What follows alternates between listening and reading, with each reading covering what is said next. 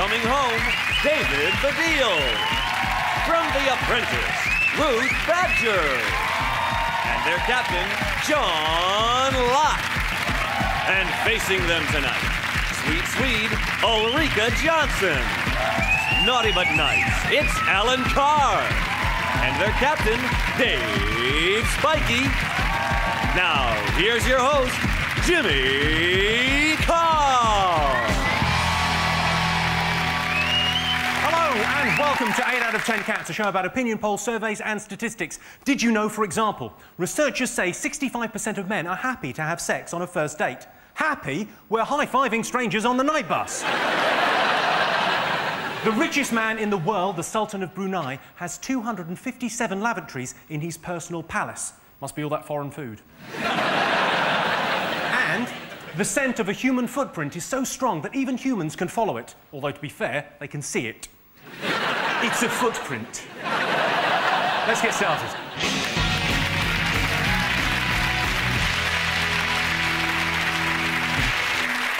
What are you talking about? That's the name of our first round. We've teamed up with a leading polling organisation and they've asked the British nation what stories they've been discussing this week. It's our panellists' job to guess the British public's top five most popular talking points. Sean, David, Ruth Badger, what have the nation been talking about this week? I think they've partly been talking about Big Brother, which, uh, which has just been on, hasn't it? One thing that I think is interesting about this year's Big Brother is they have got that bloke on who's got Tourette syndrome. And it's going to be very interesting to see what happens at that bit where Davina says, You're live on Channel 4, please do not swear. Because he's going to explode, isn't he? I, I, did, I did watch a little bit of it, and they seem, I, I, I don't know if I'm wrong, I may be wrong, but they seem incredibly thick. Yeah. they say, I mean, it's like they could have gone to Argos with a net and just thrown it. Over 12 people, all in. And they actually go through a selection process, don't they? What is the selection process? It's just someone saying, Are you stupid? No, are you really stupid? I think it's either have you got tits or do you like tits? Yeah.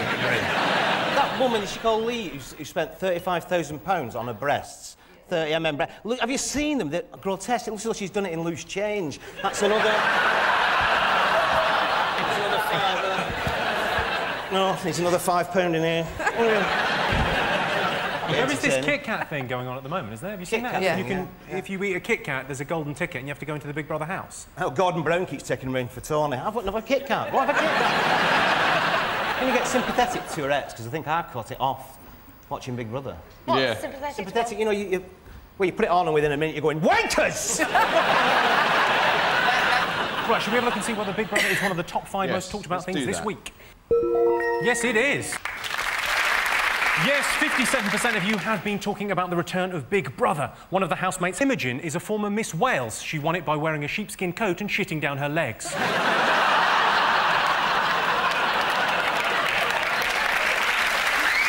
right, moving on. Dave, Alan, Ulrika, what have the nation been talking about this week? Well, they've released that thing that Nottingham is the most dangerous place to live in England. Well, they think it was Nottingham. There was someone being mugged in front of the sign. but it's just ridiculous because they said, like, Nottingham's the most for gun crime, and if you live in Leicester, you're more likely to get sexually assaulted. Now, I've seen the people of Leicester, and if I got sexually assaulted, I probably would move to Nottingham and hope to get shot. Southend. I don't know if anyone's been to Southend, but that's the safest, isn't it? And I think that's Essex. I'm thinking that's full of criminals. But obviously these criminals are commuting, aren't they? to Nottingham, bang bang, then coming back to Southend, and then when the police come along, it's like that scene from Bugsy Malone, where all the tables turn over. Hey, what crime? You know what I mean? Alan, I can tell you that's not in our top five. This is the story that a new study has shown Nottingham to be the most crime-ridden place in the country. You know what Nottingham needs? A sheriff. OK, Sean, David and Ruth, what else have the nation been talking about this week? Well, there's a big debate about uh, whether, whether the NHS should fund uh, alternative therapies, crystals and uh, healing massages, or sort of, I don't know what they do. I don't know what that is. But, uh, Reflexology. healing- Yeah, I mean- reflexology and stuff like that. Somebody's got the choice of having something that may make you better or is going to completely cure you. Which one would you choose? Well, I think the thing is, if it's alternative therapy and they do it for you, you should be allowed to pay them with alternative money. Butlers. Yeah. All I know is if I'm in an accident, I want to hear a siren, not wind chimes. I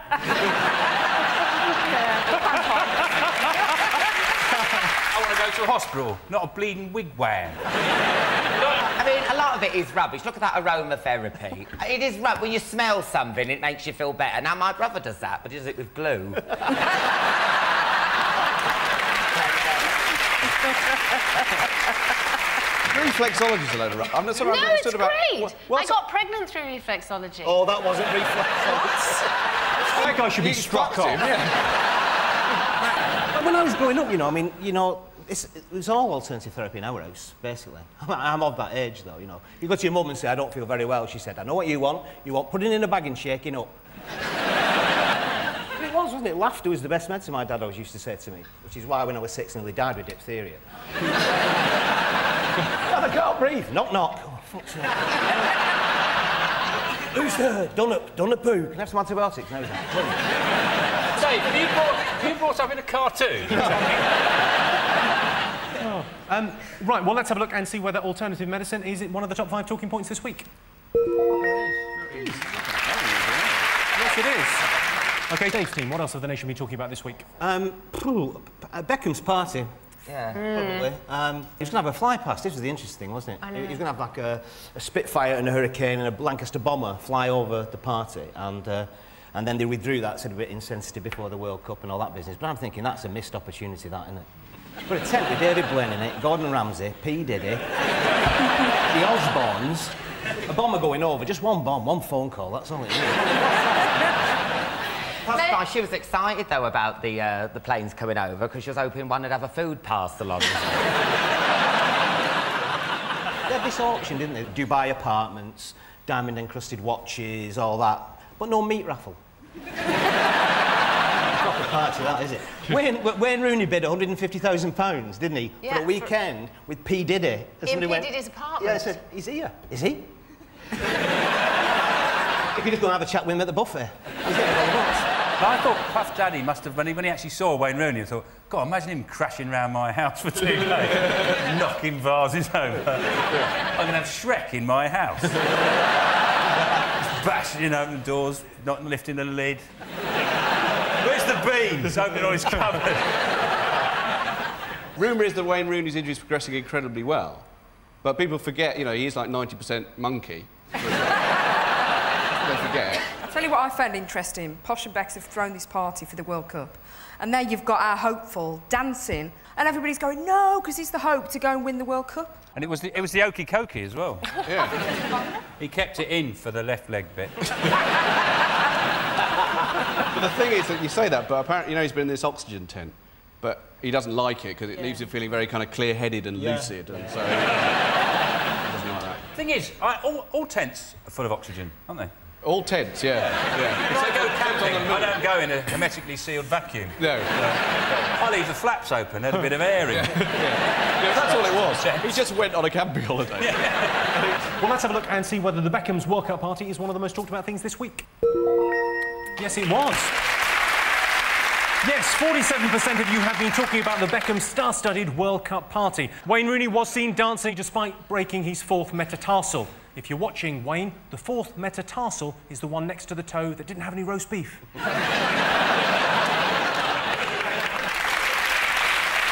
OK, two more to get. Fingers on buzzers. It's Got to be the home office thing, hasn't it? I mean, there's been so many things going wrong, isn't there? And like the Home Secretary's never like they're not admitting it's their problem. They keep blaming the Home Secretary before them, going, well, well, that's what happens when you let David Blunkett do the filing.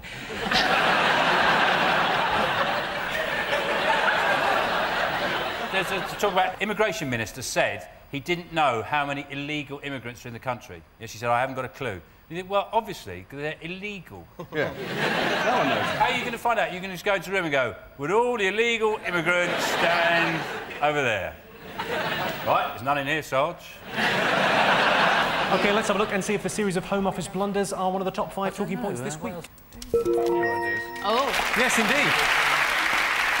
Yes, the number one talking point this week has been a series of Home Office blunders. The new Home Secretary, John Reid, has launched a five week knife amnesty. My advice is don't hand it in like this.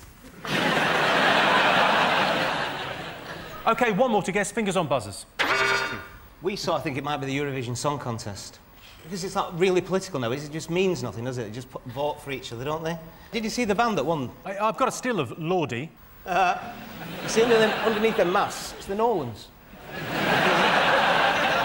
I wasn't, I wasn't even watching Eurovision. I was fli channel hopping and I clicked on it and I thought Leah's family from Big Brother had got a karaoke machine.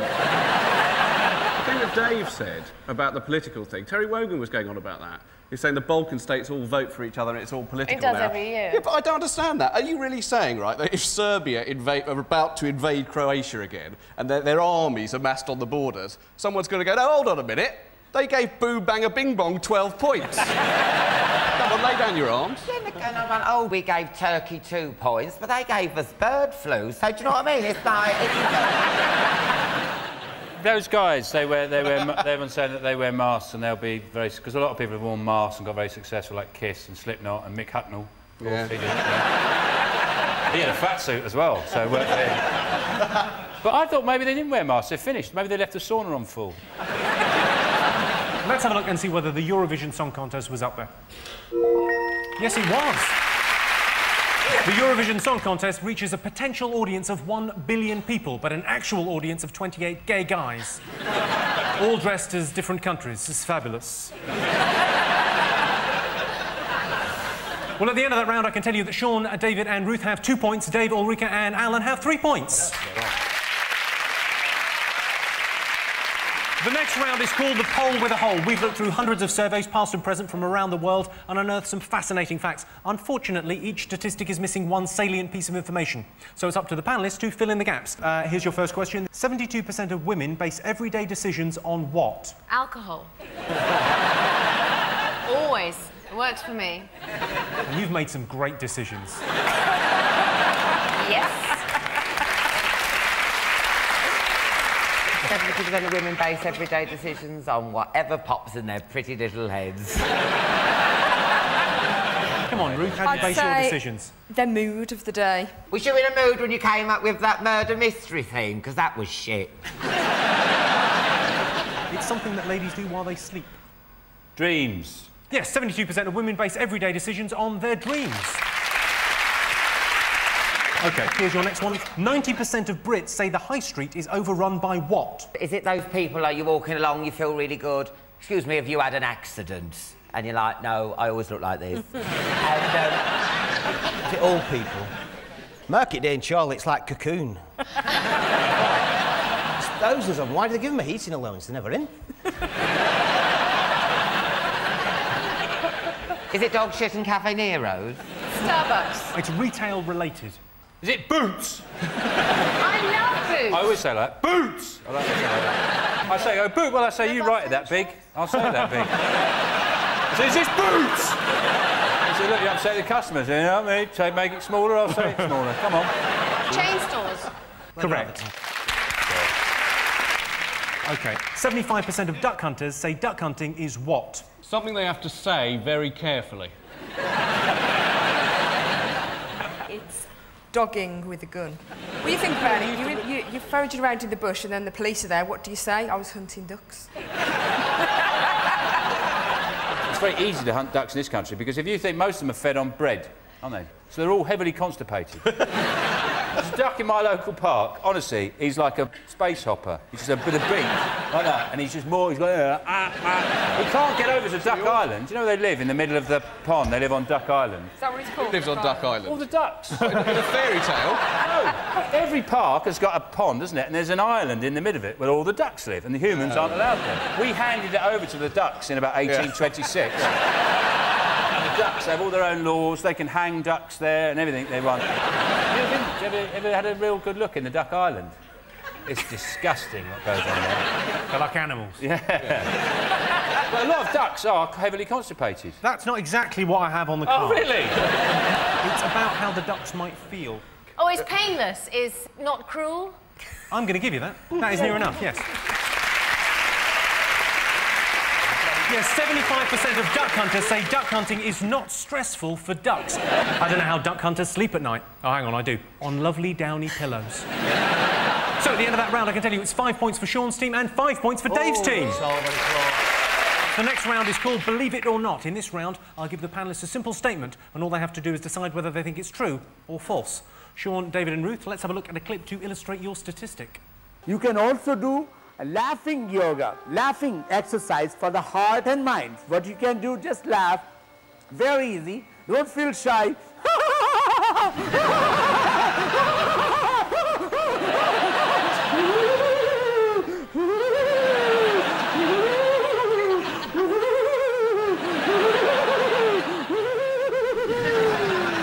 I am happy, I am relaxed. I am happy, I am relaxed. I am happy, I am relaxed.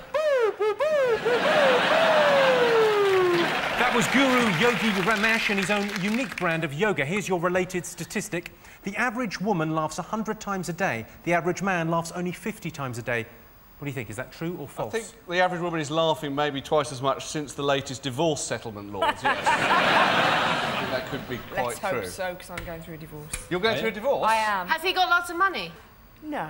Are you laughing more since you got divorced or Oh, less? yeah. Uh, I'm laughing. So you're at- happy, Twice as much. Who's got more money? What's Him the- or you? Hang no, on. well, I'm going through one too. Calm so I'm down. wondering. Are you having one as well? Mine's nearly through. Which one's that with? Oh, That you two Mr. just go. Turned to a really catchy loose women, hasn't it? so well. Ruth, can I tell you a real thing that they've missed out on this uh, poll programme? It's a real poll. It was in the UK Jewish News, right? And I, I was voted, I was voted the sixth most sexy Jew in the world, right? Number five was as Alan fucking Sugar. A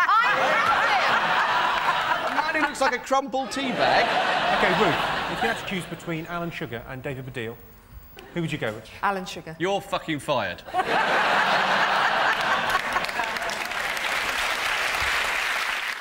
The average woman laughs 100 times a day. How do you measure a laugh? 100 times a day, it's a lot, isn't it? Could be one laugh. What is one laugh? Is that her? Is that a laugh? or if I go, ha, ha, ha, ha, Yeah. ha. Ah. Does that count as one or seven? You can do quite a deep laugh, can't you, Alan? Yeah. That's what he uses in dark clubs. That's the voice. Oh my God, it's you! oh. oh no. Oh, What do you think? True or false? I'd say that's true. I think it's not true. Ruth thinks it's true, so Sean, you've got the casting vote. False, it's false. Absolute bull. It's not just false, it's The dash. poppycock. Yeah. It's absolute Tommy rot. You're absolutely right, it is false. Done and dusted. Yes, it is false. Women laugh 55 times a day. Men have a baser sense of humour, so they laugh more, on average 69 times a day. 69. David, Ulrika and Alan, let's have a look at a clip to illustrate your statistic.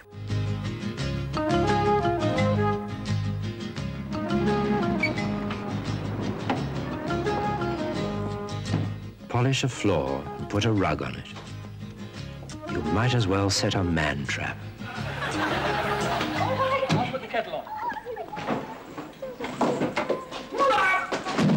And to think he'd only just come from the hospital. A public information film there highlighting the dangers of cleaning your house.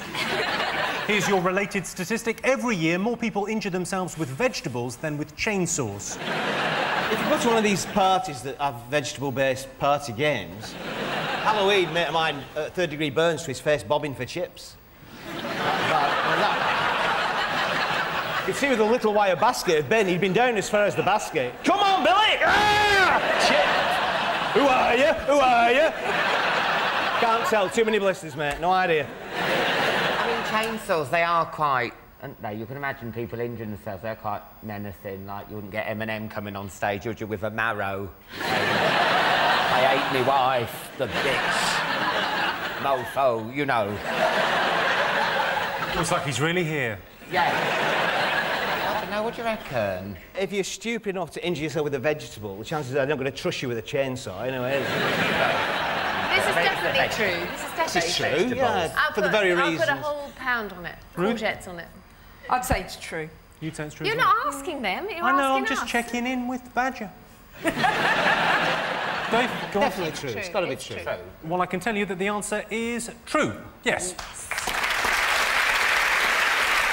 Yes, every year, 14,000 Brits injure themselves with vegetables compared to just 1,200 who injure themselves with chainsaws. So at the end of that round, I can tell you that it's six points for Sean's team and six points for Dave's team. And the winner is, is the name of our final round. I'm going to give the teams a series of opinion polls, and it's up to them to buzz in and tell me who or what they think came top. Here is your first one. Top thing men look for in a pub. I think the top thing I look for in a pub is a door. I always want to first see how do I get in? and then I would like a fine selection of organic wines and world music on the jukebox. Stop it, you. Ruth, what do you look for in a pub? Um, normally the bar. It is drink related. Oh, top, a good some selection drink. of lagers, beers. Oh, doubles, doubles offer. Two Happy doubles, hour, dub- two happy doubles for hour. pound. Happy hour is the right answer. Ruth is going again. Yes! Come on! Same price in a beer, that's the same. Yes, the top thing men look for in a pub is happy hour. Most unlucky thing that can happen to you. Is it leaving war-torn Basra, having sex with a minging immigration officer, then being reowned in Nottingham?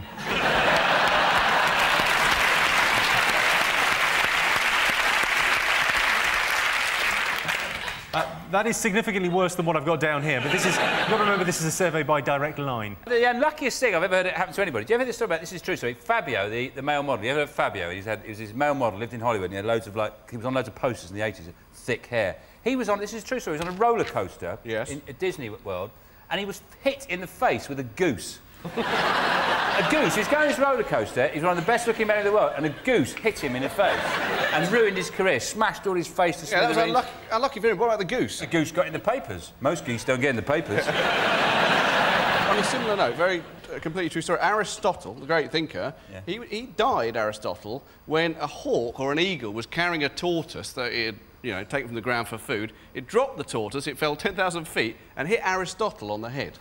Which means that one of the most cleverest men in the world, in that flash of insight just before he died, Yeah. thought, I've just been hit on the head by a fucking tortoise. That's his last thought, a great man. Yeah. Probably thought tortoises are heavy. Let's write that down. Oh. It's to do with kind of homes and, you know, something that might happen in your home. Is it your house being flooded? Oh, plumber, plumber It's to do with flooding, but something else as well. You've just decorated, you've just painted, you've just put a That's the right down. answer. Yeah. Yes, yes.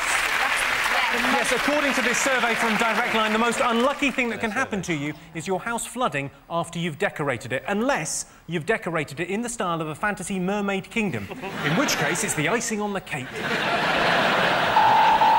Well, that noise tells me it's the end of the round and the end of the game, which means the final scores are Sean, David, and Ruth have six points, but Dave, Ulrika, and Alan have nine points. They're the winners. Thanks to our panelists, our wonderful studio audience, and to all of you for watching at home. That's it from us. Good night. See you next week.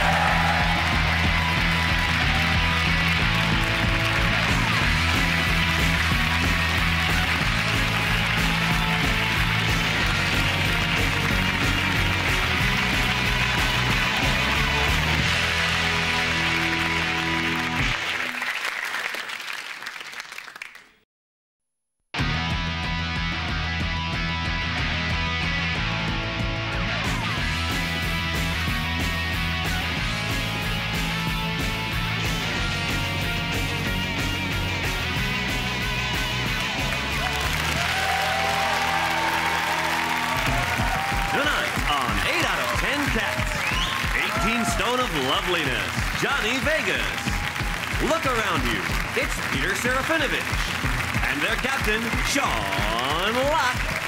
And facing them tonight, Why Lass, it's Jayne Middlemiss.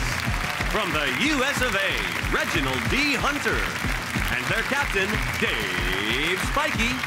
Now, here's your host, Jimmy Carr.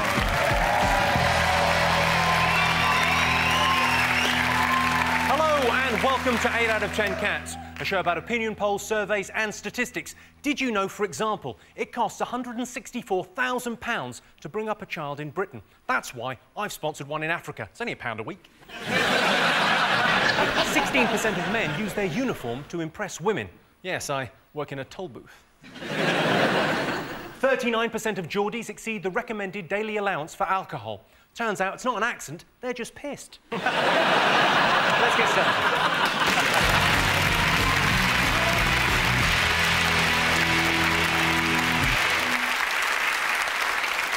What are you talking about? That's the name of our first round. We've teamed up with a leading polling organisation and they've asked the British nation what stories they've been discussing this week. It's our panellists' job to guess the British public's top five most popular talking points.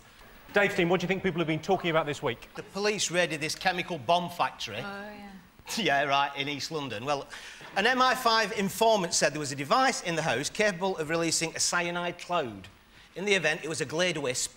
and then they went in and shot somebody, didn't they? And they said it was in a scuffle, and it turns out it wasn't. Two days later, they admitted that the, uh, the policeman, his gloves were a bit too thick. He had these big, thick gloves on. And I think he's gone, against the wall, bang! Oh, shit, sorry, sorry. And his lawyer, the suspect's lawyer said, when they came in, he said there was no freeze, there was no identification. we didn't even know they were police. Who did, who, who did they think they were? Who? they've got chemical suits on, they've got machine guns. Is it environmental health? Um, you'll been mixing your household waste with your plastics again. Aren't you? But the thing about the gloves was, I thought, they, they said, you know, like, gloves, you, you can use gloves, like have big, thick gloves as an excuse for being shit at the trumpet, but not for shooting someone. And all, all they found was aspirin. Aspirin. Aspirin, that's dangerous. Well, they won't let you buy three packets, will they, at the supermarket? you try getting three packets through Asda, you can't do it. Or you might go out in the car park and kill yourself. Look at me basket, love, that's low-fat yoghurt. I'm not on the edge. You know what I mean? Just... They said that when they shot him, they said that he was wearing pyjamas.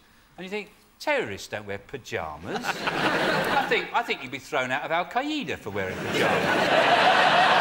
Police intelligence is a worry, though, isn't it? The statement they've made recently is, well, we can't find them, but they might still be in there, or they're somewhere else, or they never existed. Oh, narrowed it down then. Fine.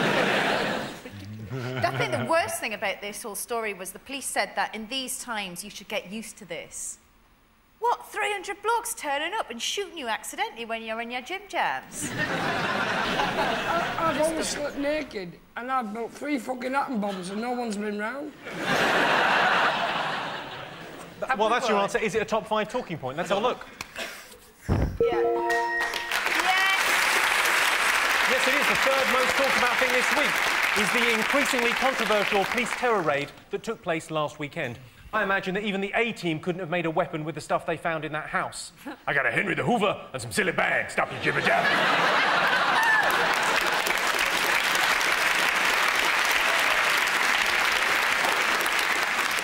Sean's team. What have the nation been talking about this week? The man on the roof. He was escaped from the police, and he, they, they trapped him in an alleyway or something, and he got onto the roof, and that was it, stalemate. And he, he was on the roof for about 12 hours, and they sent him up some lunch, out some KFC, and people thought it was outrageous that police would spend taxpayers' money on KFC. Do you want to have a look at the picture of this guy? It's not actually very good publicity for Nike, is it? Because they probably airbrushed that at brick out put a javelin in there. How long do you think they were planning to keep him up there? But he was up there chucking tiles. Yeah, he was chucking bricks off So, the yeah, off the roof. yeah, yeah, he was chucking all the tiles off through, so definition, it wasn't going to be that long a sitting before they ran out of a roof.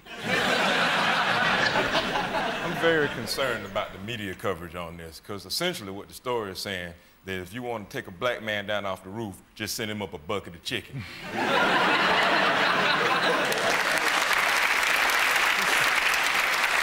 Uh, right, that's your answer. Let's have a look and see whether it's one of the top five talked about Yeah. things this week. Yes, it is. Yes, this is the story of a suspected car thief who bombarded police with bricks from a rooftop and was given a KFC meal by officers. One onlooker said, and this is a genuine quote from the Sun newspaper, it's disgraceful. Some innocent people are starving while this chap is being served like a king. is that the King of Peckham, is it? OK, Dave, uh, what do you think the nation have been talking about this week? It's got to be the World Cup. It's started today. I think there's one thing that the Sun has been really harassing, almost bullying people into having England flags. Like, if you haven't got an England flag, you're come, some kind of illegal, immigrant, treasonous, psycho, terrorist nutter. Because you're not going... Or Scottish. Yeah. but it's got a bit out of hand, because like, I, was, I was at traffic lights the other day, and this bloke pulled up next to me and had an England flags. He said, where's your England flag? And I said, look, mate, I don't need an England flag. I drive a Rover. he comes bottom in every what car poll for handling, safety, economy, comfort. It's shit. I still bought it. Stick your flag up your arse. That's his patriotism.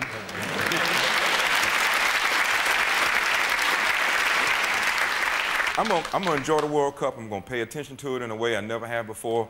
See, thing is, America loves it when you win. But what's great about here, few weeks ago, I was walking past the pub, and there's a bunch of people celebrating. So I poked in to see what was happening, and dude told me they were celebrating the West Ham game. And I said, oh, they won. He said, no, they lost, but they played well. and also, two teams can play and draw here, and people will still, still can possibly be happy about that. In America, that's just two teams that didn't win.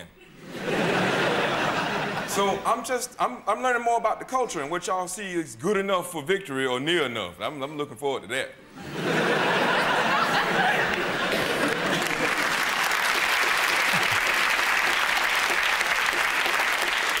Is it one of the top five? Let's see if it's yes.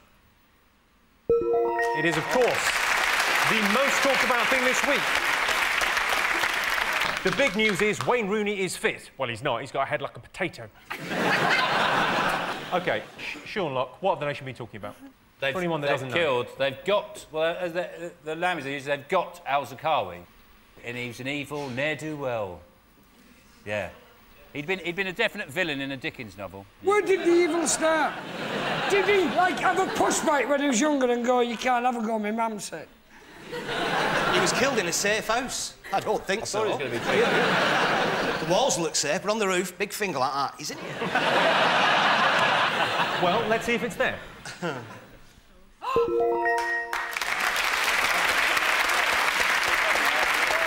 Yes, this is the story that Iraq's most wanted terrorist, Abu Musab al-Zarqawi, has been killed in an operation by the US. Al-Zarqawi launched a terror group with $200,000 he was given by bin Laden. That was a hell of an episode of Dragon's Den.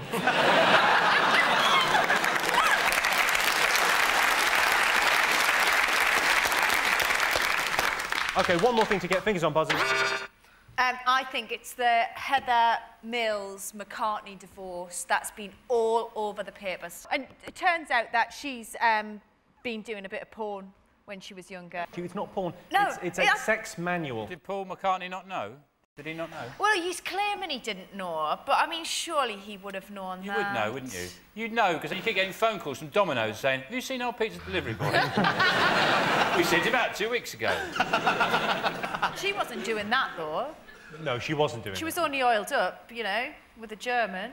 The Sun described the pictures as shocking and outrageous and disgusting and printed the pictures. I just thought that was rather hypocritical of the, of the Sun newspaper. Can I actually... I might say, it's a very good um, point. They're not They're absolute, actually... I tell you what, Peter, they're absolute bounders, those chaps. Can I ask something? Yeah, you She can- had her knickers on, didn't she? Do you? I've not seen a picture of her pie. Have you? Her pie? Like, nobody's seen that. How from Newcastle She's got are a you? pie! Pie! She's got a pie, Johnny's interested suddenly.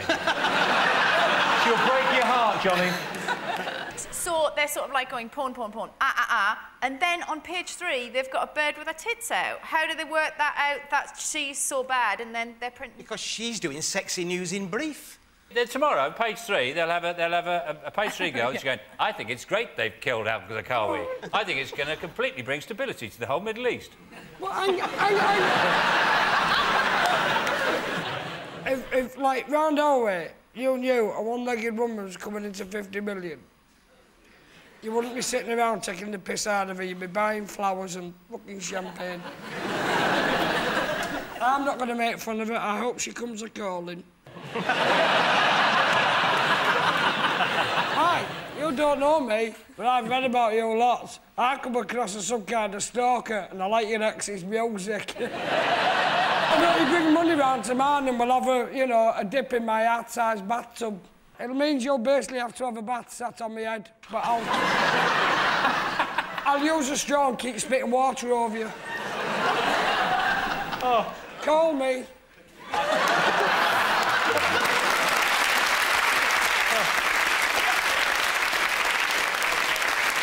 Well, is it one of the week's big stories?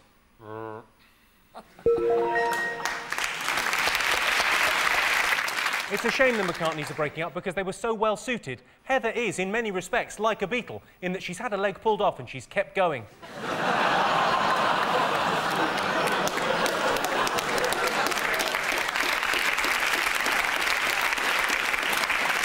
So at the end of that round, I can tell you that Sean, Johnny, and Peter have two points. Dave, Jayne, and Reg have three points.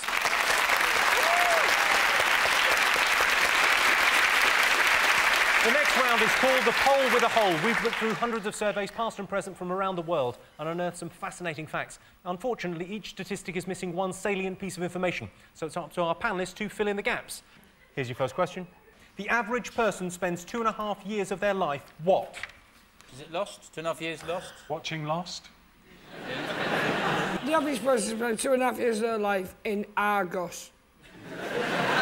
Searching through the catalogue. Oh no, that's easy, bit. Thicko. Standing there while you know there's just three lads upstairs getting drunk carrying one lawnmower going. Is it two and a half years of their life under three? Ah.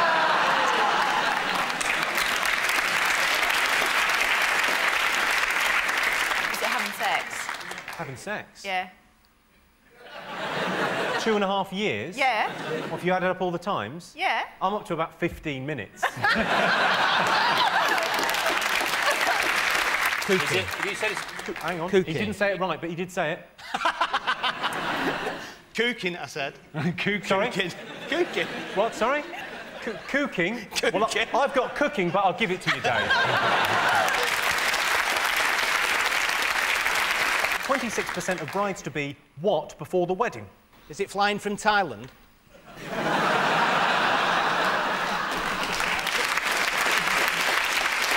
What do you think, Peter? Does it cover their tattoos with makeup? Or is it make sure they have at least one fat bridesmaid? Just the one. That fat, fat bridesmaid does serve a purpose.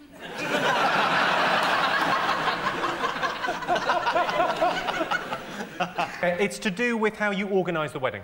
Planner, wedding. Correct answer, Dave Spikey. Oh, brilliant. Yes, 26% of brides-to-be hire a wedding planner before the wedding. The good news for wedding planners is, thanks to changes in the law, they now get to get married themselves. so at the end of that round, it's three points for Sean's team and five points for Dave's team. The next round is Believe It or Not. In this round, I give the panellists a simple statement. All they have to do is decide whether they think it's true or false. Sean, Johnny, and Peter, let's have a look at a clip to illustrate your statistic.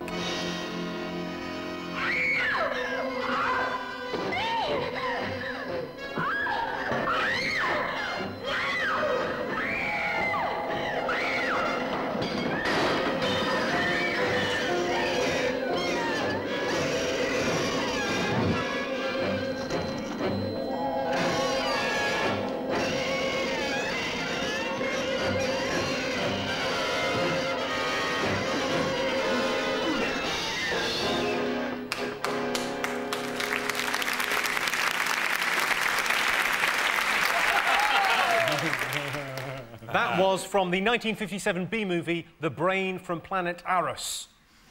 Your related statistic is as follows 72% of Americans believe that in a war with creatures from another planet, America would triumph.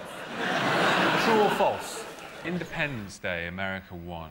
Yeah. War of the Worlds, America won. Yeah. Planet of the Apes, America didn't win. So I think if those documentaries are anything to go by, then two out of three sounds. I think, sounds you know my problem with Independence Day? What? They won with a laptop, yeah? Yeah. They managed to hack into the alien computer and bring down the spacecraft. I can't get my laptop to interface with the printer. Good luck with finding a SCART league for the ball. My problem with War of the Worlds was there was no way to stop these aliens, and then suddenly they all just get a cold and they die. That's the only way you beat them, though, isn't it? Like in the Triffids, it's, they don't use conventional weapons, it's seawater. And I think the way to obviously beat aliens isn't, isn't with like normal weapons, is when they come down, lay on a lovely big buffet, right? It's all dodgy prawns, mussels that haven't opened properly, put a bit of chilli in the tiramisu. I think it's true. I think it's terrifying, but it's true. I think the thing, yeah, alarming Sorry, thing Peter, about can I just clarify? Aliens are not coming. They're not on their way. it's just a story. It's like, Right. it's like a what if. Oh, I see. It one of them, another one of them factoids that points to how dumb Americans are, which I don't have no problem with. 72% of Americans believe that they win in a war against an alien race. What it doesn't say is that 72% of British people believe that a draw would be good enough.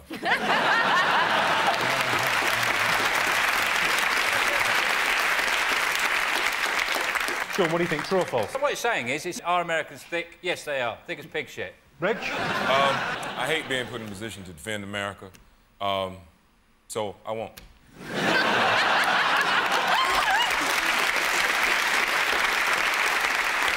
OK, so you're saying that it's true, are you, Sean? Yeah, I think it's true. Well, I can tell you that, in fact, it is false. Oh. Only 16% of Americans think they would win in a war with creatures from another planet. OK, Dave, let's have a look at a clip to illustrate your statistic.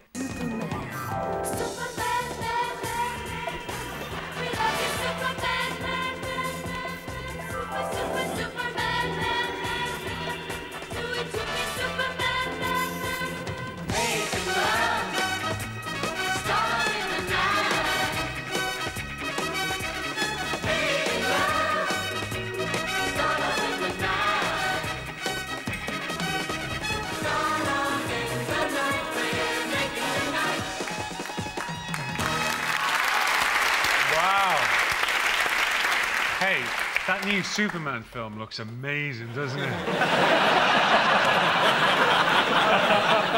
That was the Star Love Dancers there. Here is your related statistic.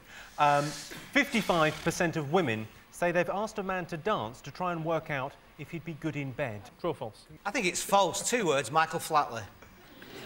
He can dance, he'd be shit in bed, wouldn't he? Why? He never uses his arms, does he? So there'd be no foreplay, then he'd kick the shit out of you, wouldn't he?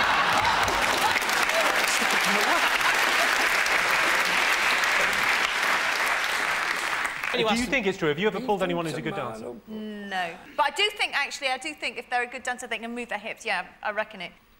oh, Jerry, that's so horribly Why you- frightening. Why do you pull your face, though? You dance more like you've, you've been hung on some railings. right?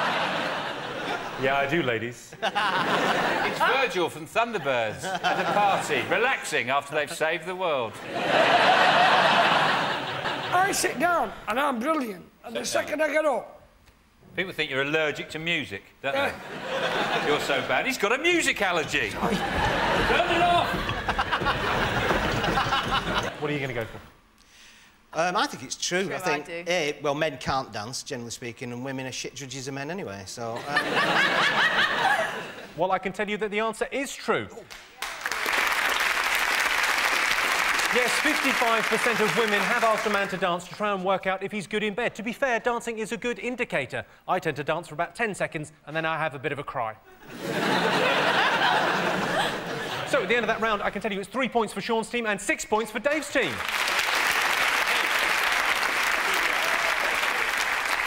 And the winner is, is the name of our final round. I'm going to give the teams a series of opinion polls, and it's up to them to buzz in and tell me who or what they think came top. Here is your first one.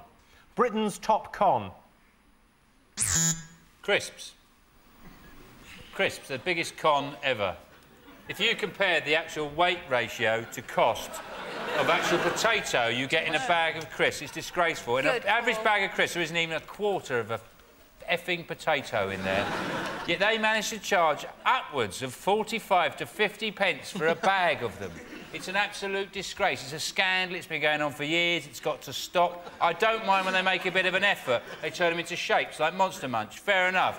You get away with that. You've done some work. Charge me a bit more. But you've sliced a potato, you've fried it, You've put it in a bag. It should cost about 3p. is it Kinder Surprise? It's a top con, that, isn't it? It's not a surprise, it's a plastic toy, you know what it's going to be. If it was a mouse's head, that would be a surprise, wouldn't it? No, then it would be called Kinder Shock. Top con. Is it those phone lines that when you phone you up, they say you've won a holiday? and you go, no, I've no, not. it's the ones you ring up for sex. Oh. You are both right. Oh. But you got it first, so you get the point. Woo! Britain's top con is premium rate phone lines. Most embarrassing thing that can happen to a man on a night out.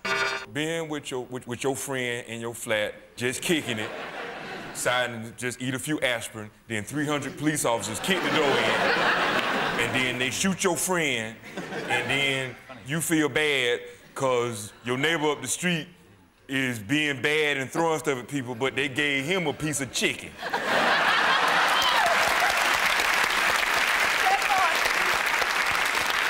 I had a very embarrassing. I was in a restaurant once. I was on my own, and um, there's two women kept this true. They kept looking across at me, kept looking, and after a while, about five, four or five times, I went hi like that, and they went.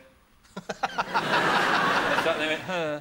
And then I looked round. I realised there was a menu board above my head. Oh, it's not me. It's horrible. Is it having your flies undone? Yes, correct answer. Yes, according to this survey, the most embarrassing thing that can happen to a man on a night out is leaving his flies undone. On the plus side, though, you do get your own seat on the bus. Don't you, Johnny?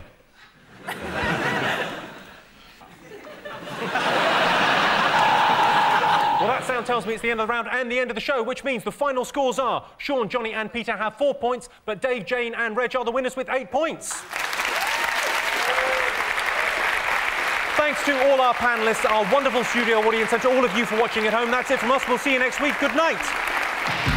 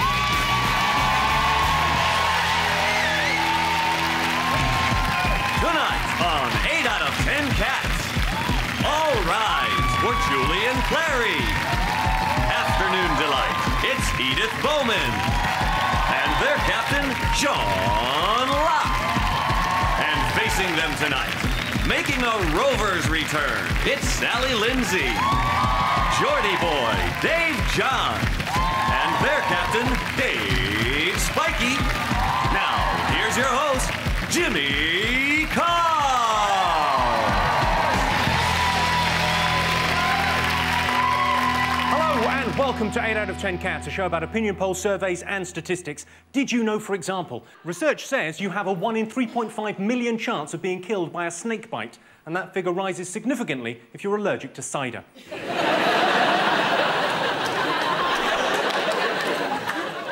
A snail can travel over a razor blade without cutting itself, or to put it another way, sometimes scientists get bored. The average man uses 38 sheets of toilet paper every day. The average woman uses almost twice that much, which is fair enough. Women have two bottoms. Let's get started.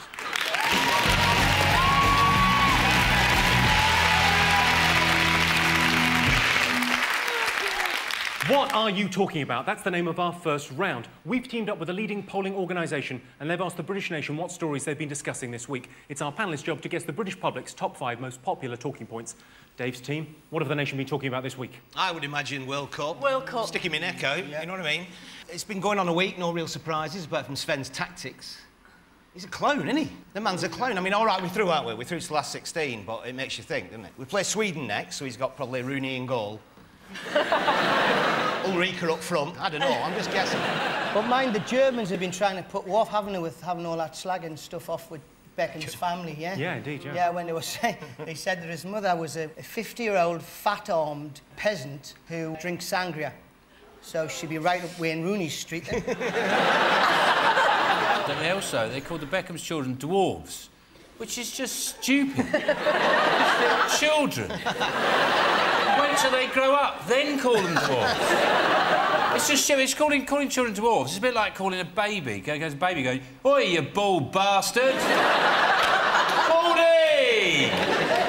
Did you see this, Julian? They slagged off his family in the paper. Whose family? Well, David Beckham's family, being in, in the German press, they've slagged off his family. They've said they're not very nice. It's horrible. Oh, oh well, no, I'm a seaman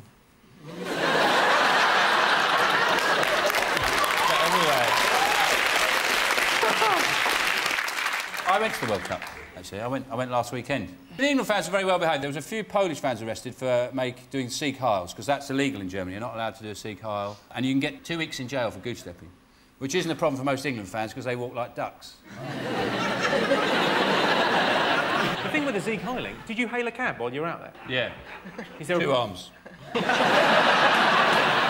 I've been saying that about England. Brazil only won 1 0, the favourites, 5 to 1 favourites. They took Ronaldo off. Did you see that? Took Ronaldo off because he was too fat. He's enormous, isn't he? And the coach said, uh, This is the first step. We've got six more steps now. And I thought, Well, he'll not get up them. You're going to need a chairlift. Get him up 'em. Well, let's have a look and see whether the World Cup is one of the top five most talked about things this week. Oh, yes, of course it is.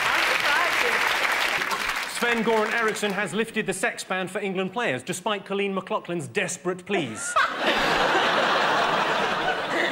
a German newspaper this week attacked David Beckham's family. The paper called his sister a pig, said his mother had the smile of a peasant, and that his father was nothing more than a kitchen fitter. Beckham was furious. He said he also does bathrooms.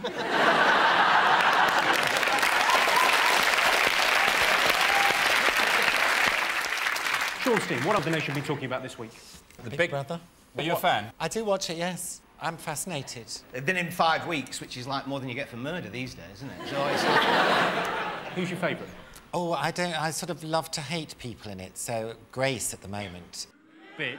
I think what it is is she's no idea um, how unbearable she is. She thinks really she's quite a nice person. And in fact is a massive bitch. You just wish there was somewhere we could all phone up and, and get her kicked out, don't you? If only we could have a say. want them to sort of have sex, that's the thing, into They get them in the house and they want them to have sex. And then they fuzz it out. They fuzz it out. Yeah, they're doing it. That's Jen. foreplay, isn't it? Is that you doing foreplay? Yeah, that's basically how I do it. Ways that woman before. Hello. Hello, I'm Jimmy Carr. Jimmy Carr. This week they went in with The the golden easiest route. ticket. The Kit Kat thing. Yeah. They might shoot the winner through the roof of the Big Brother house in a glass lift, like the Charlie and the Chocolate Factory. and it lands on a spike.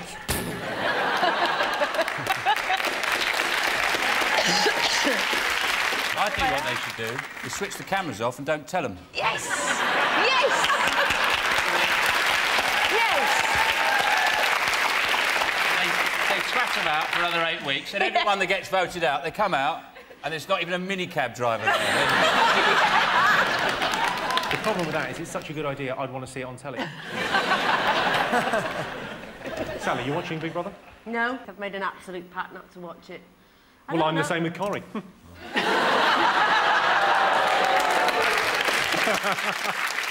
I like the celebrity one. yeah, no, it That's is, it great. is. It is kind of tragic, but that's kind of what I like about it. Is it? Would you ever do it like Celebrity Big Brother? No, I wouldn't fancy that. I wouldn't want to sleep in a sort of dormitory arrangement with who knows who next to you. There's no fucking chance of finding me in there.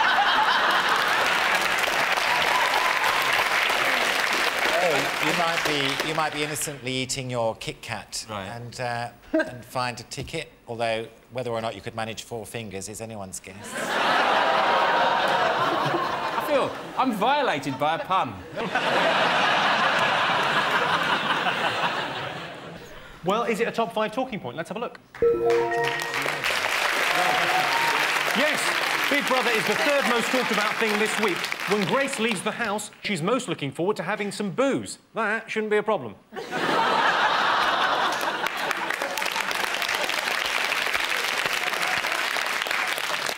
What else have the nation been talking about? Is it the Queen's birthday? God bless her, 80 year old. Is that what it is? Yeah, because I saw, I was driving through Windsor and on a roundabout they had a big sheet. Happy 80. Does she have two birthdays as well? She does, which explains why she looks so fucking old.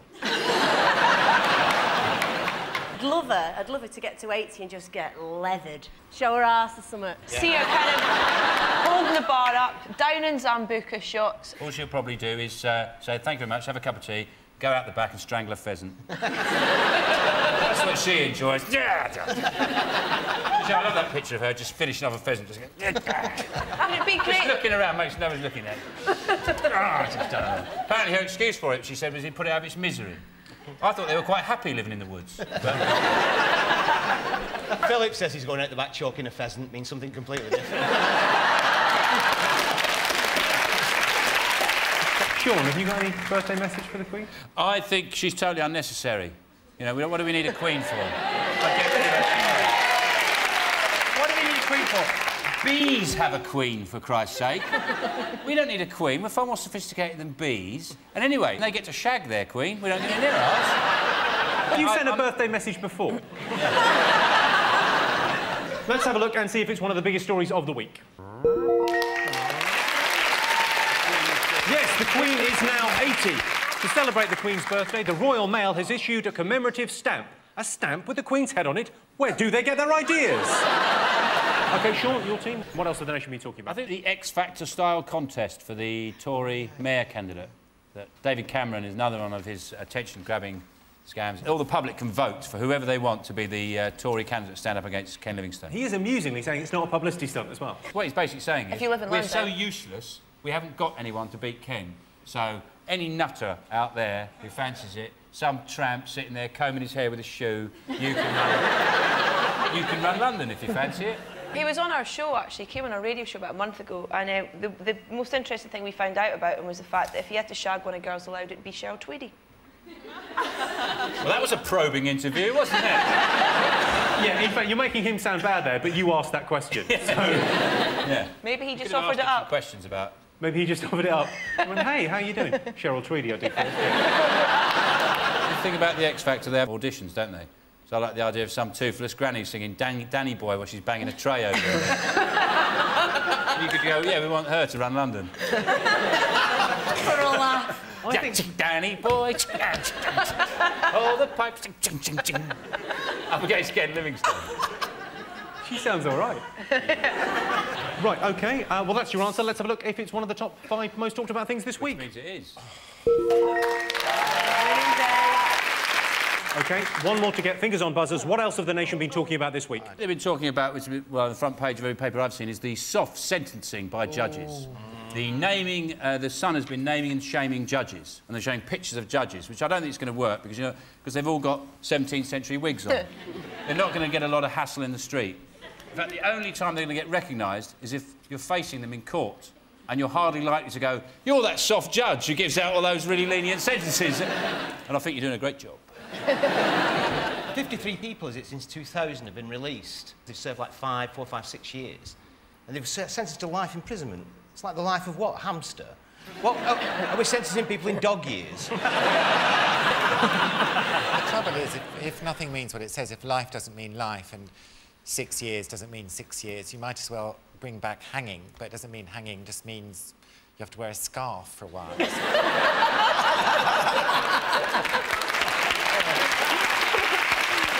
what, what happened to all the crazy judges? All the mad judges just go like 30 years. Send them It down. has- hasn't started, haven't even started yet, Your Honour. 10 years, shut up. I Isolate- 50 years, who wants it? mad judges. Wow, wow, wow. Shall we have a look and see if judges is one of the most talked about things? Yeah. Shall we? Yes. Yes, it is. 200 judges have been named and shamed for being too lenient. Top of the list was Louis Walsh for letting Lucy Benjamin win Celebrity X Factor. At the end of that round, Sean, Julian, and Edith have three points. Dave, Sally, and Dave have two points.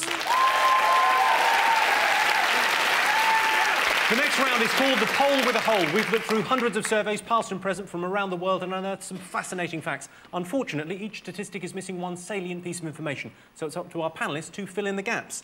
Sean, Julian, and Edith, 32% of Brits think Pete Doherty needs what? I think he needs to go to jail because he's in court every bloody week. he walks out, off his face usually, gets into an uninsured, um, you know, untaxed car, crack pipe, a phone in one hand, drives off using his feet. oh, what's he like? Perhaps he needs a new spoon.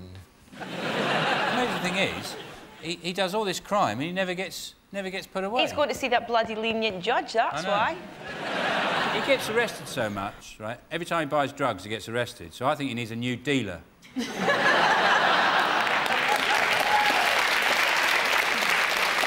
that, One that doesn't phone the police as soon as he leaves the house, going, yeah, I've just sold it to him. Do you like his music? Uh, I like, used to like his music. I don't like what he's done recently. If you're watching, fuck you. She's Radio 1. Good luck selling some records.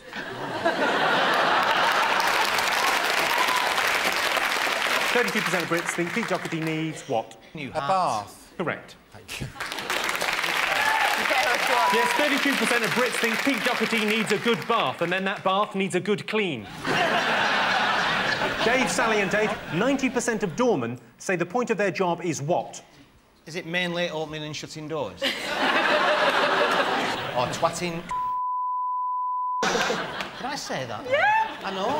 Look at you, you big London ways. Ten percent of women say that part of their job is to keep them out of prison. The other ten percent didn't understand the question.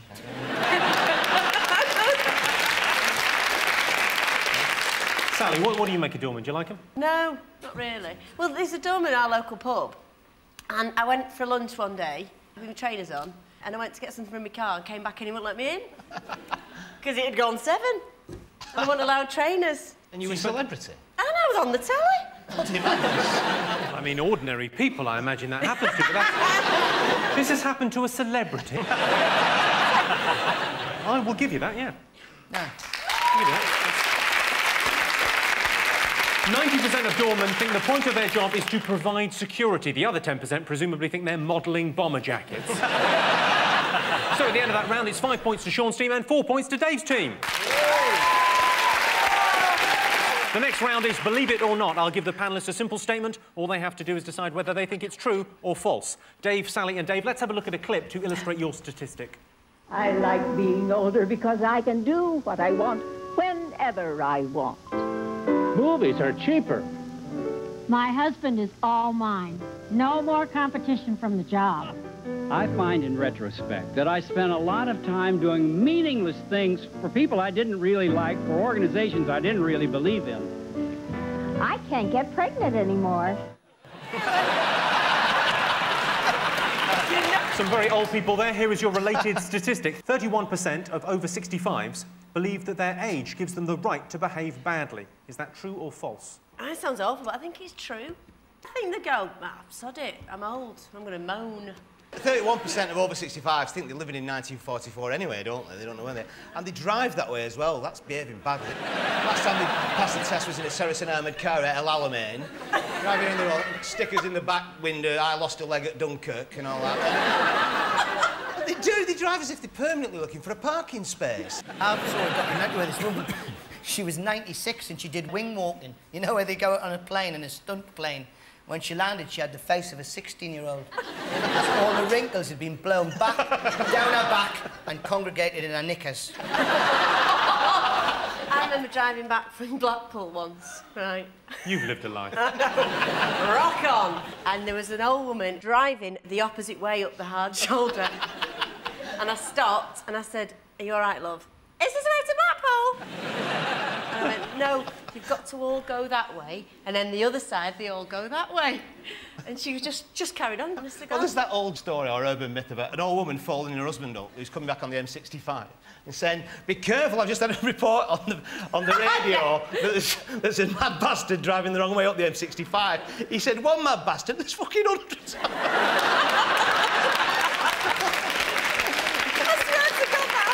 Oh, it's funny up north, isn't it? they always go shopping on a Saturday dinner time. They've got all fucking week to go shopping, haven't they? all week. And you're in a hurry on a Saturday dinner time. They're in the queue with the coupons. And do you take bird's eye? And do you take... How much is it? 175. Give him here, two quid. Fuck off. Go on. Who is Dave, I can't understand why you keep using the word they.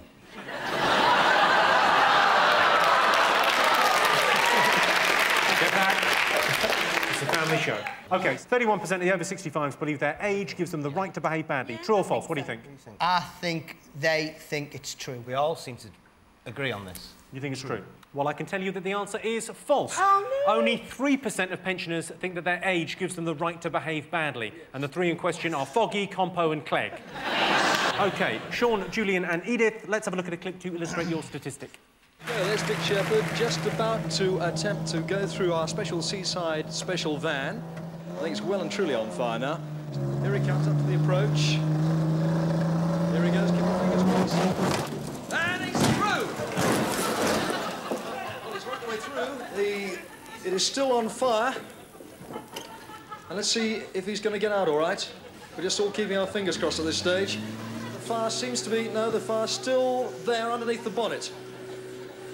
They're just at this very moment trying to get him out. Yes, there he goes. They're, trying, they're tipping it up. Still very much on fire, I'm afraid. And they're just trying to pull him out right now. Yes, Dick is, I think, all right in there. Yes, he's definitely all right. I can see Dick moving inside there, so everything seems to be all right. Yes, here he comes. He's all right, ladies and gentlemen. There he is, Dick Shepherd. He's made it. A nice round of applause. Well done, Dick. Dick Shepherd. You know, people talk about how like uh, telly wasn't like it used to be. You know, that was a Saturday night. It was a show called Saturday Special. So the highlight of the show was him driving into a removal van on fire. that was it. That was the finale of the night. You drive into it and then you crawl out. Ta-da! OK, your related statistic. 21% of men admit to having done something that put their life in danger in order to impress a woman. True or false? I think it's false, because I think it's higher. Because I think men think that switching off the PlayStation is putting their life in danger.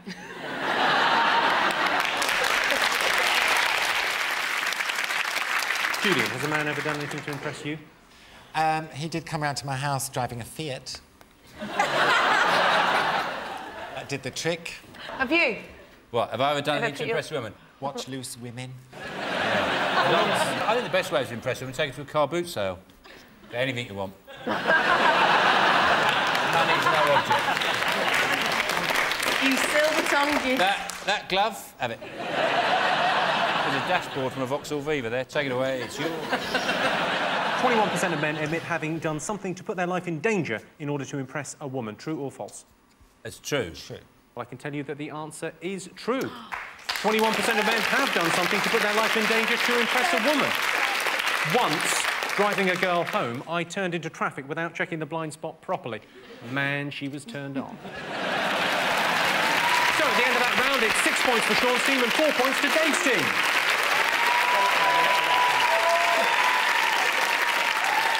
And the winner is, is the name of our final round. I'm going to give the teams a series of opinion polls and surveys. It's up to them to buzz in and tell me who or what they think came top. Here is your first one. UK's most endangered animal. A unicorn.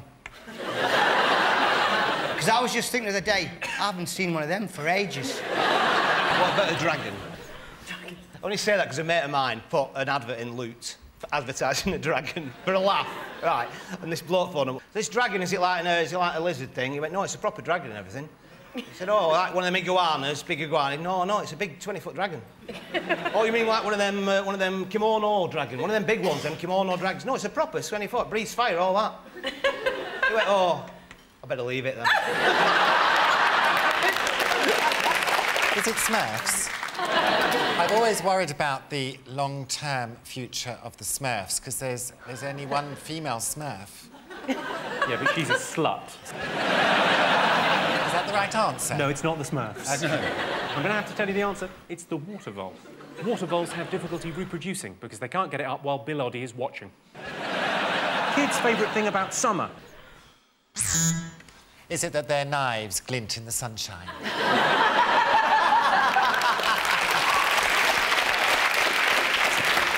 Is it fishing for sticklebacks and then making a fat kid eat it?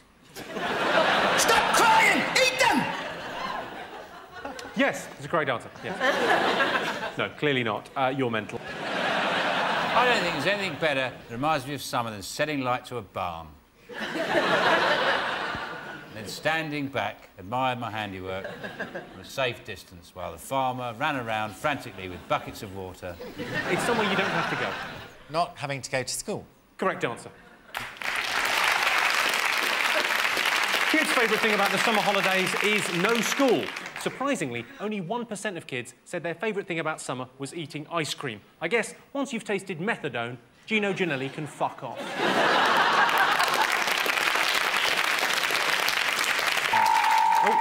That sound tells me it is the end of the round and the end of the show, which means the final scores are Dave, Sally, and Dave have four points. Sean, Julian, and Edith have eight points. They are the winners. Thank you to our panellists, our wonderful studio audience, and to all of you for watching at home. That's it from us. Good night.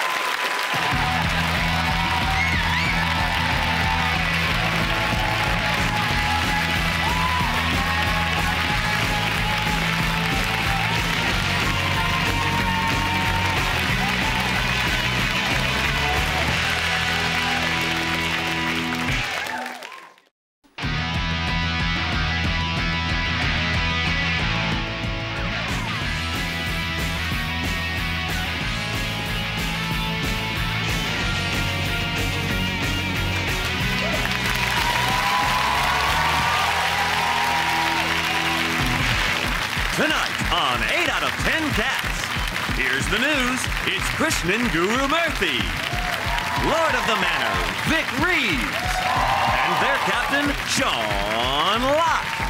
And facing them tonight, from Little Britain, it's David Walliams. He's got the X Factor, Louis Walsh. And their captain, Dave Spikey. Now, welcome your host, Jimmy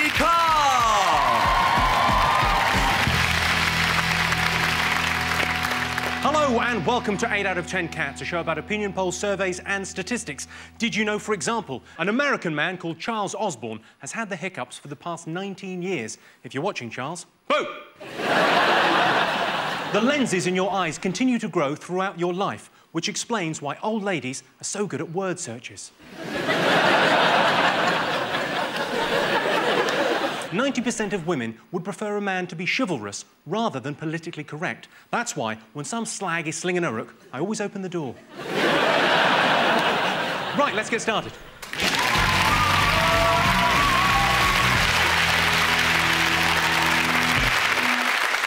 What are you talking about? That's the name of our first round. We've teamed up with a leading polling organisation and they've asked the British nation what stories they've been discussing this week. It's our panelist's job to guess the British public's top five most popular talking points. Sean's team.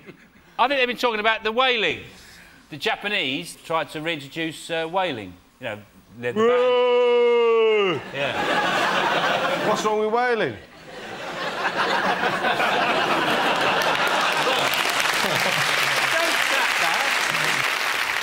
Krishnan, you're on the proper news. What do you know about whales? Japan says we want to start whaling again, and they're trying to persuade world opinion on the International Whaling Commission to back them. And they say, if you don't back us, we'll just leave and do it anyway. So that's the Japanese for you. Was that going to be on Channel 4 News? so to conclude, that's the Japanese for you. Oh. What can you fucking do?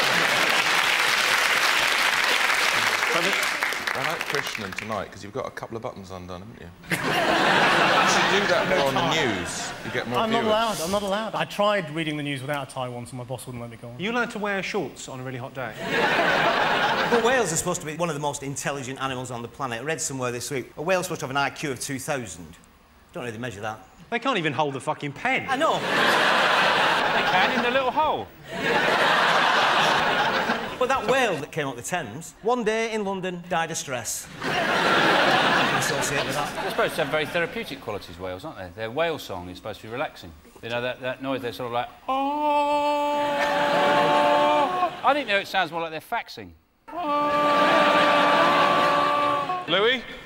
Did you get, did you get that? That sounds like G4. The Whale Brothers. Let's see if it's one of the top five talking points this week. Yes, it is. Yes, commercial whaling is back on the international agenda after Japan forced a vote. To be honest, I went off whaling when it went all commercial. I like the early stuff. right, Dave, David, and Louis. What else have the nation been talking about this week? World Cup. Can't get away from it, can you? Um, we, we won the group, didn't we? Uh, two-all draw with the mighty Sweden. But there's been more interesting, the wags, the wives, wives and girlfriends. I would love to be a footballer's wife. and it's just a great life. You just get to go out shopping all the time. But, but Coleen sent one of her friends back to Liverpool to do some shopping for her. From Baden-Baden back to Liverpool, obviously the fashion capital of Europe. I mean, how badly do you need something from JJB Sports? You know what I mean? Who's going to win? The best team. the Best kickers. Yeah. Yeah, Yeah, come on, the striker. I'm with Vic on this. England United. Not a clue. Krishnan, have you been watching the football? Yeah, I mean, the tragedy of Michael Owen obviously is. Is he not very good? His terrible injury, which was really upsetting. What injury did he get? Cruciate. A cruciate ligament. Where's that? It's just around your knee. Can you show me on your knee? See your knee. Please.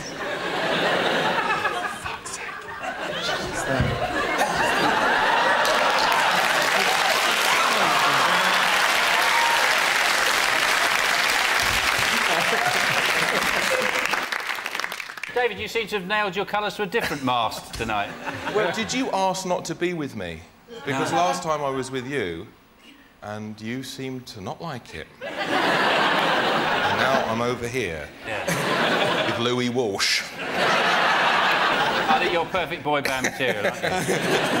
Who out of us here today could make it in a boy band? I think Jimmy. Jimmy? I think Jimmy. I think Jimmy's good. Talking about pundits, though, is anybody else so irritated in this World Cup by the amount of statistics that they throw in during a game that you're just completely not bloody interested in at all? I mean, Motson all the time. It's just, you know, that's the 199th goal since 1938 scored by a Swedish bloke. Well, you know, he said the other night, he went down the line in the England substitutes, he went, Theo Walcott there, he's got a provisional driving licence.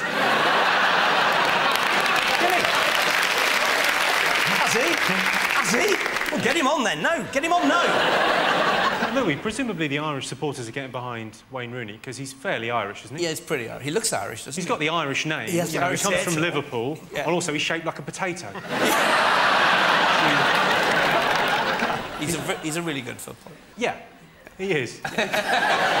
Which is lucky, because otherwise he'd be in Asda car park. Well, I would. Is he the striker? Yeah, the striker. The striker's going to win. Mickey Rooney, come on! Football, yes! Albert Finney, not it!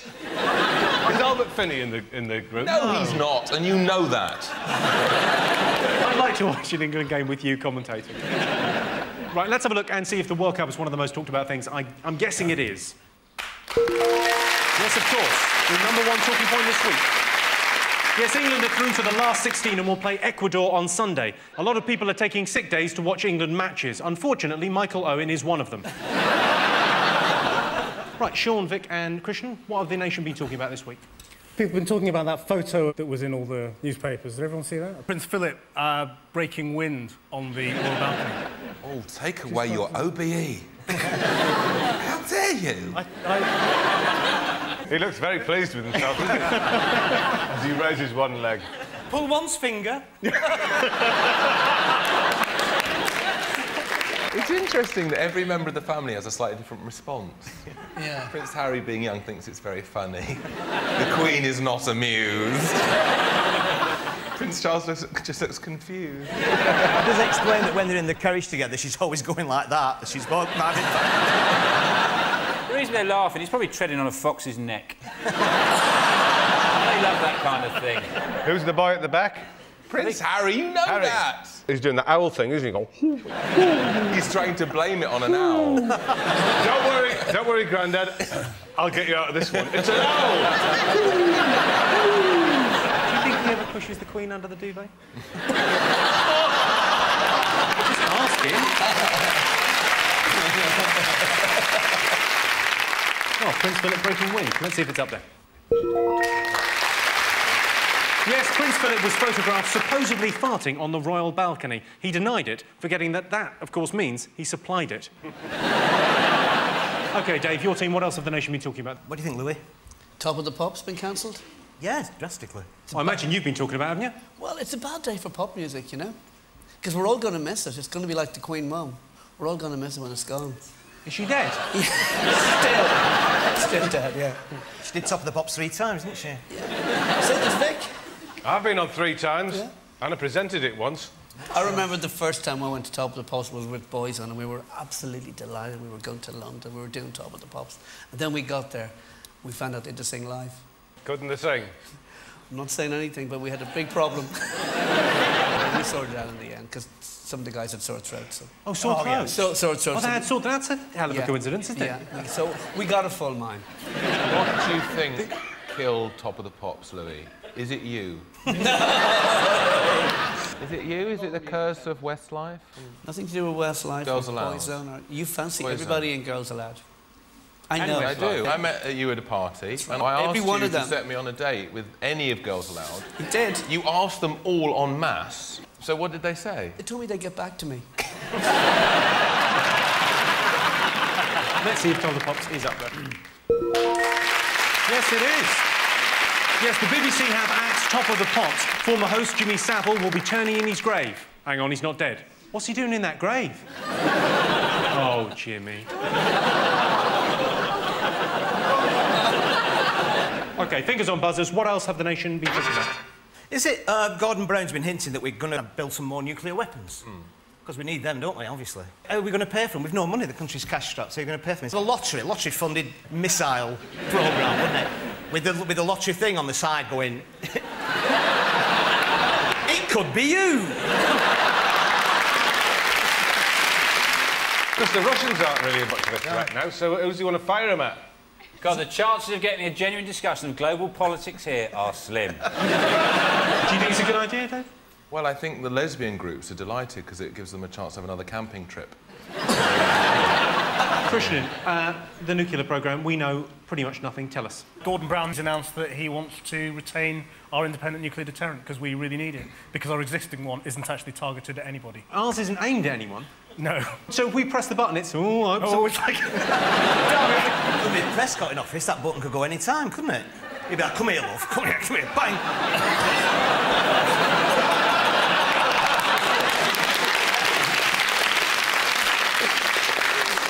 Is it a top five talking point? Let's have a look and see. Yes, it is. Yes, Gordon Brown has pledged to spend £25 billion on a new generation of Trident missiles. Why put all that money into nuclear weapons? £25 billion worth of fireworks would destroy the world. And at least then Armageddon would be a party. At the end of that round, I can tell you that Sean, Vic, and Krishnan have two points. Dave, David, and Louis have three points. The next round is called The Poll with a Hole. We've looked through hundreds of surveys, past and present, from around the world and unearthed some fascinating facts. Unfortunately, each statistic is missing one salient piece of information, so it's up to the panellists to fill in the gaps. OK, uh, Dave, David, and Louis, 15% of pet owners are upset because what? Their love can never be legal. Have you got any pets, Louis? No, I've no pets. No. I could see you with a little dog. No, no. Little dog and a cigarette holder. No. You're thinking of Simon Cowell. Sharon Osbourne's got. What, what dogs has she got? She's got two dogs, small little white ones. Has she tried to give you one? No. What? A dog, I mean, Louis! he thought I meant sex! 15% of pet owners are upset because what? That's not a very nice place to put a firework. What is the answer? all right, all right, I'll tell you. 15% of pet owners are upset because they can't spend more time with their pet. If it's any comfort or consolation, your pet couldn't give a shit. OK. Sean, Vic, and Krishnan, 12% of men have thought about, but not got round to, what? Take it away, Vic. Points in the oh, bag. it's obvious, isn't it? Yeah. It's obvious. The octopus thing. you know, like digging it out, putting an octopus on the head with many bells on the tentacles. Is that the answer? No, of course it's not. We're just messing around. We're, we're just messing Is you about, Jimmy. We're just collection? messing you about. messing you about with stupid answers. Krishnan. Is it, is it smashing in James Blunt's face? Yeah, Sean, what do you think? Is it put their record collection in a, you know, a weird order, like order the fatness of the singer? They've got Meatloaf at one end, Prince at the other end. So Elton John moves up and down all the time. At the other end, you've got your Dannii Minogues. Not that most blokes would have one of hers in the record collection, but I don't know. Is What's it that? wrong with Some- Dannii Minogue? Is it that like you're in a sort of East End comedy? What's wrong with Dannii Minogue? What problem with Dannii? You come to me. I'm going to tell you, it is in fact 12% of men have thought about but not got around to doing voluntary work. I do more voluntary work if they up the wages. so at the end of that round, it's two points for Sean's team and four points for Dave's team. The next round is Believe It or Not. I'll give the panellists a simple statement. All they have to do is decide whether they think it's true or false. Dave, David, and Louis, let's have a look at a clip to illustrate your statistic. The Daily Mirror calls on you. Who? Us? Yes, and millions of other young people like you. Hey, you two, cut it out. You're the Daily Mirror, aren't you? Can't you stop them? Stop you more like it. What? Well, why spoil their fun? I never carried on like that. And look at the mess you made of things. Oh, don't worry about him. The Daily Mirror believes in young people, and that means you. Well, that was an advert for the Daily Mirror from 1983. Here is your related statistic 75% of young people say their biggest worry in life is spotty skin. Is that true or false? Louis, what do you think young people worry about? Did you have spots when you were young? Very few, yeah. But I got Clearasil, and I sorted them all out. They didn't have Clearasil when you were young. They did. Are there any pop stars with spotty skin? Mick Hucknall. Mick Hucknall spotty? He's not good looking. No one knows if he's spotty because no one's been able to look for long enough.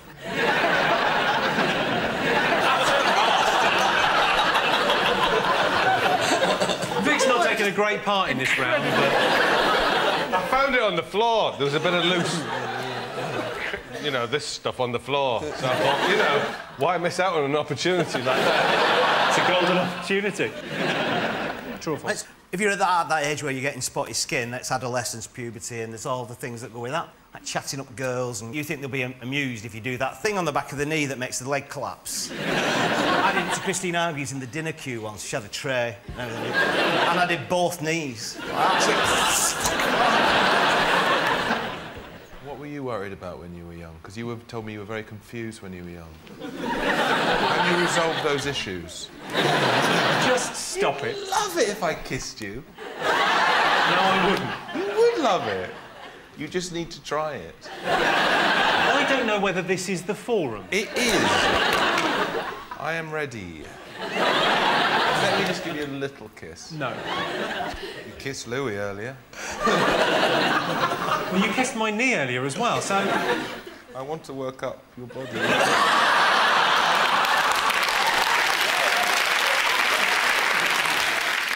Right, 75% of young people say their biggest worry in life is spotty skin. What do you think? I'd say it's true. You think it's true? OK, well, I can tell you that the answer is true. Sean, Vic and Krishnan. Let's have a look at a clip to illustrate your statistic. For Tony, it's audition time on Star Quality.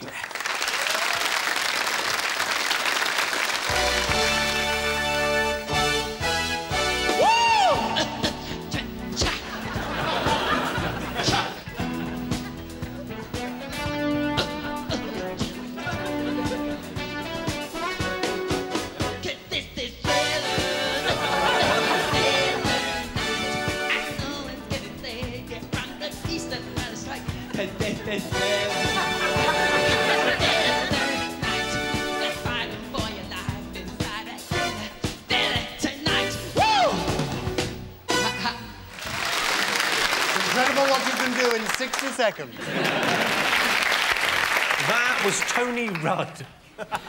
I know what you're thinking. No, that was Michael Jackson. No, it was Tony Rudd. But that guy's not even a Jackson looky like, sound alikey, look alike. He's just a not in anything at all alike. He's like a vaguey, bitty, tiny bitty likey. OK, your related statistic is as follows. 36% of obsessive fans would be willing to swap a family member for their hero. Is that true or false? Swap a member of my family for an obsessive fan, though, wouldn't you? I'd quite Have like you to got have any obsessive fans? I bet you have. Few.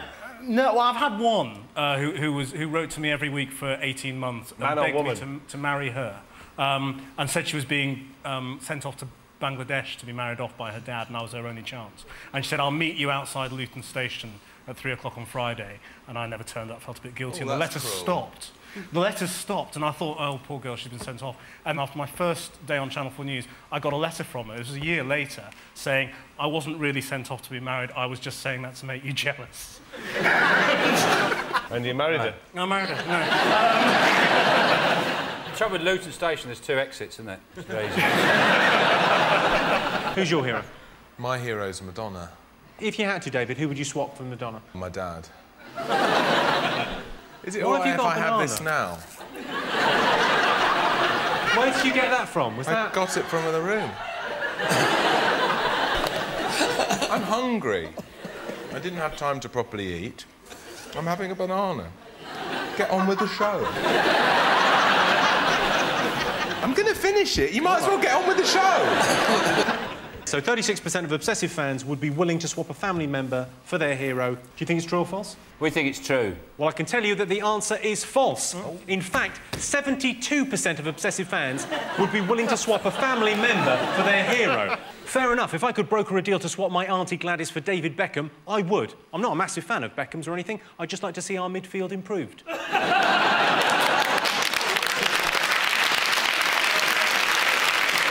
So at the end of that round, it's two points to Sean's team and five points for Dave's team. And the winner is, is the name of our final round. I'm going to give the teams a series of opinion polls, and it's up to them to buzz in and tell me who or what they think came top. Here is your first one. Most frequent nightmare. We need points, Vic. Tell him a nightmare. Nightmare. It's got to be the one where Neptune's been uh, pursuing you on his BMX. Ten points for that one, Jim. Running out of crisps before you run out of dip. Dave, you have a nightmare? I have a nightmare. It's a nightmare where they're after me because they think I've murdered somebody, and then they arrest me, and then they're going to execute me, but I escape. And it's a night you're you're running all night, and it's ter- it's really, really terrifying. And all I know is I've got to find this bloke who's got one arm, right? Why, that's the fugitive, sorry.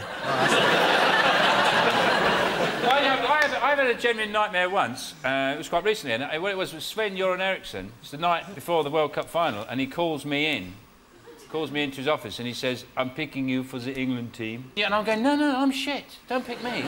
I'm useless. I said, I'm not even in the team. He says, you are now. I've had a word with FIFA. He said, I've told all the players just to keep passing to you. no, no, I'm, I'm useless. And he's going, no, trust me. And I go out of the room. All the players are going, wanker, piss off. I'll pass to you. And, I've had to, and then I look in the mirror and I'm Peter Crouch.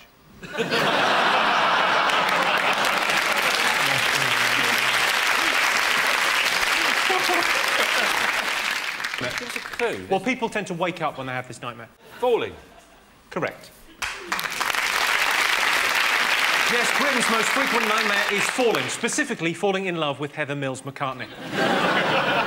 Britain's least favourite household chore. Is it helping your mum put her cards up in the phone box?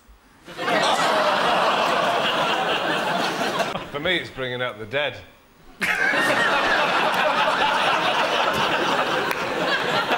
Your least favourite chore is Bringing out the dead. Or, you know, when they go, bring out the dead, bring out the dead. You're like the most fun uncle ever. I'm going to face this way for a bit. I love looking at colours going by my eyes. There's brownish red and green and yellow. Surrounded by some blue squares and a purple central area.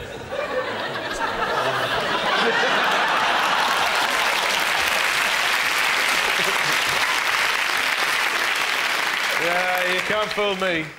Britain's least favourite household chore. Lou, have you done any housework recently? Hoovering. That's a correct answer. Wow. Yes, Britain's least favourite household chore is vacuuming. The reason I don't like vacuuming is that if anything does go wrong, the people in casualty can be very sneery. well, that sound tells me it's the end of the round and the end of the show, which means the final scores are Sean, Vic, and Krishnan have three points. Dave, David, and Louis are the winners with six points.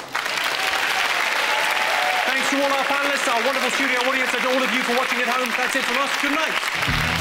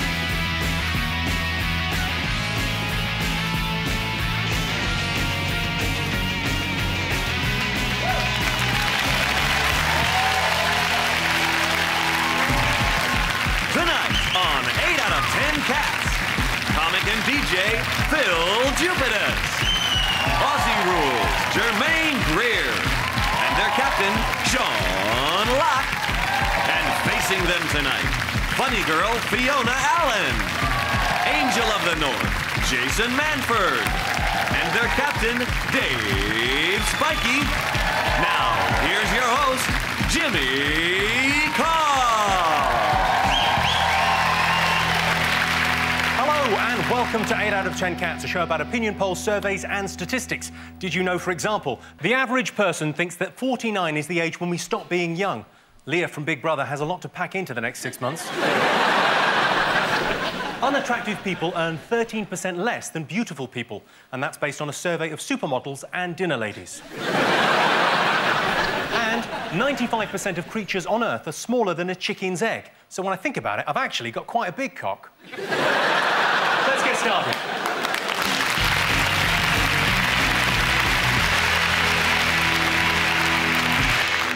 Are you talking about? That's the name of our first round. We've teamed up with a leading polling organisation and they've asked the British nation what stories they've been discussing this week. It's our panellists' job to guess the British public's top five most popular talking points. Dave's team, what have they been talking about? Rather predictably, I'm going to go for the World Cup again. Um, we're in the quarterfinals. Beat Ecuador 1 0. I had a bet, won a few quid. I bet it was going to be shit. it was. Uh, Beckham scored the only goal, 1 1 0. So well done and all that. Uh, then was sick. Threw up. And I'm wondering whether it was just like he's run out of celebrations. Footballers invent celebrations all the time. so he'd done the baby thing. I've done that one. I've done the kissing the shirt and all that. I've done all that. I know what. Oh, fuck it. Oh. If they'd have panned away to the corner flag, Wayne Rooney's having a dump. That's worse. My favourite aspect of the World Cup has been the recurrent appearance of uh, Frank Lampard's disappointed face. Because he keeps putting the ball wide and then he goes... Jason, any thoughts on the World Cup? I just think they've got all a bit soft, to be honest, all these footballers. So many fouls and free kicks and uh, all the time just all diving over at my ankle. I've done... There was a bloke the other day for Ghana who was out because of a, a dead leg. Now, that's not an injury, is it, a dead leg? That's, that's a minor annoyance. When I was 10, I had three dead legs in one day. I still had to do PE and walk home. Motson came up trumps again, though. I know I do it every week, but another... Ecuador brought a substitute on. He's got his list of facts, and he goes, oh, you go. Oh, he's bringing on Rodriguez. Oh, uh, interestingly enough, this is the smallest man in the world. Cut.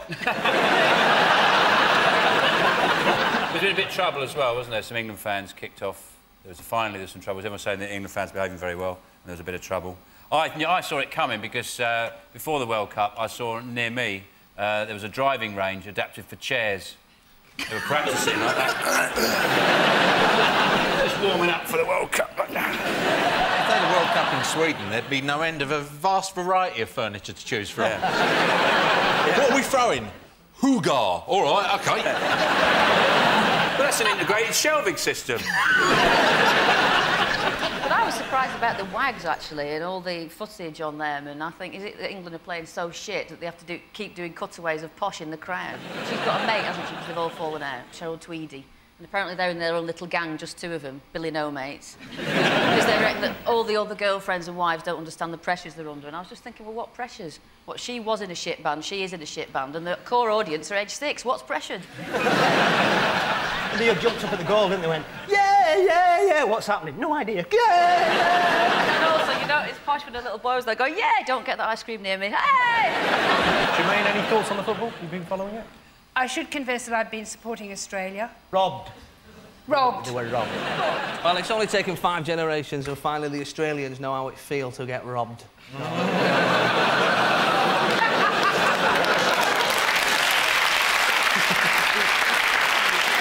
Right, well, let's have a look and see if the World Cup is one of the top five talking points. I imagine it is.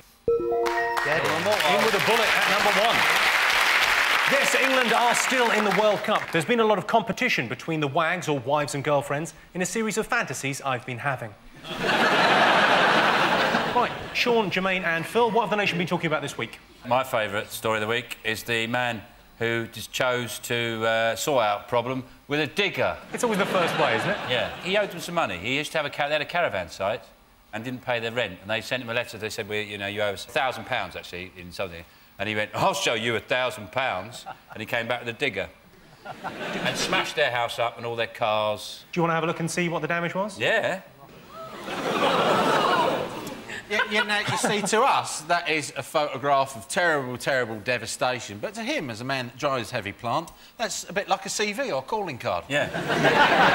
Apparently he's very calm. Everyone said he was driving, he was very calm. Well, I like I did. When the police got him out, he was going, it's all right, I've got the hang of it now. didn't do it first, but it's easy, that's left. But didn't, didn't, didn't he rent it as well? Didn't he rent the... Uh, the th he, so he, hi- he spent 450 quid hiring it. And they should have known when they're looking at the form, they're going, hang on, he's ticked the box for revenge. Probably the bloke said to him, oh, pay me when you come back. You've seen that on the news, he's not, oh, for fuck's sake. I can't believe nobody was suspicious when they saw a builder at seven o'clock in the morning. clues were there.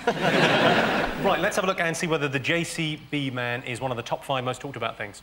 Yes, Yes, this is the story of a man who owed a landlady a thousand pounds and destroyed her house with a JCB rather than pay the debt. He was taken to the police station for questioning, the main question being, are you mental? Dave's team, what else has the nation been talking about? Prince Charles's uh, tax bill. The Sun, God bless him, said Prince Charles earned £270,000 a week. That's twice as much as David Beckham. Now, well, those two people are not comparable, are they? You know, my mum's a nurse, she earns 15 grand a year. Twice as much as your average clown. I was a bit puzzled that Camilla only cost the taxpayer 2,000 quid. I wouldn't pay more for her. It's a lot of hay, isn't it?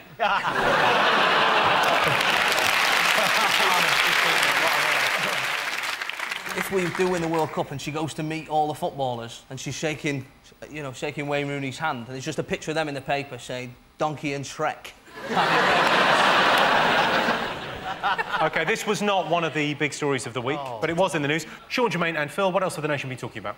I think they've been talking about the, the guy who gave away, he gave away $30 billion to Bill Gates, another, another very rich man. He gave it to the Bill Gates Foundation. Yes. Is the man's name Warren Buffett? Warren Buffett.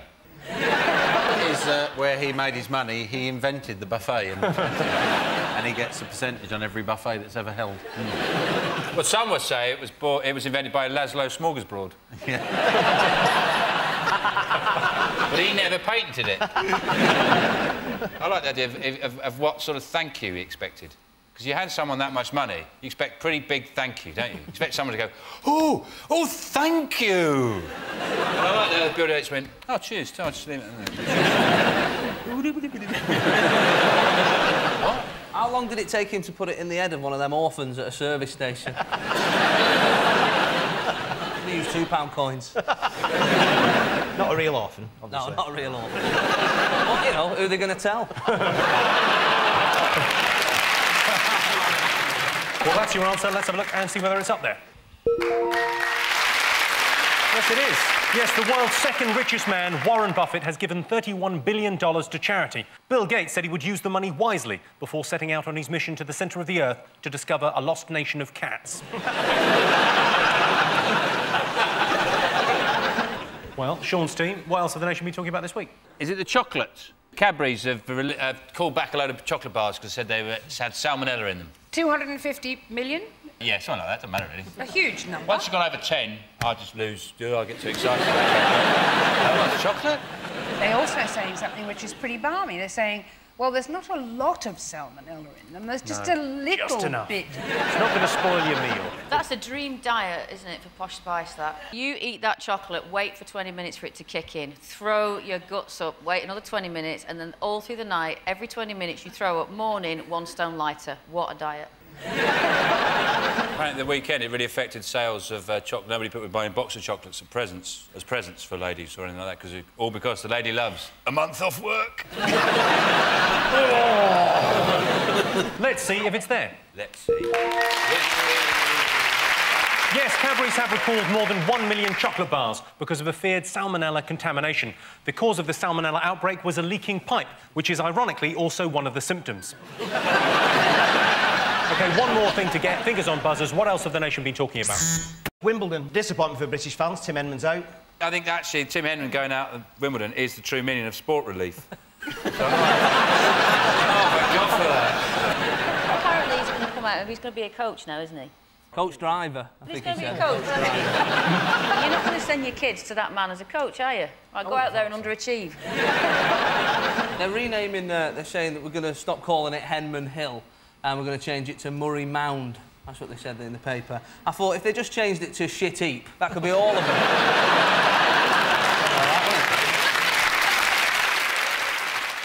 I don't know who started the, the um, idea that, that women should be prepared the same as men. Emily Pankhurst. No, It was Venus Williams. was it Venus Williams? Because Andy Murray's jumped, uh, he's, he's come the other way and said they shouldn't because they don't play five sets. Not only do they get paid less, they don't get a trophy. They just get a plate. But it does fit in a dishwasher. no, I thought the real telling thing was, uh, did you see David, David Cameron on Jonathan Ross? And he's such a sort of publicity junkie now. And uh, they had Martina Navratilova on, and Jonathan Ross cut to the green room where David Cameron said, what did you think about it? He goes, yes, I think we should definitely look into it. Don't worry, I'll sort that out. Any problems, I'll sort them out, like he's fucking Batman.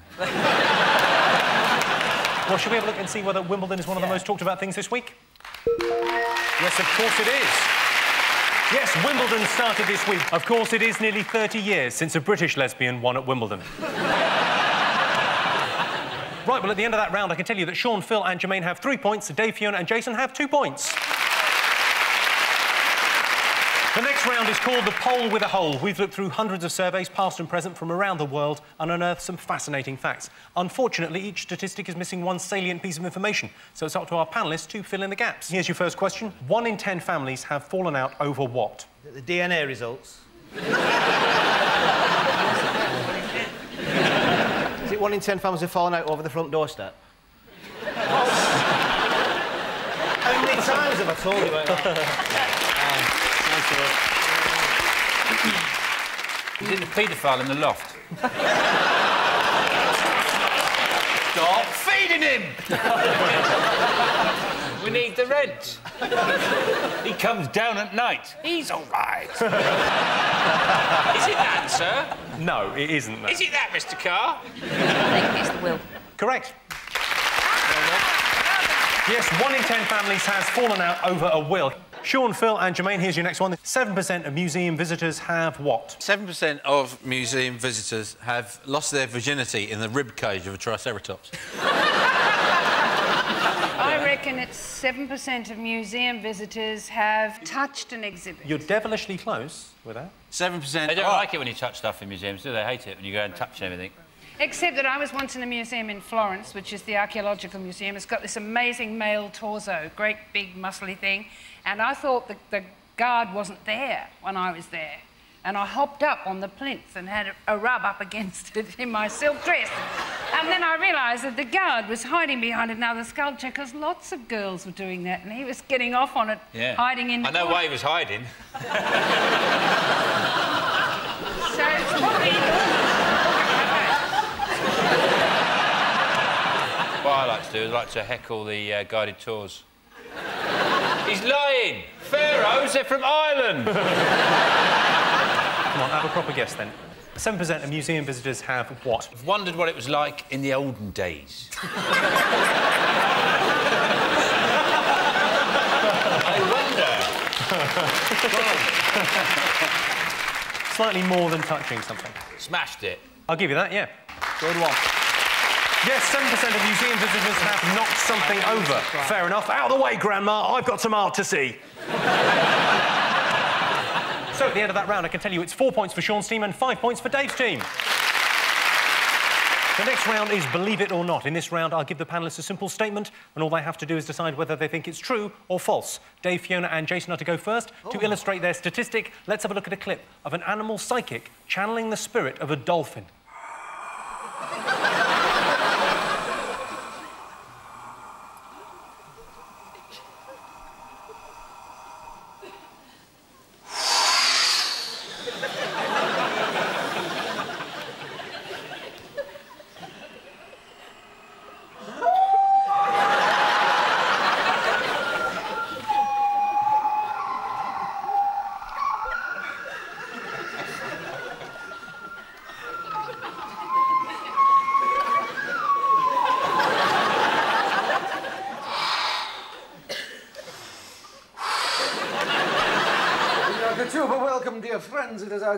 Delight and pleasure to be able to share this time and this space with you. You, dear friends, within human form, we within dolphin form.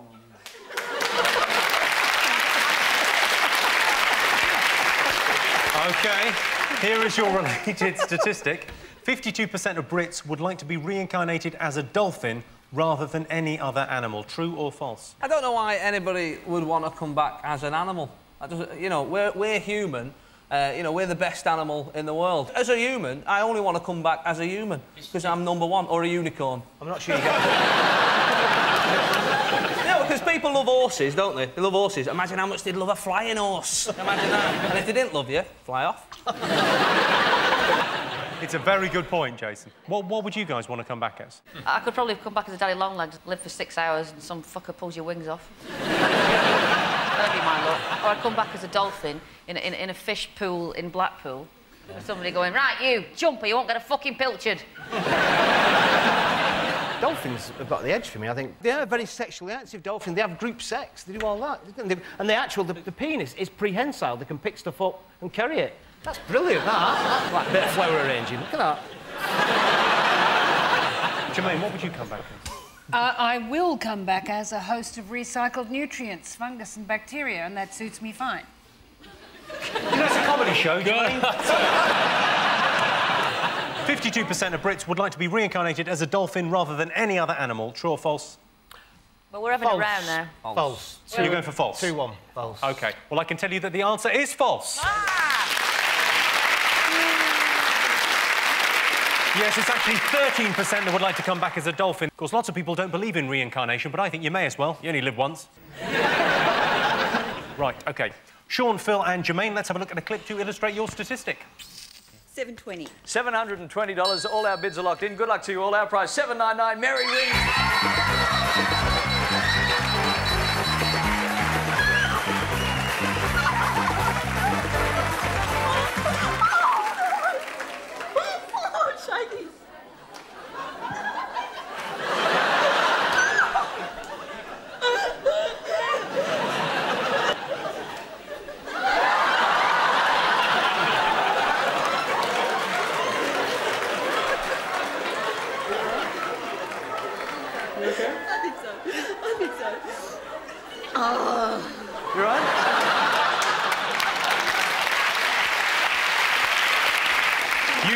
Jermaine when she found out she was coming on this show. that was the Australian Price Is Right. Here is your related statistic. 67% of game show contestants describe appearing on television as the most exciting thing that has ever happened to them. True or false? She looked horrified. She's like she'd been given, uh, you know, tickets for a dinner with Mick Hucknall or something. It's called hysterics, isn't it? If Yeah. They should have give, slugged her.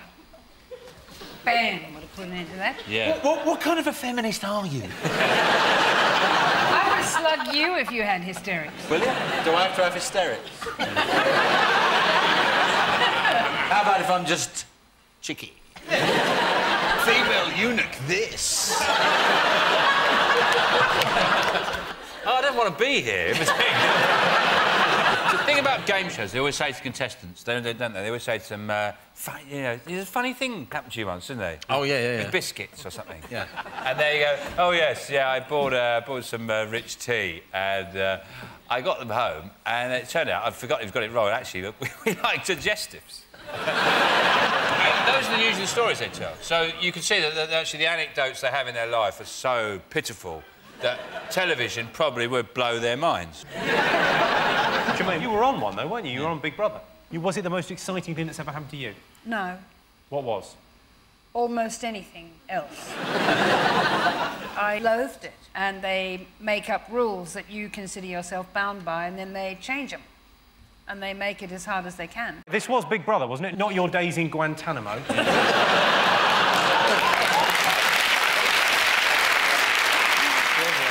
what do you think, Sean? Um, I think it's uh, absolutely spot on, Jimmy. That statistic isn't a statistic, it's a fact. Well, I'm staring down the barrel of the truth there.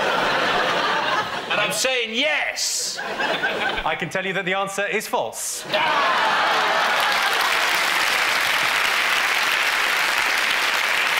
In fact, only 16% of game show contestants describe appearing on television as the two-sided that has ever happened to them. I... Those six... so at the end of that round, I can tell you it's four points for Sean's team and six points for Dave's team.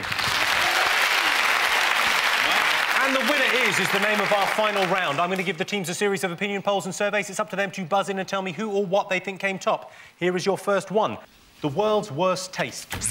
Crow omelette. Get it, crow. All of that. Is it the medicine that your vet prescribed for your horse because he's stood and he can't get an erection? Is it when uh, you're buttering toast and you get a bit of margarine on your hand and you go, I'll just eat that? Oh, God. ah, horrible. When you're in a plane and you crash and uh, you're a rugby team in the Andes and uh, you've got to eat each other, like when you're eating, do you go, mm, mm, Dave tastes great! That's good, Dave!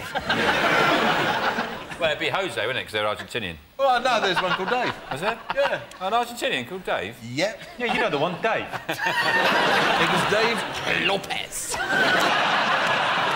I'll give you a clue. It's a vegetable. Oh, a banana. Brussels sprout.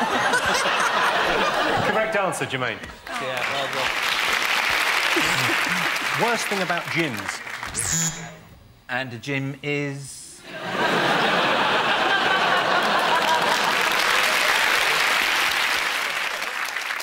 know what I hate about gyms? Everything's so bloody heavy. My think in this day and age you have to make them so bloody heavy? Worst thing about gyms, personal trainers. You don't like personal trainers? No, I don't. One of them said to me, you've got really skinny wrists. If you don't put muscle on there, you might fall over when you're old and break them. So he is an exercise. I think you're... Are you sure he was a gym instructor? was this at school? Do you want to report it to someone? the worst thing about gyms. People laughing at your arms. Yeah, I- you know what? I'm going to give you that.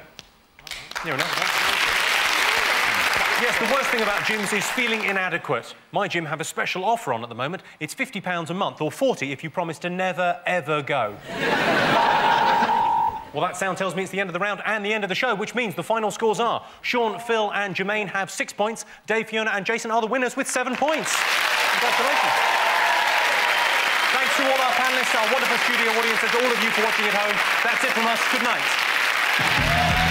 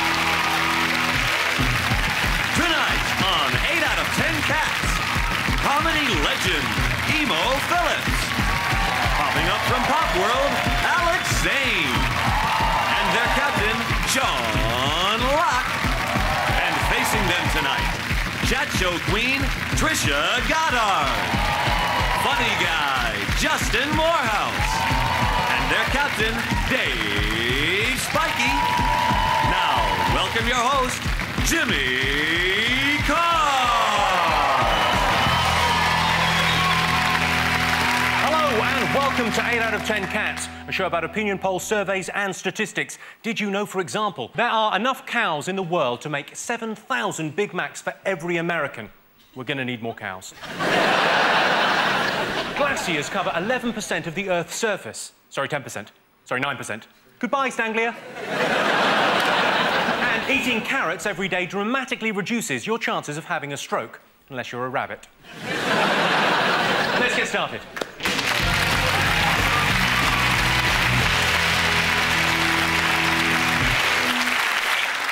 What are you talking about? That's the name of our first round. We've teamed up with a leading polling organisation and they've asked the British nation what stories they've been discussing this week. It's our panelist's job to guess the British public's top five most popular talking points.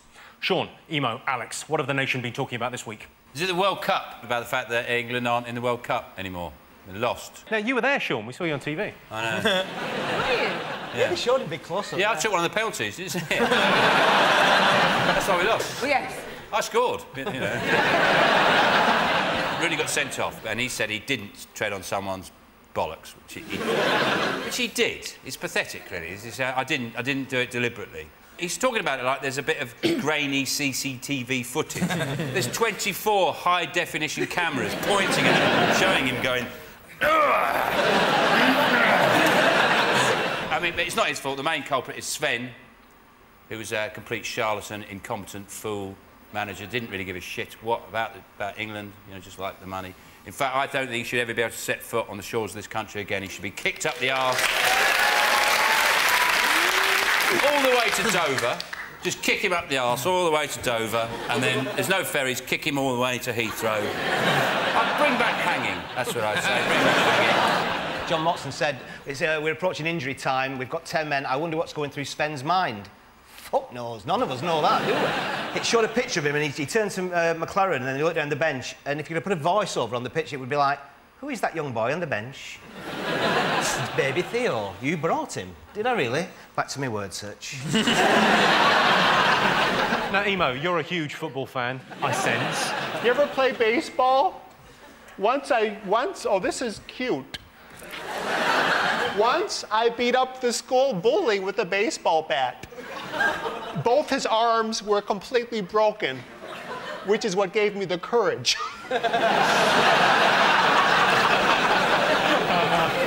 Yes, that's the story. the England story. aren't in the World Cup anymore. Well, let's see if it's there. Yes, sad news, England are out of the World Cup, but good news, half-price flags. On their return to England, the team were driven through London on an open-top bus under a series of low bridges. Dave Trisha and Justin, what have the nation been talking about? We've had this heat wave, had an official heat wave, or as one uh, daily paper said, killer heat. killer heat. But luckily enough, they, they print these uh, tips and advice inside the papers. Thank God. Because we'd never think of stuff like that, would we? Drink Just all those, you know, drink water. Drink water. Drink, that's why I'm thirsty. It's something to do with the heat. These weather warnings, they're stupid, aren't they? Come on, they say today, weather warning. It's hot. Look outside. But then, to be fair, they said it's for the vulnerable people, it's for babies, and it's for old people. So I'd like to, if I can, do a weather warning for my nana. Take your fucking coat off. 34 degrees, love. Why is hot weather such an excuse for such execrable clothes? Well, not everyone looks crap in a bikini, Trisha.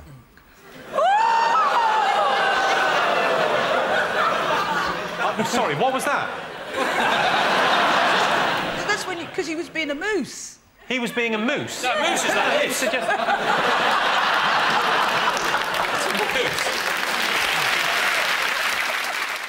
Emo, you're, you're from California. It's always hot there. Yeah, I go to the beach. You know, I love the sound of the crashing surfers against the rocks.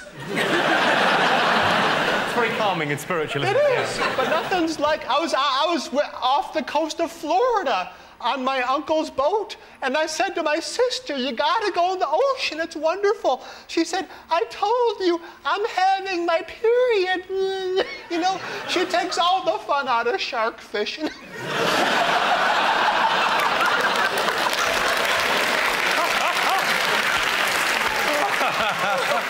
Right, well, that's your answer. Is it one of the top five?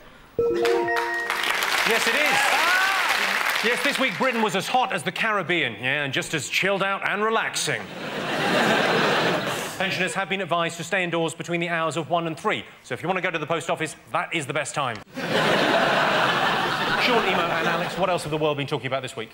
Is it the Geordie woman who uh, recovered from a stroke only to get a Jamaican accent? It is a brilliant story. Yeah. I don't think it's a major problem for her. You know, she goes on with life. Every now and again she goes, bung bung diddly diddly woo. Apart from that, it hasn't been a major problem. There might be a, a woman in Jamaica waking up today going, fucking hell, why I? It could be a lot worse. She could have an Australian accent. couldn't she? That would be terrible. I was frustrated with that rising inflection all the time. Going, I'm going down the shops. I was in Sydney about a year ago and I heard someone actually sneeze with a rising inflection. Oh, This guy went, Achoo!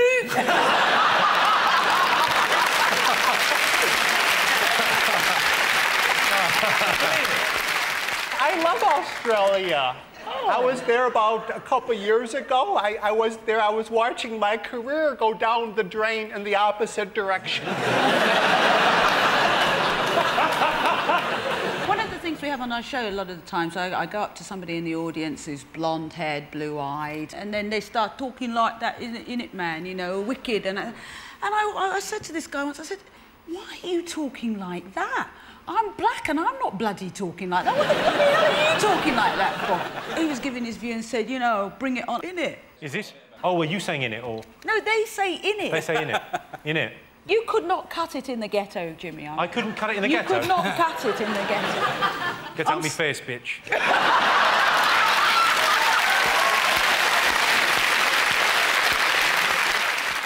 Okay, well, I can tell you that the Geordie woman with a Jamaican accent isn't in the top five. Okay, Dave's team, what else have the nation been talking about this week? It might be this North Korean bloke who's in charge of North Korea. Kim Jong-il. And they've launched, they launched all these missiles, test missiles. Six were successful, but one wasn't. And it's like, was it bonfire now? Was it like that last rocket that is just going to go off and it falls over like that and everyone's going, shit, get out the way! He's brilliant. The, the lead, he's got the best propaganda in the world. He's got his press release. He's just the best. It says that in his first ever game of golf, he got 10 holes in one. Like. Yeah, he's probably crazy golf, isn't it? He's, Fucking mental. well, they, they launched the missiles to get America's attention, and I, I just think that's, that, that would be brilliant. If, as a child, you wanted attention, just launch some missiles. I wish I'd had a bedroom full of missiles. Just go, Mum, Mum, Mum, no? Mum. Yeah, now, that's right. I want some dinner. Okay, that's your answer. Is it up there? Yes, it is. Fourth most talked about thing this week. What else have the British nation been talking about this week? I think they've probably been talking about uh, John Prescott's got in uh, in trouble again. Apparently, he's been visiting a ranch in America by, owned by a billionaire who's interested in turning the is it the Millennium Dome into a casino, and it says it's compromised. And he had- didn't he didn't put it in a register. He didn't say I went on holiday at this bloke's house. But there's, there's other suggestions of impropriety, although we can't comment until the inquiry has fully cleared him. he said he wanted to go to a ra- ranch. Did you say ranch or ranch? We say ranch. He doesn't say it like the rest of them. He wanted to go to a ranch because he's always he, he likes cowboy films. Now, imagine the poor horse saw him coming and went, oh, for fuck's sake. Do you think he has to go now? Well, so, he eats so much meat, at some point in the day, it's got to happen. he looks like he hasn't gone for about 10 years. He's got that complexion of a man who hasn't had a good crap for years. Just meat everywhere. His blood's like pate. he squeezes it round his body like toothpaste. Should we have a look and see if Prescott and the casino is one of the top five talking points this week? Yes, it is.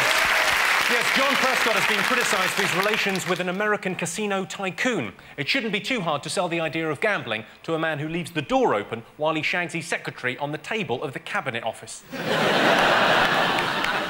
OK, fingers on um, buzzers. One more thing to get. Big Brother. I mean, not that. Do you watch it? I've just seen bits. There's a woman who looks really old, but she's got massive tits. She's been, she was on our show first about 18 months You ago. must be so proud. I am. This was on your show? Yeah, Because know. I saw Lea's first performance. I don't think they could put that out in data. She is weird looking, though, isn't she, Lea? She looks like a wax model halfway through a stage of melting. Do you fancy her? Yeah, love it. I love that look. Do you like women with the Zeppelin sort of stuff going on? Do you like all that? I, no, I like a woman who's full of helium, though. Um, so yes, in many ways, I do like a zeppelin-based So, Do you like Zeppelin-based women woman. naturally? No, I just like them to hover slightly off the ground. I think she looks like the result of a sort of a Muppet bus crash. Imagine there was a bus load of Muppets and they crashed. and then they got out of the wreckage and they got this thing out and then they just pulled all the fur off and there she'd be. Have you been watching the new housemates go in? I, I was going to watch it, but I had all this sweet corn I had to glue back onto a cob. you know how long that takes. Let's have a look and see if Big Brother's there. Yes, indeed it is. Lea is so worried about the abuse she'll get when she leaves the house, she's insisting on going everywhere with two massive bouncers. so at the end of that round, I can tell you that Sean's team have two points and Dave's team have three points. The next round is called The Poll with a Hole. We've looked through hundreds of surveys, past and present, from around the world and unearthed some fascinating facts. Unfortunately, each statistic is missing one salient piece of information, so it's up to our panellists to fill in the gaps. OK, Sean's team. 30% of millionaires are worried about what? Robin Hood and his merry men. Helping their new wives with their homework.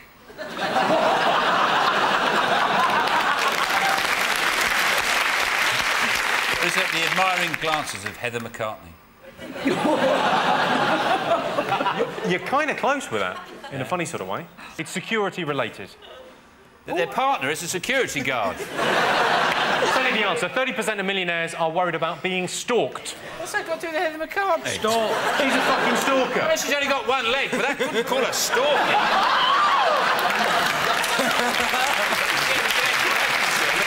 Yes, 30% of millionaires are worried about being stalked. I haven't got a stalker, but I have got a lady who sends me pants in the post. Thanks, Mum. 19% of Brits have been angry with someone who what? Who has buck teeth and a Portuguese accent. Who's on deal or no deal? I'm taking it too seriously. I'm getting a hot feeling from the box. You're 48, you're on the change, it's a flush.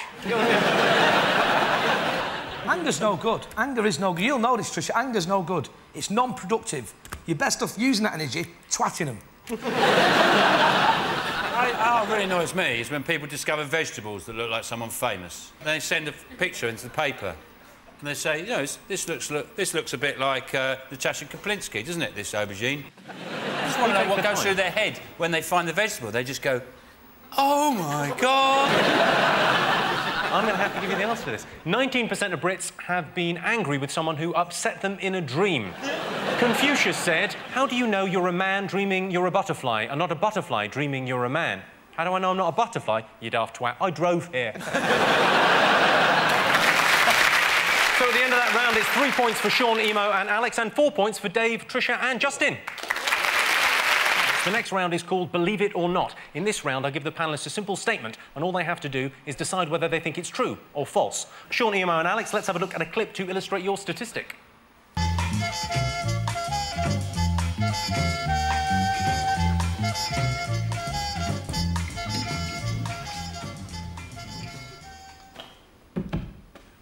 Right, that's the wallpaper on, or part of the room done. Now, Joe, can I just, I'd love to show you something here, because lots of people don't realise what else you can do with wallpaper. This dress, this attractive dress what Joe's wearing, that is wallpaper. You can do lots of other things with it too. I do know some people who have uh, wallpapered the television set. Um, this is quite attractive, but uh, the thing to remember there is that um, you take the plug out before you do anything like this. Well, that was a DIY show from the 1960s. Your related statistic. Every week, 4,000 Britons are hospitalised through DIY accidents. Is that true or false? I've never met anyone who's been involved in a DIY accident or even heard a story about someone who's been involved in a DIY accident. Yeah, but you move in the right circles to hear the DIY stories. I've, I've built stuff. Yeah? What have you built? Nothing. God about the woman who marries you? Why? Because you don't. What do you do then? I'm an What- attractive prospect, Trisha. Are you good around the house, Emo? No, my light bulb burns out. I sell the house and move. I Dave does DIY. You look kind of a No, DIY. I don't, and I think that's probably, it's, you know, people do get hospitalised because we just, sh- men are generally shit at DIY. The ones who are good at DIY I do it for a living, basically. Why are men on this planet? If you All right, cannot put out the rubbish okay, into DIY, okay. why are you here? Bridges, roads, hospitals, everything you can think of that's ever been invented. Oh. Western civilization, in Yes. short. But Sean, if we don't give you a little bit of how's your father, never mind about building. How's your father? How is it way back there in the 50s? I'm trying to be polite on the television. All right. Have you we- seen your show?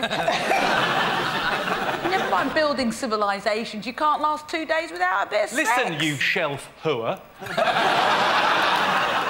You're putting out. Is your house just covered in shelves? Your husband's going, it's brilliant. Every time I put one out, No. she puts up. He can't. he, can't he, he can do a bit of deal.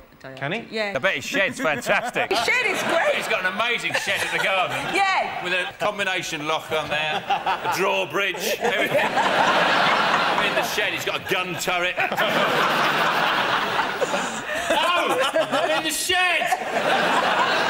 Yeah, just stuff! Okay, so every week, 4,000 Brits are hospitalised through DIY accidents. Is that true or false? I think it's an absolute scandal, that statement. It's foul calumny.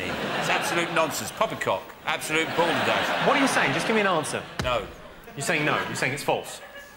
Yeah. Yeah, I'm saying it's false. I can tell you that the answer is in fact true. Yeah. 4,000 Brits are hospitalised each week through DIY accidents. I once had a serious DIY accident. The phone rang while I was using a nail gun. OK, Dave, Trisha and Justin, let's have a look at a clip to illustrate your statistic. What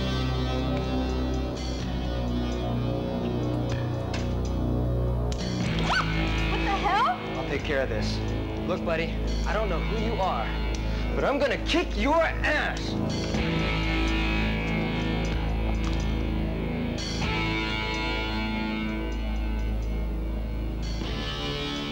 What are you doing with my wife? What? Not your wife, mister. Shut up, Anna. Look, that's it, man.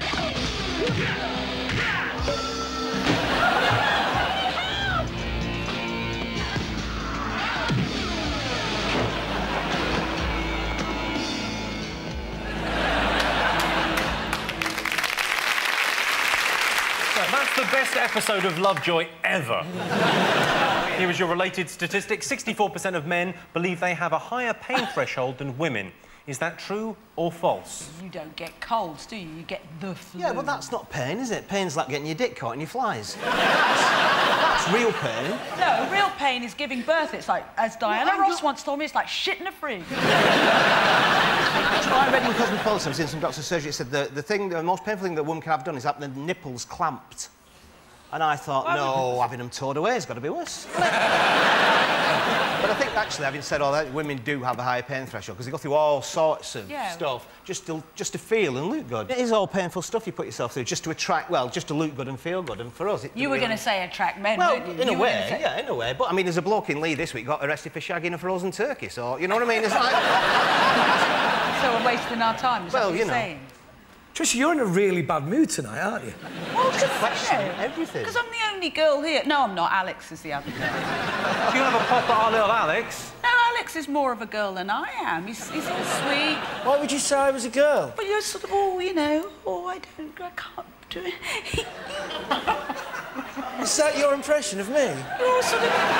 Are you sitting there doing an impression of me? Are you sitting there doing a... No, you're all sort of delicate. I can be fairly rugged. Go on,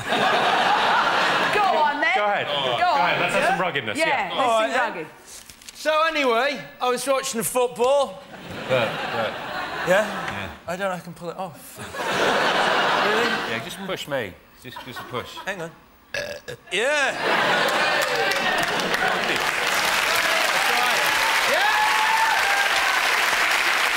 Oh, my hero. Shut up, Trisha.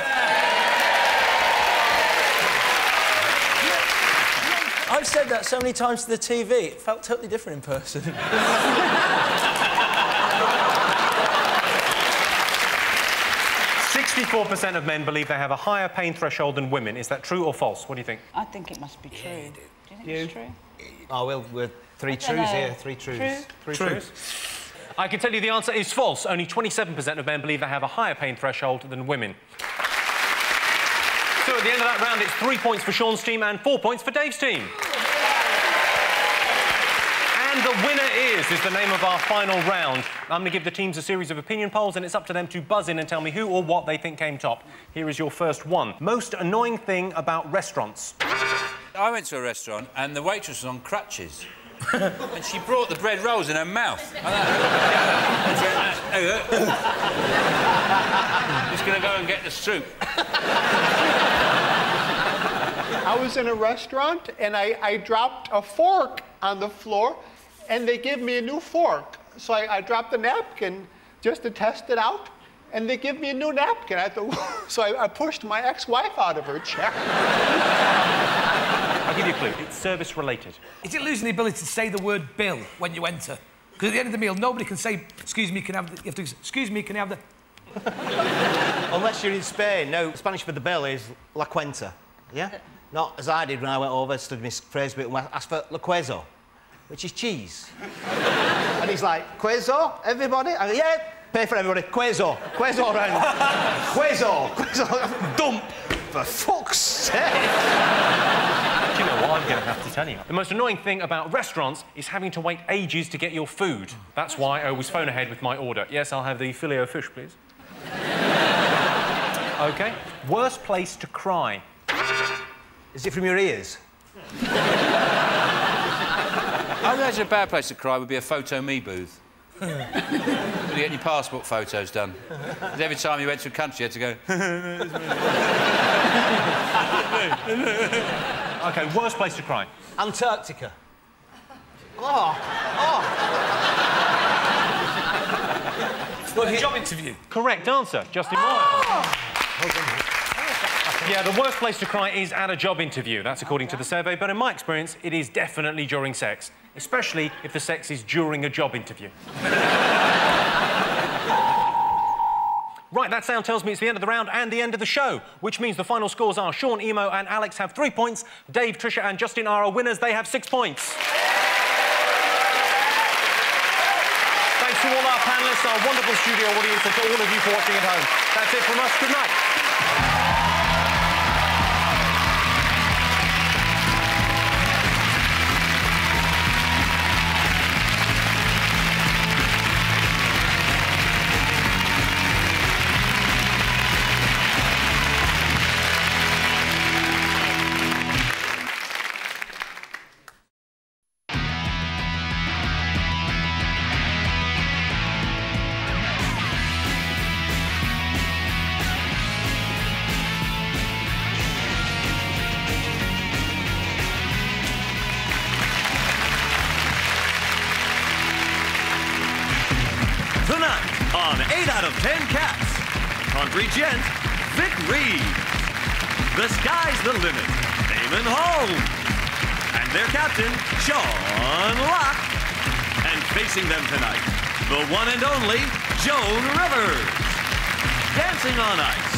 Holly Willoughby.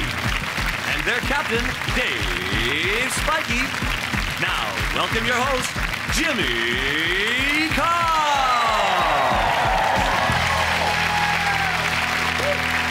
Hello and welcome to 8 out of 10 Cats, a show about opinion polls, surveys and statistics. Did you know, for example, last year British women spent £280 million removing unwanted body hair? Surely it'd be cheaper and easier just to move to Germany. women blink almost twice as much as men. Brilliant. Think of the stuff we can get away with. Uh-huh. and 54% of taxi drivers think we shouldn't join the euro. We didn't conduct a survey, they just told us that. Let's get started.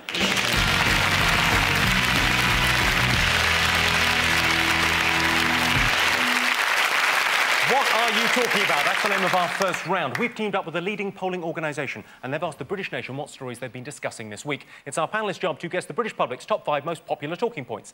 Dave's team, what have the nation been talking about? It's the World Cup, we think. Yeah. Yes. I think the final will probably largely be remembered for the antics of the uh, French captain, Zinedine Mhm. Zidane, who uh, was going to quit at the end of the game anyway, but decided to take early retirement. Yeah. He nutted this guy in the chest. And the clip they always show is when he walks off, desolate, taking some bandage off, he walks past the World Cup, doesn't he? Which is like, there on a plinth. Right. And I thought it would have been really, really funny if he'd have walked off like that and went, I'm having that and all. Because who's going to get it back off him? You go and get it. I'm not getting it off him. and they reckon that he said that his, uh, that the guy, Materazzi, said that he's accused his mother, said that his mother was a terrorist whore. Oh, so what? Any woman over 50 goes, thank you for thinking that. If he had said your mother's an old ugly pig in a big burqa, you'd go, how fucking dare you? But your mother's an old whore, well, thanks. Sorry, you think be- being called a whore is a compliment? If you don't have a tampon in your purse, you're glad someone thinks of you sexually. Absolutely. What is a terrorist whore? How does that A work? terrorist whore is a woman who's sexy but heavy around the middle because she's wearing a bomb. Right. I think the other thing, an important point to make about the World Cup, the reason, one of the reasons that the Italians won, they were that they were a very fresh team. They had lots of energy compared to other teams. And that's because Italian football is, well, we all know it's fixed. So technically, they haven't played a competitive match all season, those players. the whole season they've been playing games where they just kick off, knock it about for a bit. Time for the penalty? Yeah, go on, over you go. Are you a football fan? Do you understand soccer? I don't understand. I'm not. I'm Jewish. We don't play sports. We sell you the equipment. I mean, it's just. The saddest thing I saw the whole World Cup was uh, after England went out, I went into a, a supermarket and on special offer they had half price England World Cup celebration cakes. Who, in their right mind, if England won the World Cup, would go, hooray!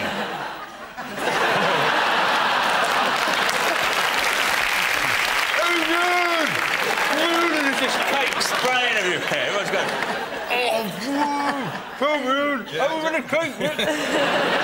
Should we have a look and see whether the World Cup and Zinedine Zidane is one of the most talked about things this week? Yes, of course it is, the number one talking point.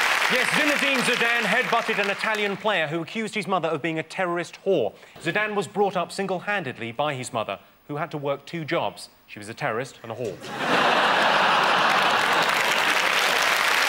Obviously, we don't mean that. Sean, Eamon and Vic, what else have the nation been talking about this week? David Cameron's got another attention-grabbing Yeah. headline scheme idea where we should uh, apparently understand teenage hood-wearing characters. He wants to cuddle them in the park, doesn't he? I think he thinks things through. Because teenagers, the last thing they want is cuddles, isn't it? Wait, what's, what's he got planned for goths? 'Cause they don't want to be cuddled. For goths. When I see a goth, I don't see a goth. I don't see an individual goth. I see two disappointed parents. thinking... And they're thinking... They're thinking he used to be such a lovely boy, now he looks like a slutty girl.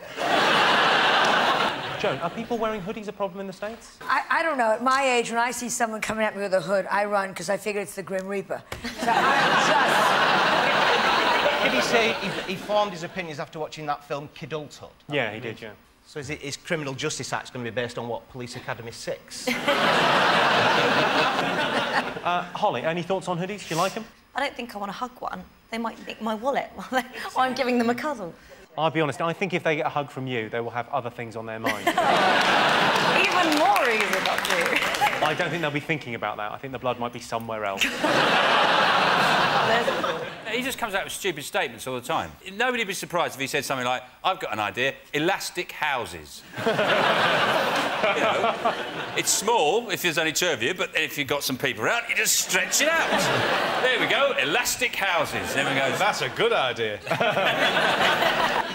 Moon harnesses. Really? Yeah. Why? It just could work. Throw a harness over the moon, two handles, pull it near. it comes nearer and nearer and nearer. We get more gravity and begin to float. it makes sense. You're a one-man think tank. Yeah. OK, well, let's have a look and see whether Cameron's campaign for hoodies is one of the top five most talked about things. But it is, but it is. The Sun has launched a campaign to hug a hoodie, or in other words, restrain them until the police arrive. OK, uh, Dave, Joan and Holly, what else have the nation been talking about? Artificial sperm. artificial sperm. Men won't be needed anymore. Yes, they will, until a petri dish can buy you a diamond bracelet. they will still be needed. But artificial You romantic you. no, but it upset me terribly because I belong to Overeaters Anonymous. And sperm is 450 calories a swallow. So if they're going to find this new sperm, make it no cal sperm. Sperm light. Sperm light. Sperm light. It makes such sense. Think about it. You know, you, you, you're, you're dieting all day, and then you go, mm, They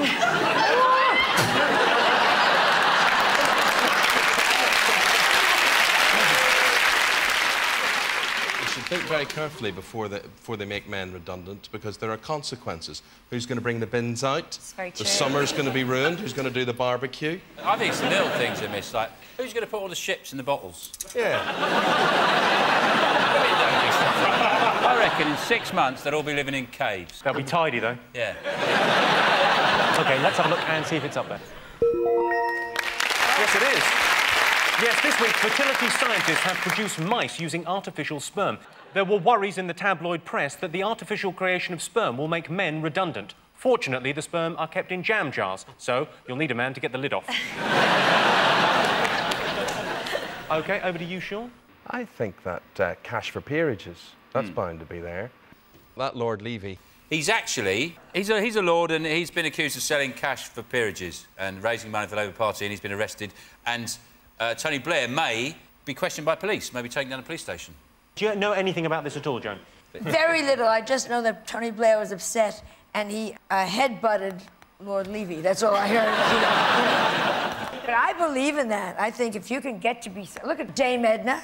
I mean, it suddenly brings to, to light a lot of people. You say, how? Dame Edna. Dame Edna. Dame Edna is one of the examples you're bringing in here. Lord Snooty. Yes. yeah. Count Duckula. How did he get his title? There's your answer. There's something gone on there. Joan, seriously, would you be interested in being a Lord of the, the Realm? In a second, because I could slap servants so easily. I look at like, oh, Naomi Campbell, she is my idol now. She just goes around slapping, you know, to slap someone that's on your level, they'll hit you back, you know. But Naomi Campbell just says, you stupid bitch, whap, whap, whap. now bring my tea. And they do. And I just think that's fabulous. Should we have a look and see why that Lord Levy is up there? Yeah, I think we've tackled the subject in depth, Tim. Oh, yes, all right. Fingers on buzzers, one more to get. What else has the nation be talking about? Is it? Well, they're going to build loads of nuclear power stations to um, cater for our energy demands in the future. But people say they're not safe. Well, I, I interviewed the, the industry secretary during the week, Alistair Darling, and, and the whole question of safety, there's a lot of concern about that, and he said it's not a problem, that he would give it three thumbs up. Yeah. Well, I think they should consult the people of Sellafield. Well, I went beachcombing near Sellafield, and there's a crab with paws. and actually had furry paws, and he was licking his lips. Where is this beach? It's near Morecambe. It's the only place you can have a paddle and get your feet x-rayed at the same time. I just can't imagine anyone who would want to live next to a nuclear power station. Where are they going to put them? There's just going to be such an uproar about it. On the moon. Once they use the That's your solution to everything, isn't Of course it is. It's a big redundant ball of shite. But there is there's no solution to the, so, so far to the energy crisis. One of the solutions has been put forward. David Cameron's put a windmill on his house, hasn't he? Yeah. That's what it does. It doesn't power any electricity. It powers his crackpot ideas machine. He's got in his kitchen, it's just whirring away. Like, tugga, tugga, tugga, tugga, comes out, hug a hoodie. Oh, brilliant.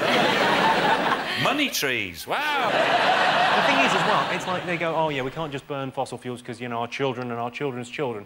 Is it just me that thinks, fuck 'em? Not bothered. Right, let's have a look and see whether nuclear power is one of the top five most talked about things this week. Yes, it is. Yes, the government have given a go-ahead for a new wave of nuclear power stations to be built in the UK. They should also build wind farms next to them. That way, when it all goes wrong, the fallout will be blown towards France. At the end of that round, I can tell you Sean's team have three points, Dave's team have two points. The next round is called The Poll with a Hole. We've looked through hundreds of surveys, past and present, from around the world and unearthed some fascinating facts. Unfortunately, each statistic is missing one salient piece of information, so it's up to our panellists to fill in the gaps. Here is your first one. 50% of Brits think what is a good way to protect your home? Pebble dash it. Everyone thinks you're skint. Just have a few porcelain animals in there, a clock with Elvis on it or something like that. You just have shit in your house. I've got a clock with Elvis on it. What's wrong with that? Because it's usually a mirror as well, and I don't I've got like it that when they, too. you got the mirror. You obviously like Elvis. Well, you look a bit like him. Uh-huh, uh-huh, uh-huh. That makes sense because you are you're him and you're like a double. Joan, any thoughts on how to protect your home? Just look weird. OK, Joan. They won't even, they'll cross the street to avoid your house. Come on in, little boy. Would you like a cookie? That'll do it. How would you protect your house, Vic? Well, I suppose it's a portcullis. It involves getting together with a group of people. Neighbourhood watch. Correct answer. Well done, Eamonn Holmes. Yes, 50% of Brits think joining Neighbourhood Watch is a good way to protect your home. There's a thin line between Neighbourhood Watch and being a peeping Tom. I've reported several things to the police, like the shocking lack of foreplay at number 47. OK, uh, next question. 13% of what say their job puts people off dating them? Is it paper boys? Paper boys? I don't think it'd stop Joan. Come in, little bit.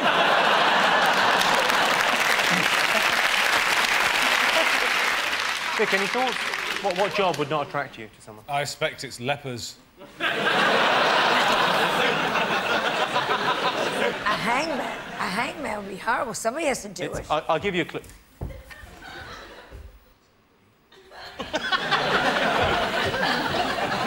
Is it an evil dentist?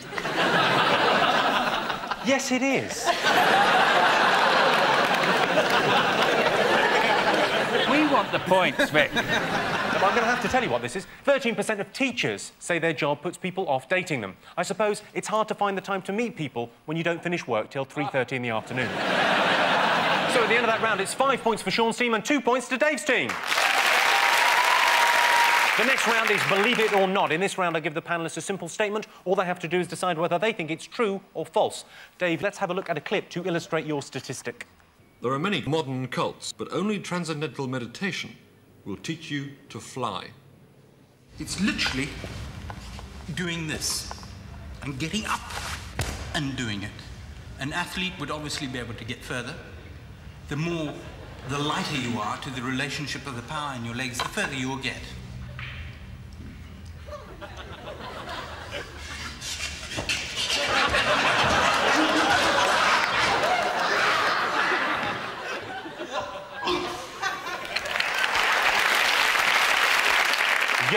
Yogic flying, then. Here is your related statistic. 36% of Brits think that New Age therapies are utter nonsense. Do you think that's true or false? I was very skeptical, and then I wasn't feeling well, and they said, try uh, one of those organic coffee enemas. And it worked like a million bucks. They threw me out of Starbucks. I can never go back. But I went, I went to Hong Kong and uh, when I was really ill, and I went to a traditional herbalist uh, Chinese shop, and I went in and trying to communicate. I did that stupid thing that we do, and I went, me, sore, ah, sore, shiver, shiver. I don't know why, shiver. you have anything for me? He went, ah, night nurse. No. See, I recently got attuned in Reiki. Oh, that's channeling. It's kind of like a healing energy that you, put, you are the channel for. And it's really weird because I think it really works. Sorry, do you want to buy some magic beans? You can do Reiki as well, can't you? I used to be a hippie. I've sort of... I've moved on. What's that? What's that? But Jimmy does Reiki? You make her. Quite right.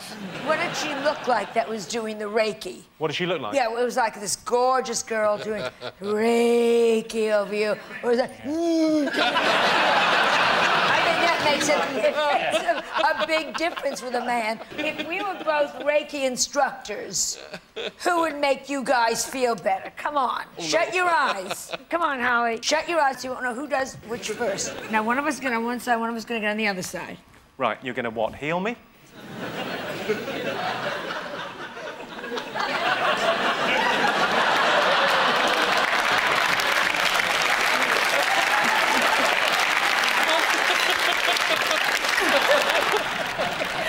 Which side felt better? I think the, the, the left-hand side felt like it would be slightly more expensive. and the right-hand side felt like if you're on a budget in a hurry, why not? which side was which? I was the budget in a hurry. Thanks. I wish it had gone further, but you were probably thinking of the calories, weren't you?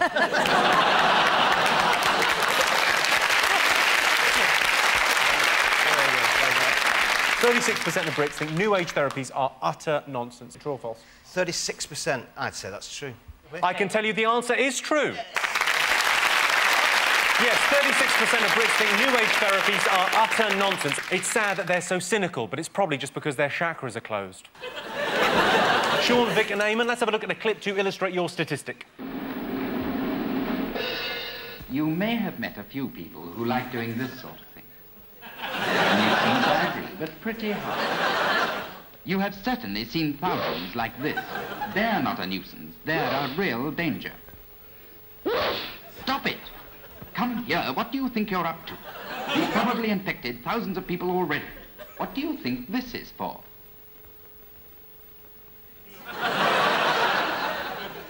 Close your eyes. Now, handkerchief, sneeze. Handkerchief, sneeze. See what I mean? That's the idea.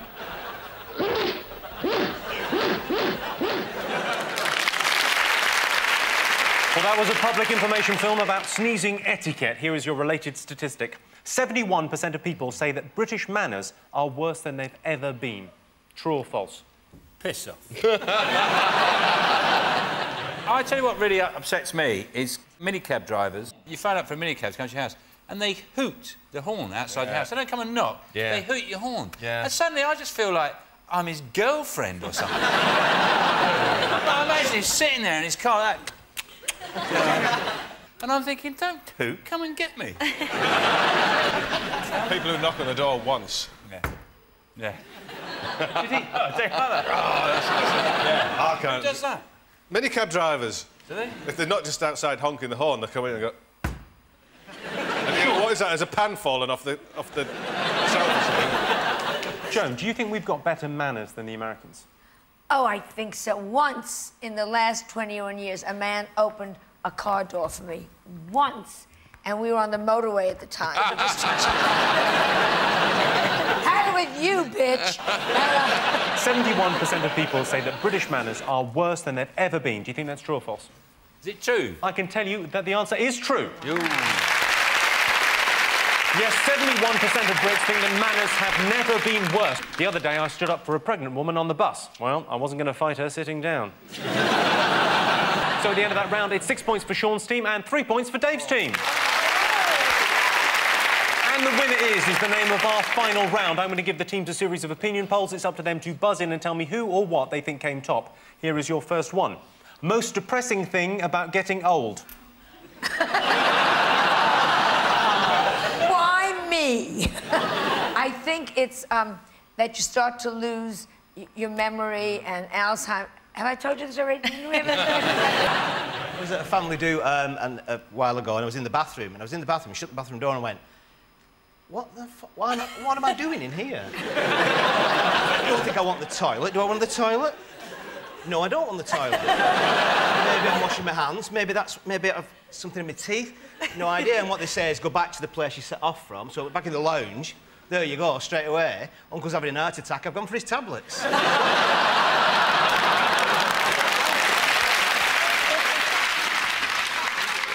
also very easy getting down, but it's very hard getting up. Right. Which is why Clinton never slept with a girl over 30 because she couldn't get out in time. You know? She'd be like, down there, here comes Hillary. I'm, I'm getting out.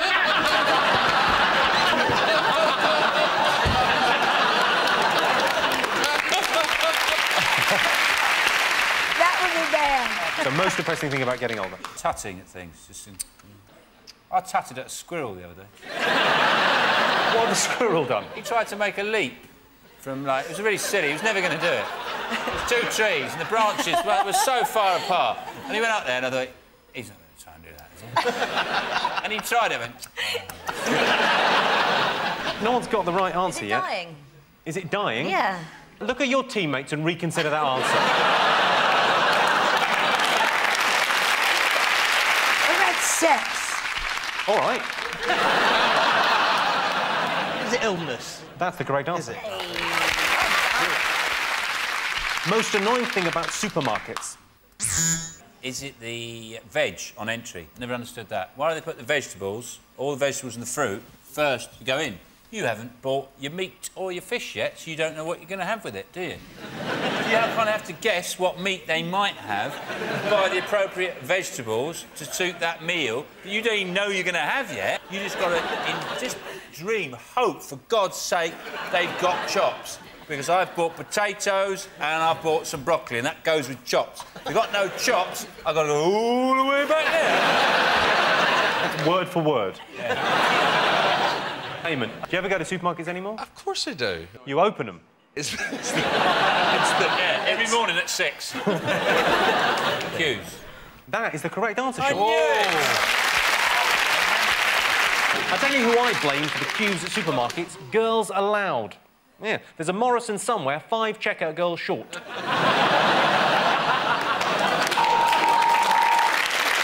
Well, that sale tells me it's the end of the round the end of the show, which means the final scores are Sean, Vic, and Eamonn have eight points. Dave, Joan, and Holly have four points, so Sean's team are the winners.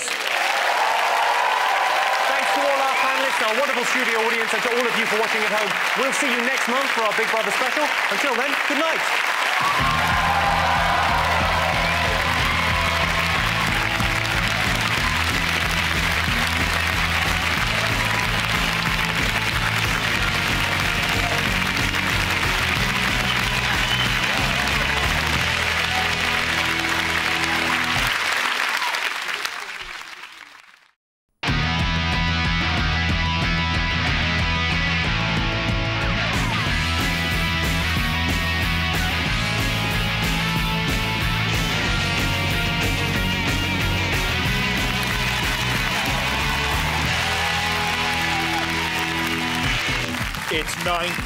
On the 8 out of 10 Cats Big Brother special. Joining the show tonight, Big Brother's Big Mouth, Grace, Northern Delight, Jason Manford, and their Big Brother, Dave Spikey. And facing them tonight, Blonde Bombshell, Lea, Superfan Dom Jolly, and their Big Brother, Sean Lock with extra special guests Jade, Nadia, Mikey, Jayne, Eugene, Shabazz, and here's your host, Jimmy Carr.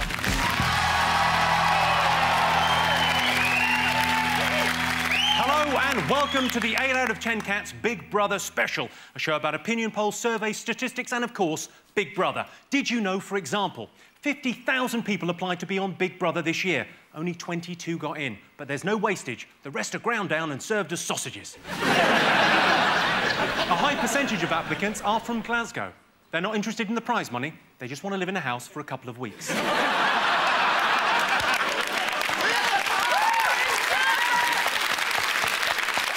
And throughout the world, there have been 114 Big Brother winners 67 male, 46 female, and Nadia.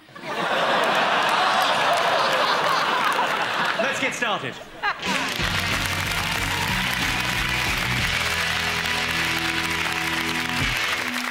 What are you talking about? That's the name of our first round. We've teamed up with a leading polling organisation, and they've asked the British nation what stories and events from this year's Big Brother they found the most memorable. It's our panellists' job to guess the top three talking points from Big Brother 7. Dave, Jason, and Grace, what have people been talking about in Big Brother this year? Nikki's tantrums. I switched on the first time. She's in the diary room. I thought I'm watching kids say the funniest things. Where's Barrymore? you want to have a little look at some of her finest moments? That was brilliant, yeah. Let's have a look at some hissy fits. I'm not fucking having that! Who is she? Who is she? It's a little bit straight.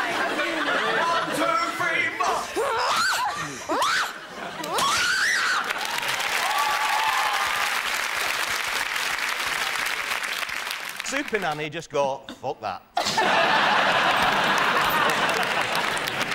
Did you never think, I'll give her a slap? Just a sly one. yeah, just a little one, like you'd kick the cat, like nonchalantly. She's a granny in a young body, but she doesn't mean no harm. Thanks for that, Jayne. Also, thanks for not eating her. They all did look a bit crazy when they walked in. It was like it looked like that uh, that bar out of Star Wars. The only thing missing was the funny music. Do-do-do. That's not Star Wars. Thanks, Shabazz. Crikey! Look, yeah, look, I know the look, one you mean. look, yeah. guys, You're I've obviously got to capable tell of you. appearing on the show. I've got to tell you, I actually. Shabazz, can you let Jimmy get on with his fucking show,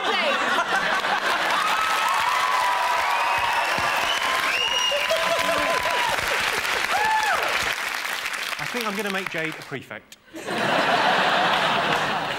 She's in charge of the special bus over there. I need some paracetamol, seriously, I really do. I never get headaches. I've got a really bad headache. you Eugene doesn't get headaches. Why is that? I never get headaches. For some reason, I never get them. I sometimes get like a pain in my head, which Oh, clears up. It's like a Sellafield works out in that. Well, let's have a look and see if Nikki is up there. Yes, indeed. Nikki's tantrums were the most memorable thing about Big Brother this year. I don't want to be unkind to Nikki. I like her, but she has got a forehead like a Klingon taking a shit. right, Sean Steen, what else have people been talking about? Grace chucking water on Susie. Was it people just presuming that Gracie was a little bit of a bitch in the house? Oh, no. Not here, obviously, you're lovely. But, uh, that's... Here, she's not sat here, thank you. nice try. Let's have a look at some of Grace's finest moments and judge for ourselves whether she is, in fact, a massive bitch. She's a fucking stupid bitch, that fucking one there. That's fine, Ashley. I feel like I'm living with a golden retriever. She's a fucking boring. What, why is she here? She's had her hag. Her great big silicone chunky thunder thighs. Sorry. Oh my oh. god! Bye, Lea, sweetheart. certainly no Lady Grace. Yeah, nor are you, you moose. Hey!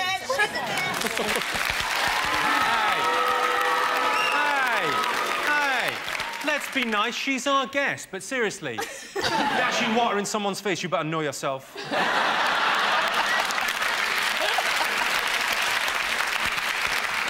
Okay, put my hands up. I do, bitch. But you know, I say what most 21-year-old girls say sometimes. I think you're a really, really nice guy. I don't think there's anything the matter with you. I don't think you're that bitchy. Lea, she's a fucking bitch. Mikey, do you think she's a bitch? No, she's not a bitch. She's a good girl. That is the ah. correct answer. She's my bitch. She's my bitch. I read that uh, obviously you're into Mikey, but you wouldn't take him home. Is that right? No, I never said that. If you read it, it's not true. Have you been to her place, yeah? Not yet, no. All right. sure it'll come. Would you still throw that water if you had your time again? it wasn't premeditated. I just, I did it, so I can't say it. Like, I'm not a barrister. But didn't I you don't say to Alicia, I'm going to throw water in her face? no, it was like premeditated, like two seconds before I was going to do it. I That's "Please." premeditated. premeditation. Is it? Let's have a look and see whether Grace's bitchiness is up there. Yes, Grace's behaviour was the third most talked about thing this year. On leaving the house, Grace got a call from Nuts magazine. Shabazz got a call from Your Nuts magazine. and Nadia got a call from No Nuts magazine.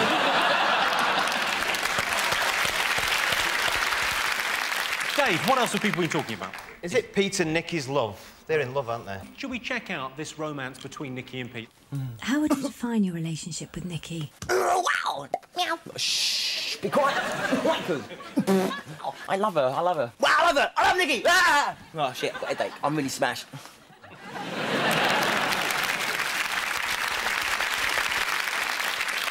What, what, what do you make of it, Lea? Because you like Pete, didn't you? She likes him. What? No, it's me, mate. I looked No, at you him. liked No, I didn't. no, because my fella's in the audience. You did like him a bit, though. You spent two weeks putting his head between your boobs. no, I did not. We have the footage. I have to say, I would like to be there when he meets Nikki's parents.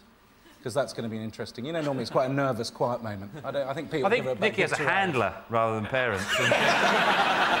it's like falconry. She just lands on a glove behind her and swings a bit of meat on that. Do you think it's going to last, Grace? Um, I don't know. Just uh, let's put those two in a room and let's just see what happens with that one. I haven't we, really we, got a. we have done that for the last 13 weeks.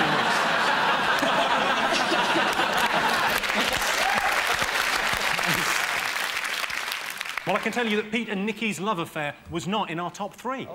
Yeah. Nikki is madly in love with Pete and desperate for him to say those three little words meow, wankers. Sean Steen? Sorry. That's one. I'm sorry, Jayne, were you not getting enough attention? I'm sorry. You know what it is? She's not, she's not in the front row. me. Oh, sorry, Jayne. Jayne, it whacked the back of your head, did it? what could it possibly have damaged there? Oh,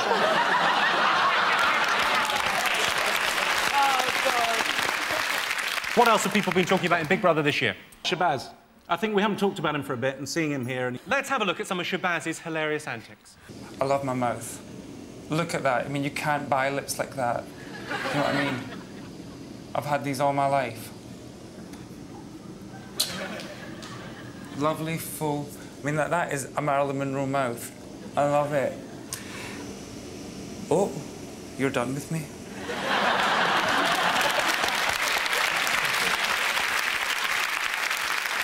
It's true, though, Shabazz has a Marilyn Monroe mouth. Just about three years after she died, sadly. A great name, Shabazz. Sounds like a magic spell, doesn't it? Shabazz, puff!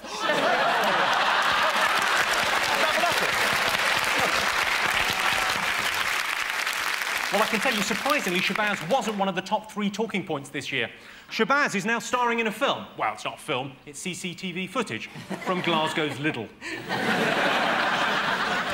When a recent boyfriend said, show me your nuts, Shabazz barked like a dog and did a poo in the bin. OK, we're looking for one more thing. Fingers on buzzers. What else have people been talking about?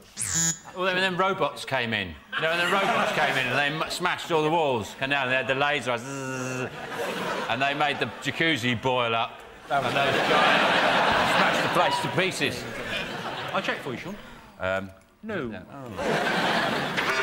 Was it? Oh, Not oh, robots, Ursula though. going in again last week. No People going in and they shouldn't be in when they've been out already. Yeah, when we and they're voted coming out- back again. voted It was possibly the most complicated Big Brother there's ever been. I couldn't follow Even the people that said it was dumbing down TV couldn't follow it this year. Let's have a look at this. You may now leave the dining and move into the house next door. You have been chosen to return to the Big Brother house for the final week. Look at her, look at her. Look at her.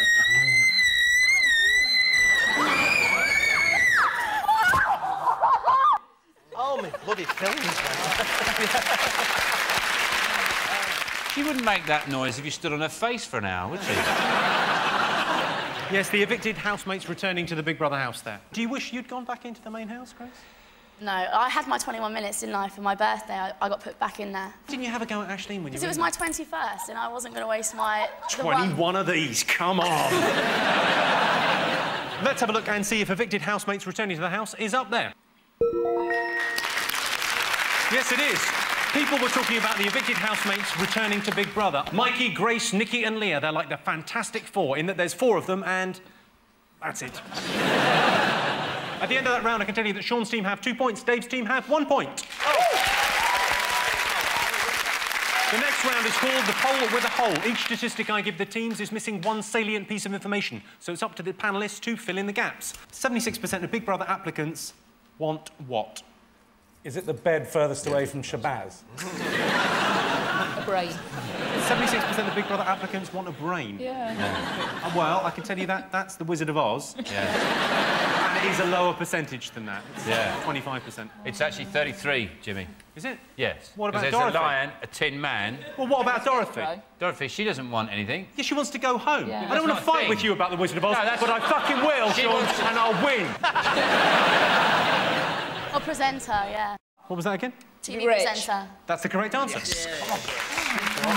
19% of women think that Grace is what?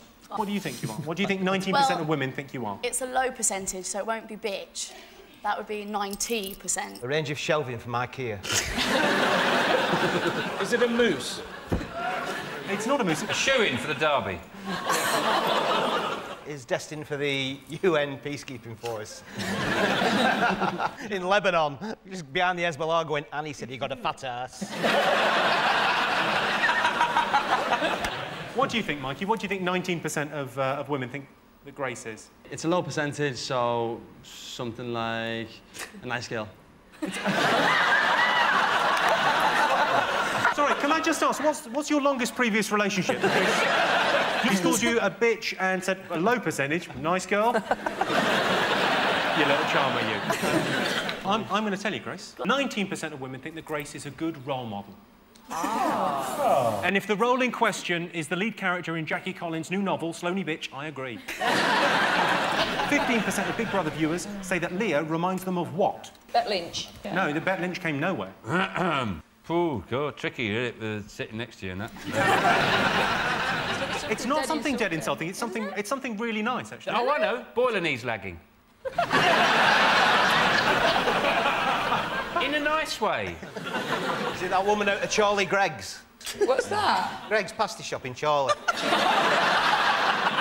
It's, it's someone very close to them, Mother. even closer than their mother. Porn mag. Themselves. That's the correct answer. Themselves. That's a nice thing, isn't it? That's good. So at the end of that round, it's three points for Sean, Lea, and Dom, and four points for Dave, Grace, and Jason. Our next round is Face Off. We've got six well known Big Brother contestants here in the studio Nadia, Jade, Shabazz, Eugene, Jane, and Mikey. OK. We asked the public which of these housemates would make the best James Bond. Nadia, master of disguise. You know, I have to say, my dream come true would be to be a, a baddie in the James Bond movie, so I can take it. I would love to be. Octopussy. Octococky. What about, what about Jade in Doctor No Idea? Yeah. Eugene's your gadget man, isn't he? Now, Eugene's Q. He's not Bond. Oh, yeah, yeah. He'd be like, see this? It looks like a machine gun, but actually, it's a radio. This is an atomic watch, but when you turn it off, it tells the time. Yeah. What's your favourite Bond gadget, Eugene? I seem to remember there was the watch, as you said, the watch, which had all the gadgets in it, and it had the bomb in it. Jesus Christ. What are you going to go for, Dave? Let's go Jane. Well, there's only one who looks a bit like a James Bond, isn't there? Mikey looks like James Bond, doesn't he? You You're going with Mikey. OK, Yeah. fine. Who would you go with? Uh, we'd go for Eugene, I think, Jimmy. I think he would make a less than adequate Bond, which is the best that we can hope for. Would you kill for your country? Yeah. I would. The only problem is I'd probably be late. Why, why would you be late? My timekeeping's appalling. You've got an atomic watch, man! well, I can tell you that you're right. The housemate people thought would make the best Bond is Eugene. We asked the public which of these housemates would you most like to go on holiday with? Who do you think out of that motley crew got the most votes? Surely there should be a like, prefix to that, like if you had to. um, I'd like to see how Shabazz reacts to turbulence in flight. Jade, where's your favourite holiday destination? Dubai. Where? Dubai. Where's that? I don't know. It's nice though, is it? yeah. I just go to these places. I'm, at the end of the day, I don't want to be a geography teacher, so I don't have to know. Quite right. It's such a great shame you don't want to be a geography teacher, though, because children are missing out on what would be a hilarious education. Eugene, have you ever been to Vegas? Vegas? Las Vegas. Yeah, no. Have you seen the film Rain Man? Yes. OK, I think we could make a lot of money. OK, which housemate would you most like to go on holiday with? Jade and, and Jane as well. So you. Jade and Jane on holiday together? Oh, yeah. That is a Channel 5 programme, and you know it. what would we call it, though? Uh, Armageddon? well, I'm going to force you to guess now. Jade. You're going to go for Jade, are you? Yeah. Dave's team? Well, if it was Safari, Shabazz, that'd be a laugh. Look at the lion! Look at the lion! I'm gonna hide its food! Yeah, you do that. He is his food. Nadia.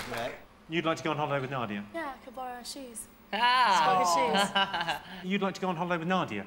No, Seems I because said she's sitting I'm- next to no, we're talking- Mikey. I've been on holiday with Mikey, so I went on the weekend, so yeah. Who for? Hello or OK? Seriously, though, who for? No one for myself. And him. What's the point of that? you had a photographer with you. No. What's the point of that? Okay, go on. What's your final guess? Shabazz.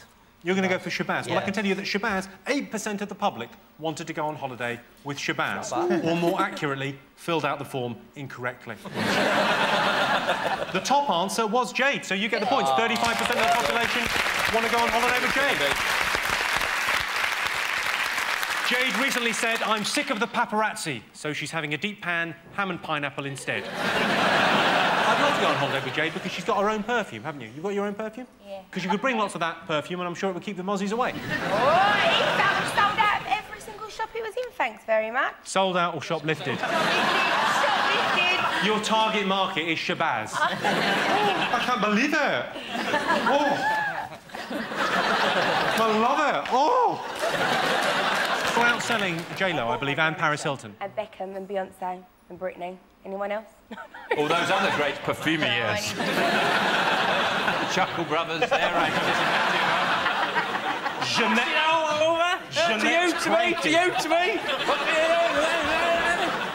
I would strongly recommend it, especially because you can't legally buy mace in this country. What's mine? It's by Lonthric. I think you'd enjoy it.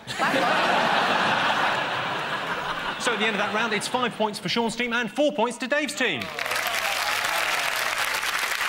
And the winner is, is the name of our final round. I'm going to give the teams a series of opinion polls based on Big Brother, and it's up to them to buzz in and tell me who or what they think came top. OK, the first one. Most annoying habit a housemate could have. I think the general standards of manners are terrible. I mean, I've, a lot of them, I've seen them eating with their elbows on the table. Somebody was uh, using a dessert spoon for soup. I believe Mikey wore a cummerbund at breakfast. Is it all the, um, the burping and farting and stuff like Jane had a go at? I can tell you that far farting and burping is number three on the list. Who don't do that, though? Not being funny accidentally. Who doesn't do that? Yeah. Is it insisting that everybody calls you by a stupid nickname, like Spiral or Bubble or Aisleyne? It's not Aisleyne. it's Eileen. That's what it is. Mother couldn't spell for shit. Now, I'll give you a clue. It's hygiene related. Oh, body order then. B.O. B.O. then, B.O. I'll give you that, yeah. It's not washing. Thank you. Yes, the most annoying habit a housemate could have is not washing. Others on the list are eating all the food, farting and burping, always shouting and waking people up, or, as it's known collectively, being Jane. most emotional housemate ever. Nikki. Why did you say that? You're absolutely right. Oh. Of course you bloody point. Yes, the most emotional housemate ever is Nikki. This is when her MP3 player didn't work. Oh, I... I love this song. This is Big Brother. Would Nikki come to the dialogue? I've been disqualified. I don't want to do it. I can't switch it on, Big Brother.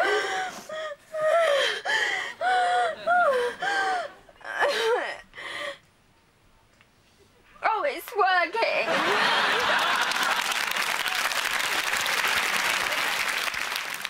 The most common audition piece at Big Brother auditions. I didn't realise they had auditions. I thought like a dog catcher went out. And just saw who was barking, barking on the stage. No, no, no, get in there, man. You're in, big brother. Is it something from Hamlet? What, the blowjob scene? Is it someone just going to camera? Oh, mad me, I fight with people all the time and I have sex all the time and I'm not bothered at all, just fight about anything and then when they get in there, just drink tea and have weird tits.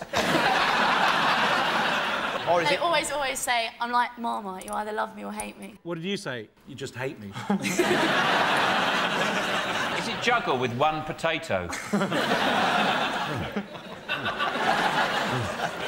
Do you know what? I'm going to tell you. The most common audition piece at Big Brother auditions is telling a joke. For example, what's oh. black and white and red all over? Sam.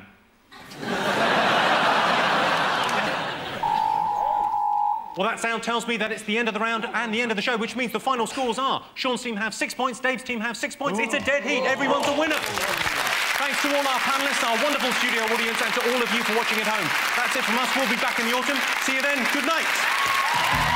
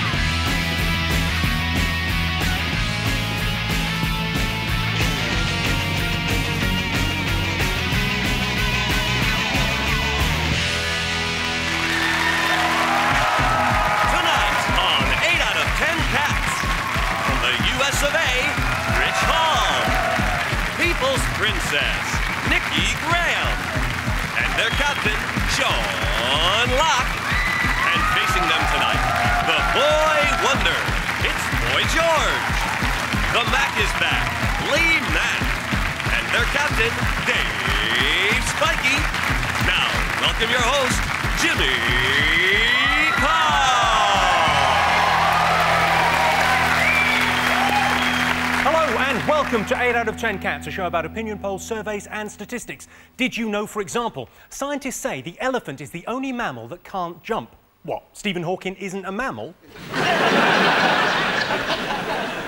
only a quarter of Brits consider themselves to be lucky, and they're the lucky ones. a cockroach can live for a whole week without a head. Beat that, Heather Mills.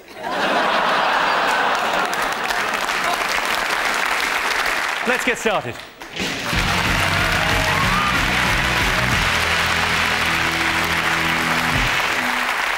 What are you talking about? That's the name of our first round. We've teamed up with a leading polling organisation and they've asked the British nation what stories they've been discussing this week. It's our panellists' job to guess the British public's top five most popular talking points.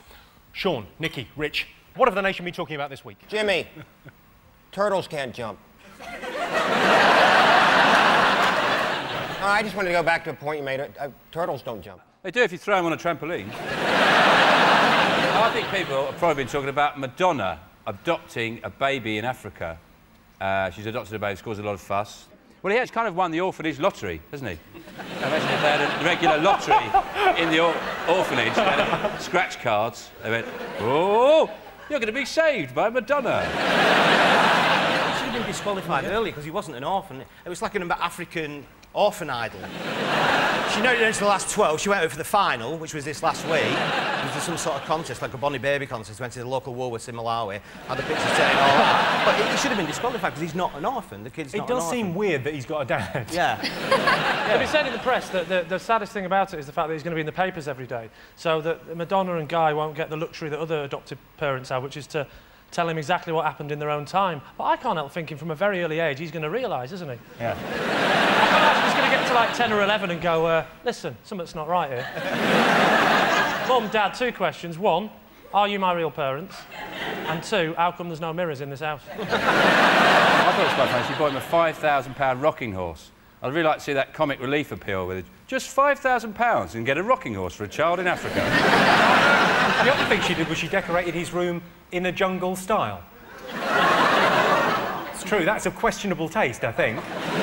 Why doesn't she just adopt like uh, 60,000 orphan kids and then she's total sellout wherever she goes? that is thinking, Rich. They don't know that American Pie is a fucking cover. You still angry about American Pie? I was angry about it the first time I heard it. I need her to trot it out again 20 years later. All 73 verses. And I'll tell you something else. Snakes can't jump. Madonna can't sing. Madonna can't sing? Nikki, what do you think of Madonna? She's a bit high maintenance. I like her, but to be honest, a whole week's news on her adopting the child. Oh. Who cares? You're a big brother.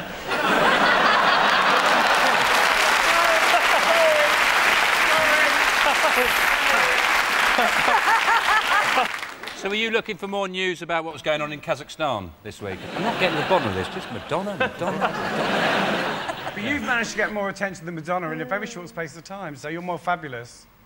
Oh, thanks, Boy George. I thought, you know, her performance at Live 8 was when she was swearing. And I thought, well, that's not a very good, you know, example, example to set to your kids. Because she actually showed it at Live 8, she went on stage and said, are you fucking ready?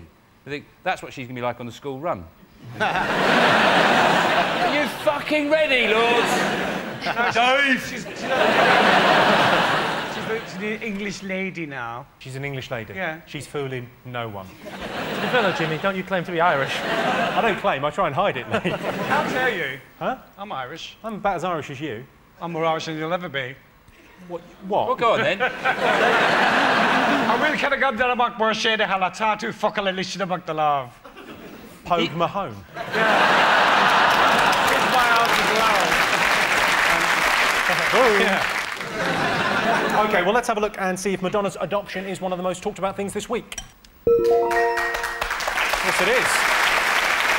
Yes, Madonna's caused controversy by adopting a baby from Africa. The baby's father described the adoption as a blessing from God, although the exact translation of the Malawi is the fucking jackpot get in. Dave, Boy George, Lee, what else have the nation been talking about this week? Could it possibly be uh, the allegations that Heather Mills McCartney has made in the divorce papers saying that Sir Paul was cruel to her? Every night she has to go to bed to go to the toilet. And she has to crawl because he won't allow her a bedpan. But he said he didn't want a bedpan in the bedroom because it was like, it was like a, an old people's home. it is an old people's home. He's 64. Don't explain it to her, Sean, if she doesn't get it. Heather's only got one leg. I don't know why I'm shouting it. Sorry, Nikki, are you, you know who Heather Mills is, yeah? I don't know. I know she's married to Paul McCartney. I wasn't aware she only had one leg. Where have you been? She's been in a house. Someone told me. Needs to do something to get the public sympathy back in her favour. Maybe a parrot. I think people would warm to her if she had a parrot. Proper job. Go to Vegas, work at Treasure Island. Let's have a look and see whether Heather Mills' allegations are one of the most talked about things this week. Yes, newspapers have reported Heather Mills' allegations that Paul McCartney hit her. Heather is going through a very rough time at the moment, and if she were here, I would tell her, time heals all wounds. well, not that, you'd have to be a starfish. In other divorce news this week, Stephen Hawking is leaving his wife. Hawking's marriage lasted 11 years before the wheels came off. Sorry, Jimmy, can I stop you a second? Nikki, he's in a wheelchair. so you know. Sorry, Jimmy. Do you know who Stephen Hawking is? he's sort of the cleverest man in the world, but he's, he's kind of confined to a wheelchair. Most people that come on the show have a really good time. It's really, it's a fun thing. It's great, but you're learning so much. It's an This is extra element. like being at school for me. Right, Sean, Nikki and Rich, what else have people been talking about this week? Oh, post offices closing down. Small post offices. Do you know what a post office is? My mum's a postie, I'll have you know.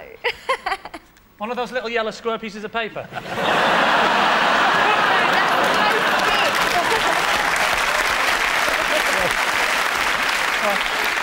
I think the postmasters deliver a petition with four million names on it to 10 Downing Street. I like the fact that they delivered, hand-delivered it because they don't trust the postal service what I think they should do is what they do with libraries. They have mobile, why do they have mobile post offices? And they can be like ice cream vans. they drive around and they play some, some music to attract old people. like, we'll meet again, like... ding, ding, ding, ding. ding, ding, ding. Ding, ding, ding. Ding, ding, ding. Ding, ding. ding, ding. Yes, like... Yeah, exactly, yeah yeah, just about a minute behind. And I, I just really hope that when these postal workers, when they went to Downing Street, there was a thousand of them. I really hope there was just one person serving at Downing Street, and they had to make a big long queue. And he said like, protester number three, please. Let's have a look and see whether the post offices are up there.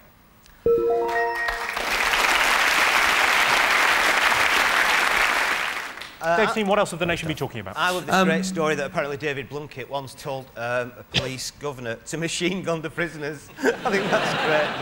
He, he thinks our warders have machine guns. He's, He's blind. Better tell Nikki. Yeah. Blow the gaff. Nikki, he's blind, he's got a dog. And the Oh, you're helps. winding me up. I'm not... this is unbelievable. So everyone we talk about tonight is afflicted in some way. Well, as it happens, yeah. It's different people, though. It's not the one person. Okay, so, tell me more. Tell me more about blankets. Get- So, what's yeah, the sort there was, what- I don't know, there was this riot and he phoned the governor and they said they've got their home secretary on the phone for you and he said, having a riot and he went, oh, machine gun 'em. And, and he obviously went, are you pissed? No, machine gun 'em. Could have just pretended to do it because Blunkett wouldn't have known, would he? He could have gone, there you go, all dead, all of them. It's like a holiday camp prison. no, it ain't. It is. When you were in Big Brother and they didn't have bottled water, you went mental. they don't even have a jacuzzi, many of these places. I didn't go in the jacuzzi because it was filth-ridden. Well, fair enough then. Maybe you'd be fine in prison. This is the same week that we find out that prisoners are being paid to play board games. I mean, I was in prison once and I uh, played Scrabble. I nearly got bummed. Um, but I only had one M. Let's have a look and see if Blunkett's up there. Yes, it's been revealed that David Blunkett ordered prison chiefs to machine gun rioters in 2002. Luckily, he was shouting into a stapler. One more to get fingers on buzzers. What else have the nation been talking about this week? Is it anything to do with this teacher who uh, refused to remove her veil and was suspended? So why, why do you need to sit? Leave her alone. Why, why do you have to... That's enough, isn't it? But the thing was, she, she doesn't wear it when the kids in the room. She only wears it when a male comes into the room. So she goes, she'll have it off, like that bloke will come in, she goes, Whoop. and then he'll go out, she goes, Whoop. in and out. She should just get like a Venetian blind.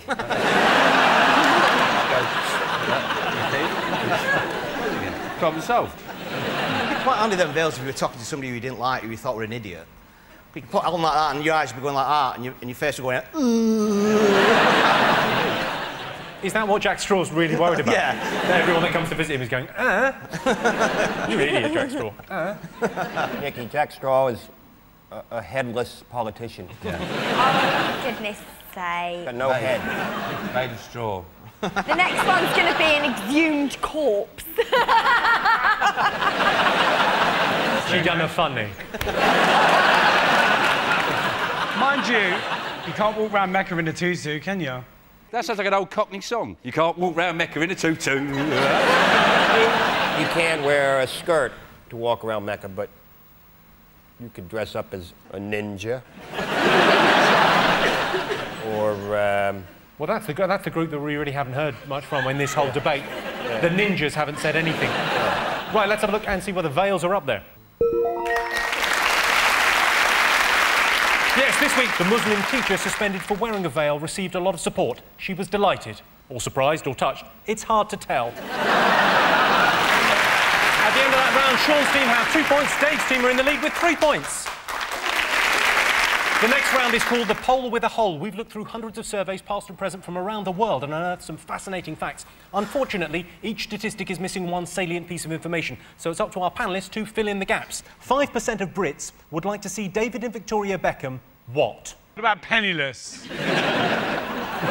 Is it part of the peacekeeping force in Basra? Ask forgiveness from Christ. or I know, live a week in a third world country. Well, you, do you know what? I'm, I'm tempted to give you that. That's dangerously close to the correct answer. It's Well, to do I with that. never. It's to do with that. oh, well, no one was expecting you to be right. UN ambassadors. That's the correct There you answer. go. Yes, 5% of Brits would like to see David and Victoria Beckham become UN ambassadors. Personally, I don't think Victoria should be sent to visit starving people. They've got enough problems without feeling fat. OK, 68% of chess players think chess would be more popular if what? If the game wasn't so bloody damn boring. tell you what, I'll bet when they were asked that question, it took them 45 fucking minutes to figure up an answer. I've always liked the big chess that you get. I think if they were really big, they were really massive, and you had to use a crane to play. The world champion was a crane driver from Catford called Big Ron. Maybe it was a cross-country event.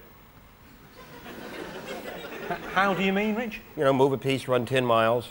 move another piece, run another 10 miles. Checkmate. Yeah, it's a great idea. I'm with Rich on that. or if you had some shouts. You know, when you moved, you had some calls. Like, you know, in football, people shout and scream. When you moved to beach, you went, Yeah, I'm gonna get you, boy! I've only had two chess games in my life. I bet you didn't win then. I lost. Did you lose both of them? Yes. Really? Did you have trouble getting the pieces over the net? Very hilarious. I almost fell off my chair laughing. Oh, Nikki Grahame, everyone. Yeah. Yeah, I wouldn't want to be you right about now, Sean. That's my career over. if it was easier. That's the right answer, Sean. if it was easier. Yeah, that's what. Yes, 68% of chess players think chess would be more popular if it was easier. I think chess is easy. There's only two things you have to remember. Don't use the St. Petersburg Gambit against the Brandenburg Opening, and the horsey go jumpy jump. so at the end of that round, it's three points for Sean, Nikki, and Rich, and four points for Dave, Lee, and George. Welcome back to 8 out of 10 Cats. The next round is Believe It or Not. In this round, I'll give the panellists a simple statement, and all they have to do is decide whether they think it's true or false. Sean, Nikki, and Rich, let's have a look at a clip to illustrate your statistic. Let's meet act number six, dancer Todd Rickson.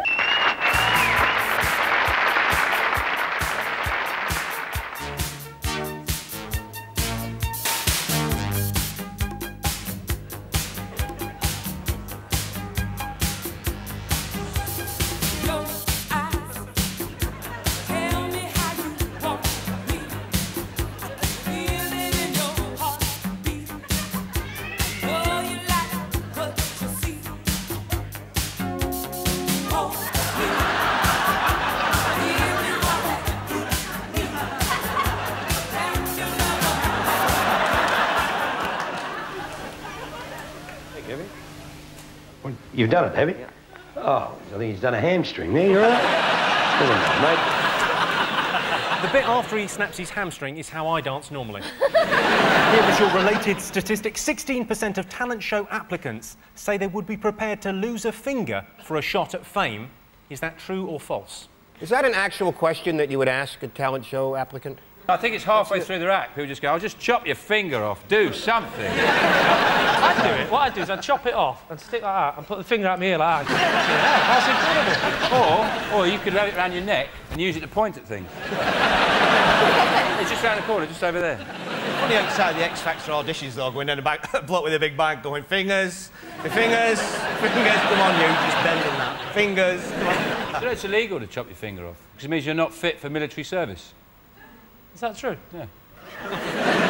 Yeah. How did you come across that nugget of information? People tell me things and they stay in.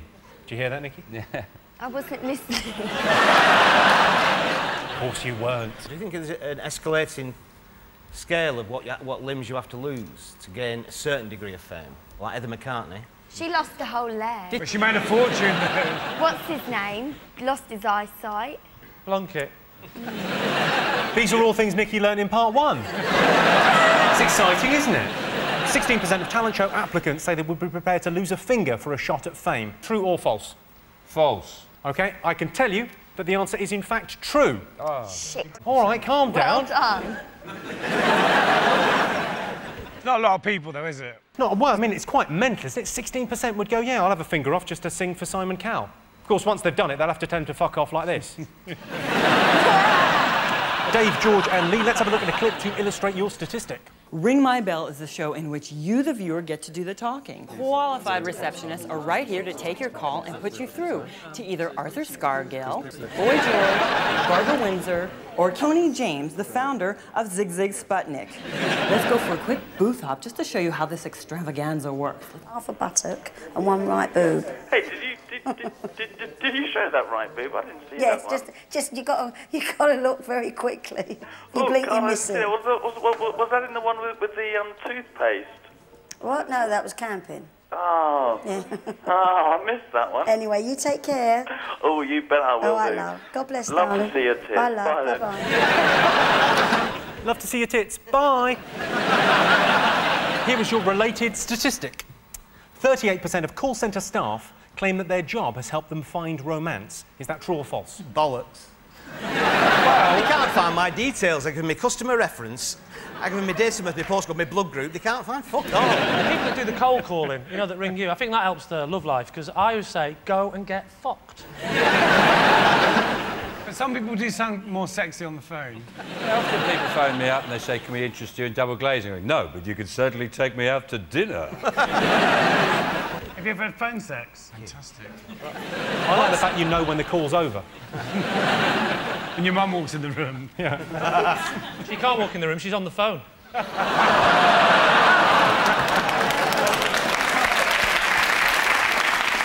You know, in America, all the sex lines start with 900. And uh, the, the area code for Western Tennessee is 901.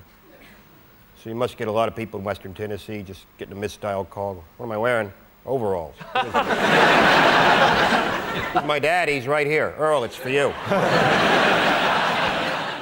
All right. 38% of call centre staff claim that their job has helped them find romance. Is that true or false? And I think yes. We think yes. We think it's yeah, probably all true. OK. I can tell you that the answer is true.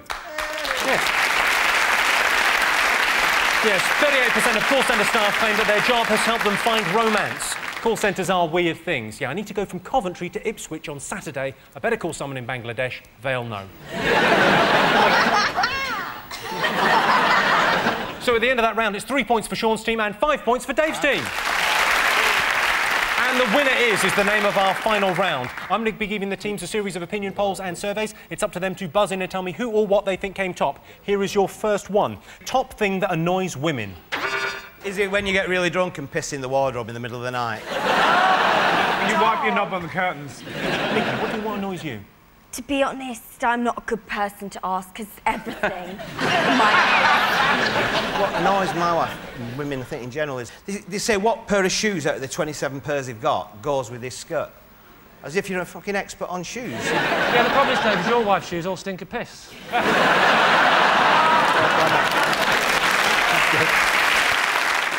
I'll tell you something that annoys women. It's when you put a new toilet roll on a toilet roll holder and you make the paper come off near the wall Oh. instead of like away from the wall. I don't like that. It's really apparent. What do you do that for? He's got, he's got rust knuckles on the wall now. You were very close, Sean. Take the last piece and you don't think, ah, shit, no. You stick that last piece back on, don't you? That one. Put that one back on, then it doesn't look as though I've used the whole loo roller. That's great. She's got to change it. That's the correct answer. Yes, the top thing that annoys women is finishing the last loo roll. Here's one for you. Top reason to celebrate. You found some booze. hey! Didn't know I had this. Rich, what do you celebrate? Not being Canadian.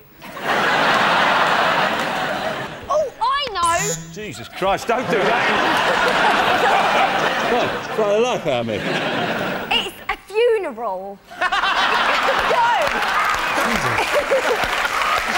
no, I tell you what. Unbelievable. You only go to funerals of people you don't like. I've been to one.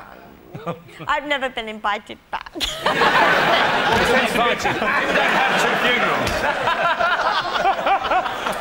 Oh, I've been to one funeral, I didn't get invited back. I...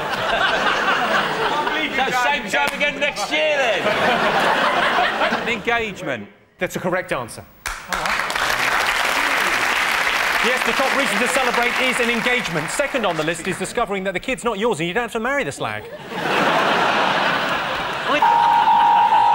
Well, that sound tells me it's the end of the round and the end of the show, which means the final scores are Sean, Nikki, and Rich have five points, but the winners are Dave, George, and Lee with six points.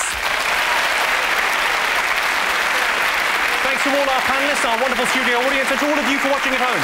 That's it from us. Good night.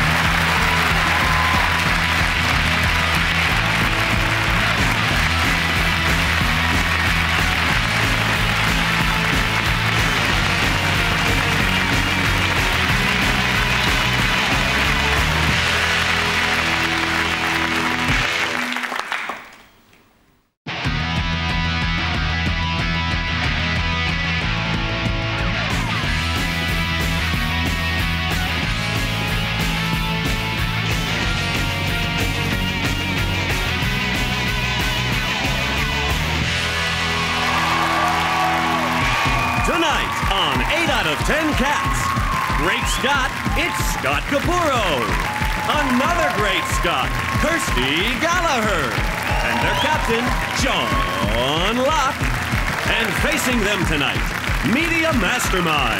Piers Morgan. Our friend in the north, Jason Manford. And their captain, Dave Spikey.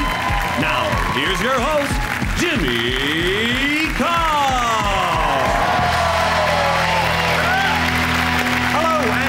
To 8 out of 10 Cats, a show about opinion polls, surveys, and statistics. Did you know, for example, a giraffe can clean its own ears with its 21 inch long tongue? Although Mrs. Giraffe has got other plans for this evening. 3% of Brits never leave a tip, and they're known as the weirdos that live at the tip.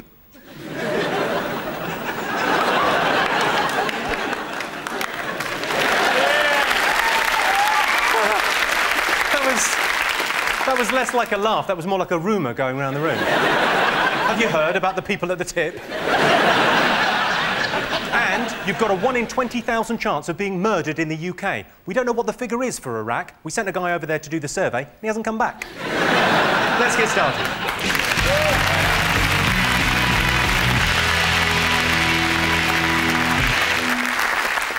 Are you talking about? That's the name of our first round. We've teamed up with a leading polling organisation and they've asked the British nation what stories they've been discussing this week. It's our panellists' job to guess the British public's top five most popular talking points. Dave, Piers, Jason, what have the nation been talking about this week? Is it more revelations in the McCartney divorce proceedings? All that business rumbles on, doesn't I'll it? tell you what, I wouldn't want to be the fella that introduced them. all right, all right. I introduced Heather Mills to Paul McCartney. Why? Exactly. That's exactly what he's asking. And she's- don't you think she's awful, Heather Mills? Now, I Oh, actually yeah. quite stick up for her, but it's awful, isn't it? Yeah. But he's Paul McCartney. You know, he wrote yesterday. She's Heather Mills. And today, a- and he'll probably write tomorrow. He's a relentless worker. I think, the, well, I think the obvious thing, though, is, is that mostly when you meet a very beautiful woman, you assume there's a catch. There must be a catch. It can't be this good. And he thought the catch was the leg. Oh, it wasn't. but she's incredibly unpopular for someone with one leg. She's very, it's like Blunkett, isn't it? He's blind. Do You think people like him. Everyone thinks he's a prick.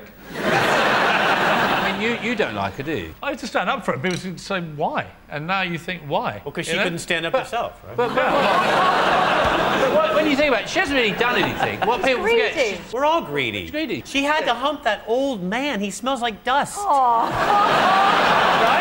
This would never have happened to the Stones. None of the Stones would have ever married a one-legged nutter. The one thing he said was, she threw a bottle of ketchup at him. And he's still not got it out of his hair, has he? Oh, but the thing is that I like the way even celebrities can't have an argument without doing some product placement. You know, it's like, oh, he threw some Heinz ketchup at me, and then he put some Marmite bottles in a sock and hit me over the head, and tried to choke me with Jaffa cakes and sprayed Jif in my eyes. I mean, I did- someone said the other day, who gets the leg?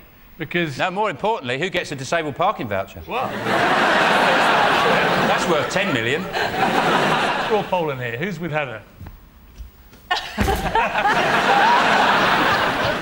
Right, OK. Uh, well, let's have a look and see whether Paul McCartney is up there.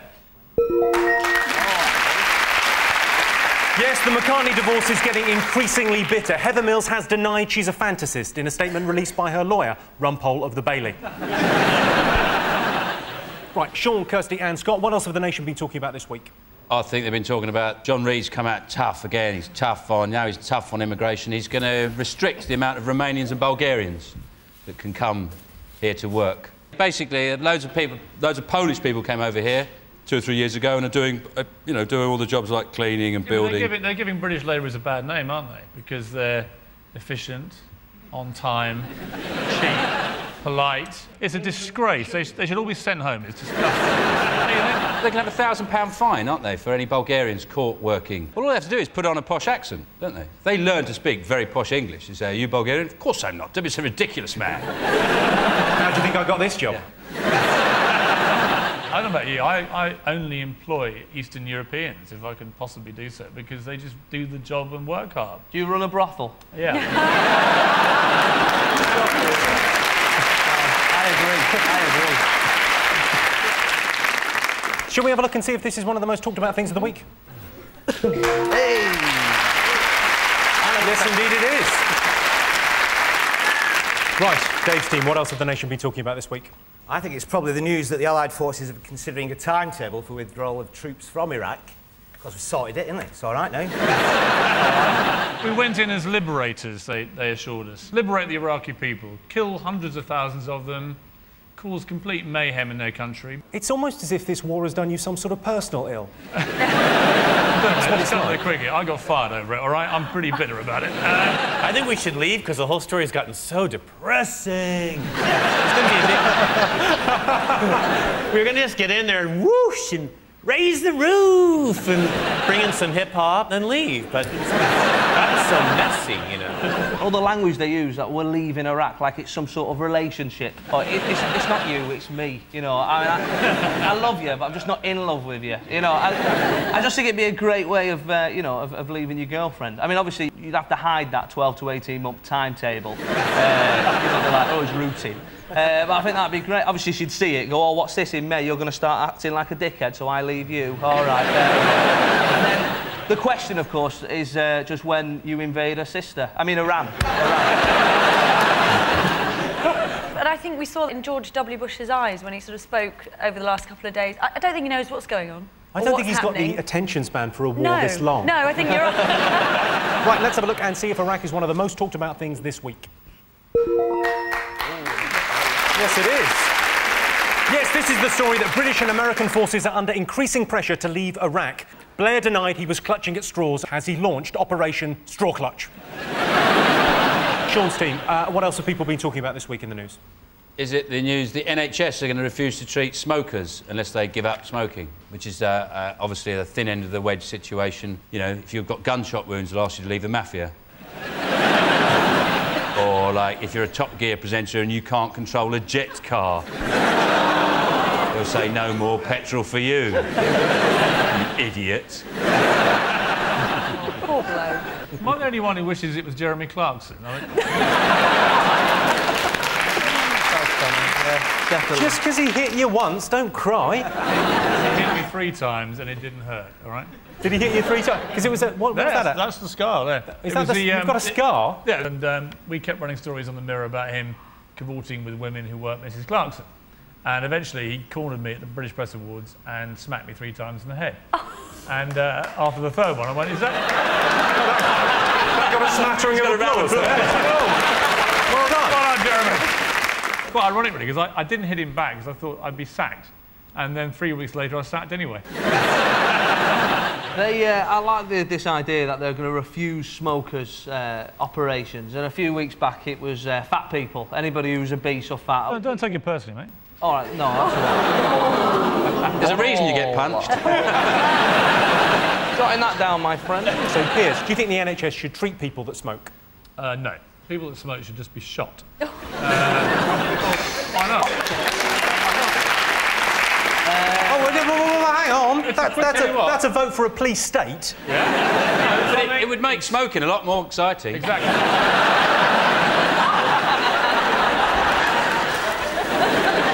I tell you, sales of mints would go through the fucking roof. I can tell you the NHS not treating smokers is not one of the top five stories this week, but it was in the papers. OK, fingers on buzzers. Uh, what else have the nation been talking about this week?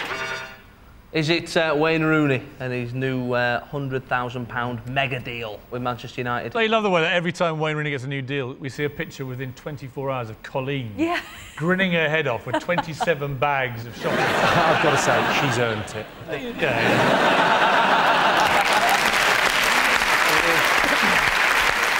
But the, the problem with these deals is they, that, that then launches all these people going, oh, they get paid too much. Uh, but and then the footballers counter counteract by saying, yeah, but the fans, they're always shouting nasty things at me.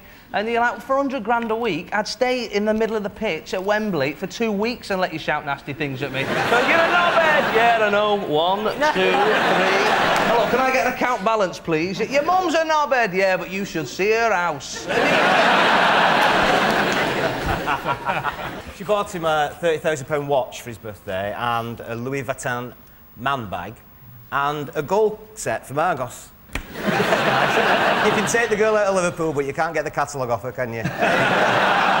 She also got him a picture of Robbie Williams' arse. He's, uh, he's doing a, he's doing a Mooney, and there's a danger that he'll mistake it for a mirror, yeah. isn't there? I thought it was a portrait because the eye kept following him around the room. She got all these brilliant people, Mike Tyson to sign things, U2, and Blue. They're not even together, are they? Are Blue not together? Sorry, Jimmy. Oh, what a way to hear it. Let's have a look and see if Wayne Rooney's up there. Yes, it is. Yes. Wayne Rooney turned 21 this week. He received an Aston Martin, priceless sporting memorabilia, and a £30,000 watch. I tell you what, though, he would have been happier with a tyre and a rope. We've got one more thing to guess. Fingers on buzzers. What else? Sean. Is it the uh, Richmond Council's decision to charge four by fours lots of money to park. Tell me more about this. What do you think of it? I've got one. but I don't live in London. I li- Yeah. And I like it. You like it? Yes. Well, that's fine then. They're the most privileged people in society, usually people who have 4x4s, and then suddenly they're a victim. It's like, why are they picking on me? Just because I've got a four by four. I think it should be more. I it should be a thousand pounds. Fuck them.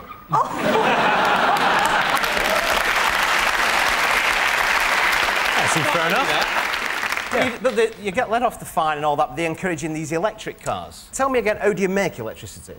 It's not exactly a clean fuel, is it? The way they make electricity, those big power stations, there's thousands of blokes with full heads of hair and balloons going like that. Just thousands of them. Dwarves. It's funny about dwarves. Thousands of dwarves. balloons. I think they should call it, um, you know, they've got names for these taxes that they, that they put in. They should just call it the wanker tax. and, uh, That's a bit harsh. I know, they, they should All right, put... fat boy, easy. That's 2 2 nil, dickhead. I, uh, I'm defending the pregnant lady. I started it. No, I like, I like the fat guy. Go on. Oh, thanks, mate. This is like a pub car park. Leave it, it's not worth it. Let's have a look and see if the new 4x4 tax is one of the most talked about things. Yes, it is. OK, well, I can tell you at the end of that round, Sean's team have two points, Dave's team have three points. The next round is called the poll with a hole. Here's your first question. 17% of church leaders think if Jesus came back to Earth now, he would what? Be very old. He definitely points out that the Da Vinci Code is a load of bollocks. He said, I didn't marry Mary Magdalene. Moved to France. I hate France. I think he'd be a bit too soapboxy. A little know-it-all-y. Don't you? No. Oh. Clear what you're on about, Scott. Do you think if he came back, he would be sectioned on the first day? Hello, I'm Jesus Christ. Right, come with us. Come on, have a nice cup of tea and a sit down. Who's to say I haven't come back? yes, I am. That is an exclusive. Of course, claiming to be Jesus is quite insulting to the Christians, but it doesn't really matter. They don't take it that seriously. They're, they're probably out there now thinking, if I get hold of that Sean Lock, I'm going to bloody well forgive him. Yeah. I'll give you a clue on this one. It's, uh, it's, it's about his choice of vehicle. He'd have his own jet. He'd have hover boots. Classic hippie-ish. Is it a VW, VW. van? Yeah. Exactly the right answer. Yeah, this is 17% of church leaders think if Jesus came back to Earth now, he would drive a camper van. I suppose it's better that Jesus Christ has a camper van rather than a Yamaha. You don't want him doing a skid and killing a kid and busting his balls on a dustbin lid. 20% of Brits have sent a text message, what? Is it 20% of Brits have sent a text message when really a bunch of flowers and a deepest sympathy card would have been more appropriate? 20% of Brits have sent a text message playing the game Fuck You Roulette, uh, which is where you type fuck you into your text message and then just go through your contacts like that. Is it putting a kiss at the end of the message, then deleting it, then putting it back on again afterwards? Should I do that? No, I should. Yeah, I will. No, I won't. I, I like it when you do, Dave. it's to do with uh, what you're wearing. Naked. Yeah. What do you mean, Correct. Scott? I'm Yes, correct. 20% of Brits have sent a text message whilst naked. I'm in the boot of a car, just gone over a bridge, I think I'm passing a quarry, sounds like an abattoir, send help, smiley face. so at the end of that round, it is three points for Sean, Kirsty, and Scott, four points for Dave, Piers, and Jason.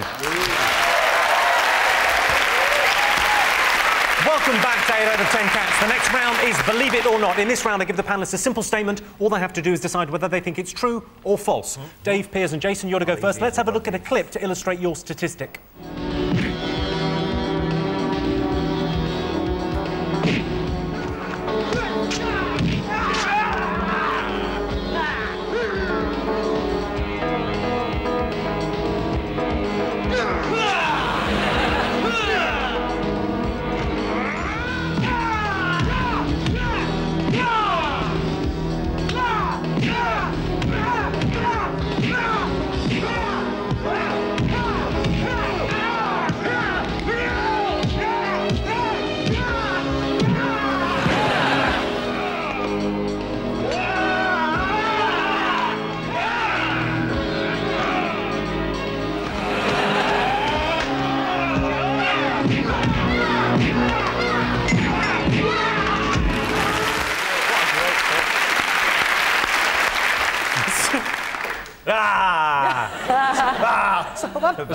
Going to do the old flicking towel on his arse. Was that, Piers, was that you and Clarkson at the British Press Club? Here is your related statistic 23% of fights in bars are caused by pub quizzes. Do you think that's true or false?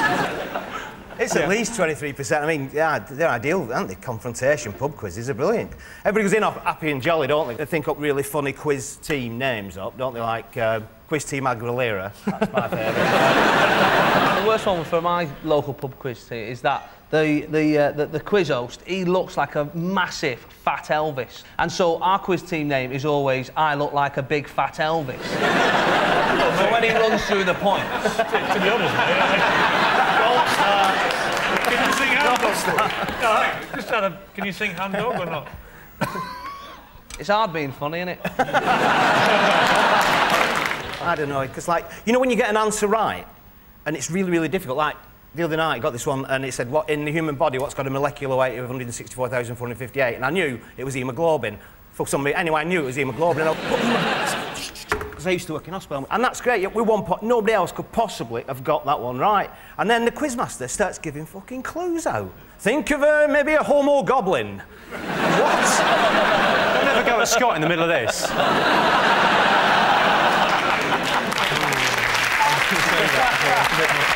What sort of pub asks you the atomic weight of hemoglobin? Are you, When you- having- it's are you when- go doing pub quizzes at NASA? Go, Dave, true or false? What do you think? Uh, we're going to say true. Well, I can tell you that the answer is in fact false. Only 3% of fights in bars are caused by pub quizzes. OK. Sean, Scott and Kirsty, let's have a look at a clip to illustrate your statistic. Hi, I'm Jodi Stolove. I created Chair Dancing, the exercise program that can be enjoyed by almost anybody. For example, a family can exercise together.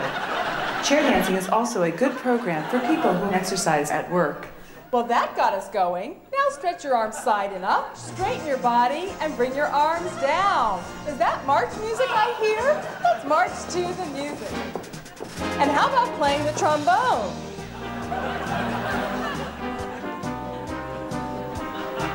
Grab your orchestra batons because we're going to conduct the orchestra. You know the words. Sing along.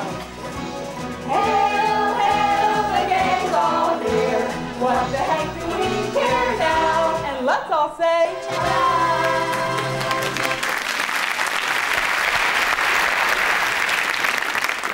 I'd like to go into the Dragon's Den with that idea. the thing about her chair exercise routine is it'd be much more effective if you stood up. 'Cause you can go. You don't have to be sitting down to do that. It seems like an ironic thing because that is the sound I would make if I saw a fat woman waddling along. now, Kirsty, you had an exercise video out, didn't you? Oh, God. Yes, I did.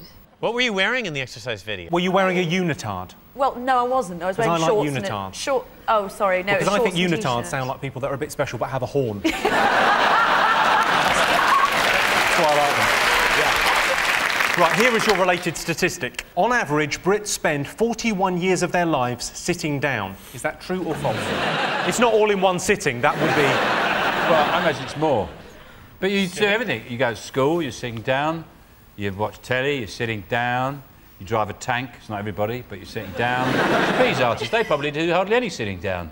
They're always swinging through the air or fighting off a clown. Get off, your dirty little pervert. Get off. Stop nibbling at my fishnets.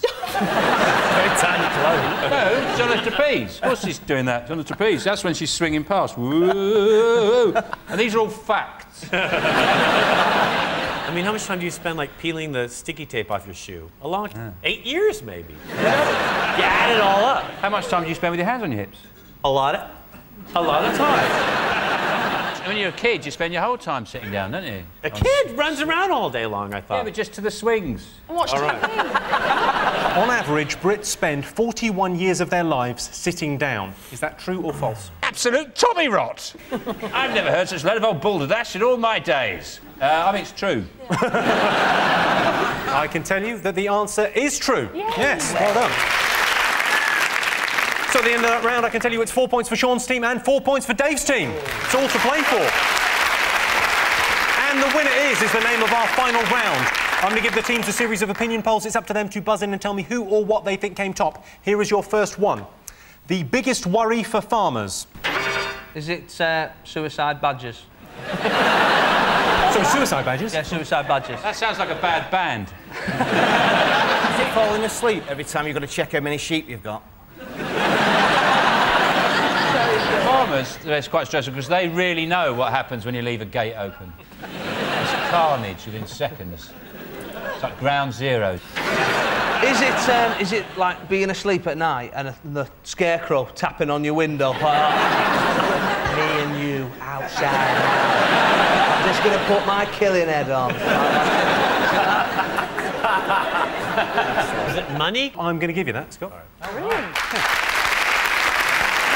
Yes, the biggest worry for farmers is low commodity prices, or money in other words. The other big problem is that society can't accept that the love between a man and a horse is just as valid as the love between a man and a sheep. okay, celebrity most in need of a makeover. Cherie Blair. Oh, yeah. Oh, bless She's her. turning into a weeble as well, have you noticed? From the back, she looks like a weeble. she looks like she's got a beanbag down the back of her pants. Hasn't she? I think probably the most honourable thing I would do is I bought some pictures of Cherie Blair topless off the market and didn't publish them. There are just some things you can't. What, you just kept them for yourself, you dirty soul? How about Heather Mills? She's adopted Posh's pout, I think. Mm. that, That scowl. that Can you do the scowly- pout? Little scowl. Celebrity most in need of a makeover. Well, they did one on Ann Widdecombe, didn't they? That was, that was fantastic, obviously. But it's pointless, isn't it? It's like, it's like sprinkling glitter on dog shit, isn't it?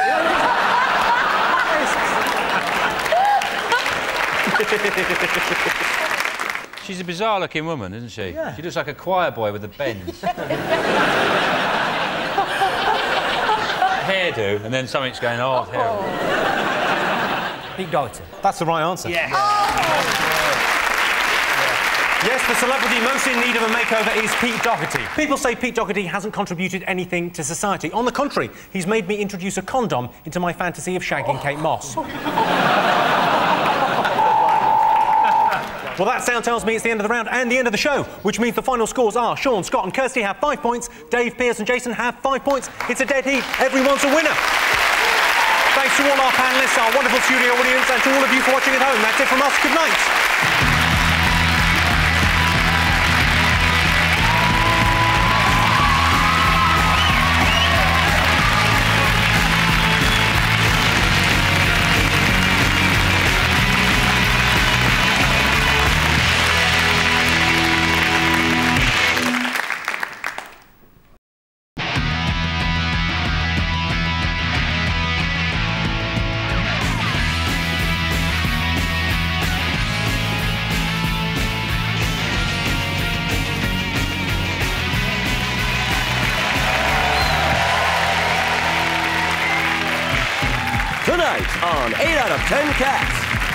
Story star Rhys Thomas, the X-Man Louis Walsh, and their captain Sean Lock. And facing them tonight, a treat from the street, Sally Lindsay, American Beauty Reginald D. Hunter, and their captain Dave Spikey. Now welcome your host, Jimmy Carr. Hello and welcome to 8 out of 10 Cats, a show about opinion polls, surveys, and statistics. Did you know, for example, the average British male has sex 2,580 times during their life? Statistically, that means I'm going to live until I'm 197. 69% of Americans believe they will go somewhere after death. Well, certainly, we're going to lift them off the toilet. And an octopus has three hearts, so when octopus couples are having difficulties, they get together for a heart to heart to heart to heart to heart to heart. Let's get started.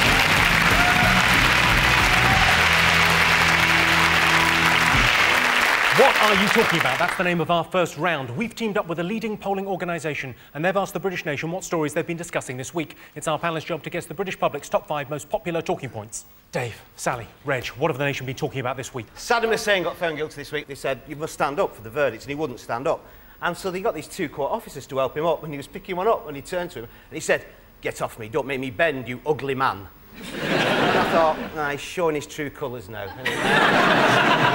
I liked him up to that, but that's just, that's just bloody rude. that. He said he didn't want to be hung, he wanted to be shot, like a soldier, didn't he? I think it's time we compromised. Do both. Do both. Him up by his feet, get him swinging like that. Three shots a pound. Come on. Maybe that's why he looks so disappointed, because he wanted to be shot. Yeah. Yeah. Oh. Oh. oh, that'll be hard. It's a bit like at Christmas if, uh, if you want a bike and you get a jigsaw. Yeah. You know they're going to kill him for bad things he did to lots of people. I had an idea that they should kill him the way... You know when they pulled down his statue and they dragged it slightly with cars and, uh, and tanks and You know what, you've seen the news. I think they should do the same with him and kill him in that way. You'll get lots of children, you know, to recreate that dragging down of the statue, put it, and then put a bit of rope round him with tiny little cars, little... What are you looking like that for? This is like watching the news, isn't it? And then you just drag him out of the room, and he'll kind of fall in half at one point, and then they can, everyone can just jump on his head.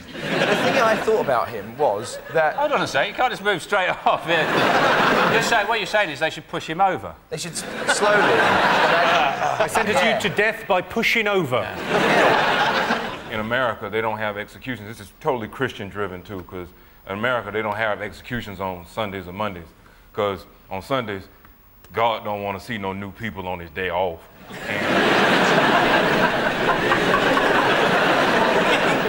And, and then you don't want to have your people executing nobody on Monday because you just back to work. You, take-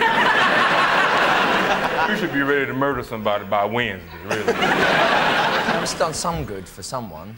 Is it Mr. Hussein? He must have done some good for someone. Yeah, there must be some good things in Iraq. He was very good to his mum. Yeah. Did he kill her? Huh? Did he kill her? Yeah. I, Did he yeah, kill any why of not? his family? He's not going to sue us. yeah, Saddam Hussein killed his mum. Come get me. Good. Well, shall we have a look and see if Saddam is one of the most talked about things this week? Of course he is. The most talked about thing this week. Saddam has been sentenced to death by hanging. He thought he found a loophole. No, Saddam, that's a noose. Sean, Louis, and Rhys, what have the nation been talking about this week? Four-year-old girl's depressed, a bit down. And uh, she took to the doctor and they said, he said, yes, she's depressed. Instead of, what he should have done, actually, when he went to he should have listened to all her symptoms. He should have gone, hold on a sec. Boom! uh, everything been fine. Apparently, the reason this girl is depressed is because she didn't get into the right primary school. That was, yeah. Yeah, but the reason she didn't get in is because her parents didn't put the application in time. So the reason she's depressed is, she, is that her parents are a couple of pricks. Basically, that's what it comes down to. She tried to slit her wrist with stickle bricks. That's a nice image, yeah. She put her head in the oven, but it's one of those little plastic ones, it's fine. I, when I was four, I used to get randy. I used to rub myself against the chair leg. Honestly, and my mum would go, "Stop that! It's naughty." And my dad said, "Don't tell him, to- don't stop." He's Welsh. He said, "Don't tell him to stop because he may go funny in the head." And I think I did it till I was about 14. I would get on a chair leg and rub like that. Yeah, on the chair leg and. That's funny. I wonder how they spotted it. I mean, I don't know how they actually identified her depression. She's think- not listening to, you know, Leonard Cohen in a room. Just sort of sit up there smoking. I mean, there's... I think she, she, she's up in her room listening to the Tweenies' very difficult second album. Let's have a look and see whether this four-year-old depressed girl is one of the most talked about things of the week. Oh, it is. This is the story of the four-year-old girl who's depressed about not getting into the right primary school. It's not uncommon for small children to get depressed. I know a baby who cries all day and can't get out of bed. Doctors knew something was seriously wrong when she stopped laughing at the Chuckle Brothers. To me, to you, to me, to you. What's the point? Keep it. Dave's team, uh, what else have the nation been talking about this week? Uh, I guess the American midterm elections. Um, people's excited too that uh, Rumsfeld resigned, and just so what? Bush is not real. But the people who, who who back Bush, those are the dangerous people. You don't never see them. You know, getting upset with Bush is like some kid coming up to me with a puppet and going, you know, out of my way, darky, and I going, you damn puppet, I hate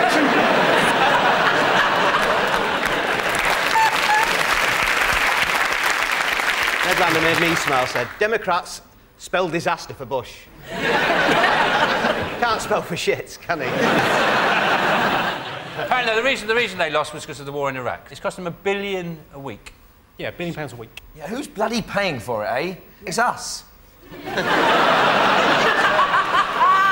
it? Have you thought about writing for the Daily Mail? you don't seem to understand much, but you seem sort of upset about it, and that's those are, I think, the key things. Yeah, my mum buys the Daily Mail, right? Only because the ink doesn't come off on your hands. But you know what's keeping it there? What? Hate. Yeah. So I can see with the BNP pamphlet going, no, I don't agree with it, but, you know, it's lovely paper. Louis, what, what do you make of the midterm elections? I imagine. Jimmy, I just, I've never been a fan of Bush. Hey, oh. Never been a fan.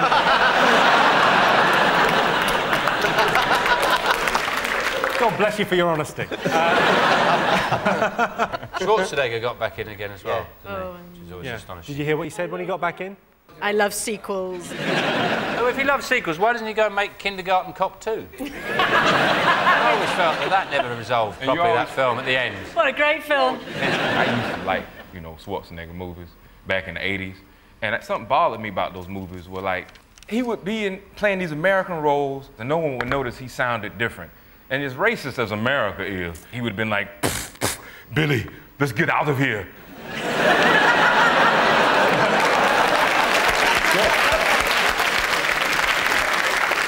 You think his partner would go, the fuck are you from?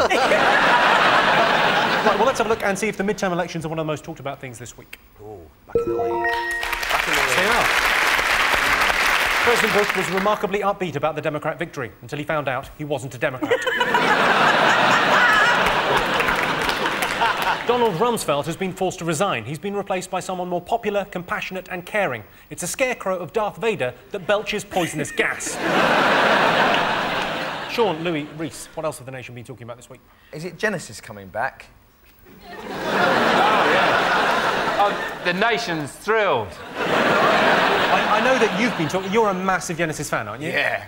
Anyone who laughs, frankly, hasn't listened to enough of their music. Anyone that still has the ability to laugh hasn't listened to enough of their music. They're not really coming back, Jimmy, though, because Peter Gabriel's not in the band. He was the talented one.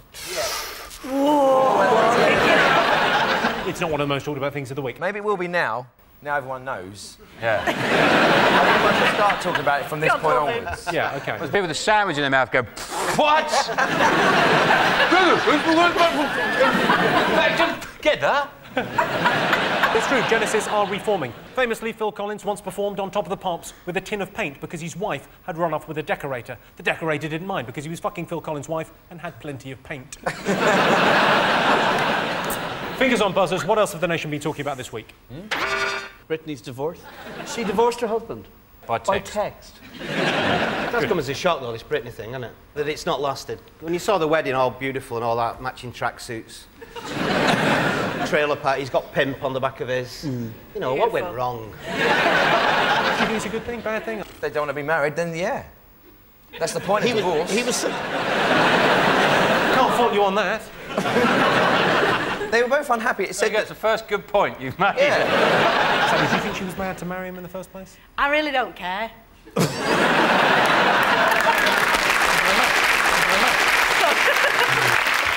Let's have a look and see whether Britney Spears is one of the most talked about things this week.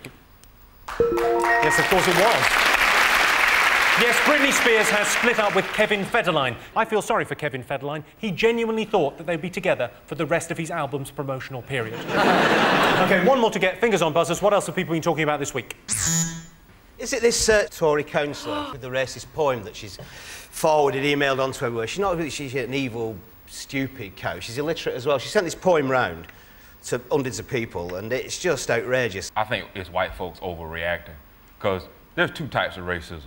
Real racism where people get hurt and can't get housing, or there's that fake racism that white people get upset about where somebody's feelings might get hurt. People are so sensitive now and so upset, especially middle-class white people, they're afraid of being accused of being racist. Sometimes for fun, I'll call a white guy racist who I know isn't racist and just watch him lose his mind. I'm not racist. No, no, I'm buying you a drink. I'm going to show you I'm not racist. And, and want to fuck my sister? See, I'm, I'm not racist. But the fact you never called Oh. my sister as well. And she used that old cliche that's, uh, oh, I, I didn't mean it offensively because I have friends that are Asian. Yeah. Not anymore, you fucking don't, though. Cameron can try and pretend that he's got all these forward-thinking, modern visionary metrosexual people in his party. But basically, if they had their way, they'd build a time machine and all go back to 1901. Conservative means keep things the same, not let's try samosa, it might be nice. A lot of people are prejudiced and racist, and they don't mean no harm by it. Just every time I go to Ireland, some white guy at a party says to me, "You know, Irish people are considered the Negroes of Europe." You know, as if I'm supposed to go. No wonder I'm so comfortable here. I remember I told my dad that. I was like, Dad, you know, Irish people are considered the Negroes of Europe. And he said, God damn it, white folks don't let black folks have nothing.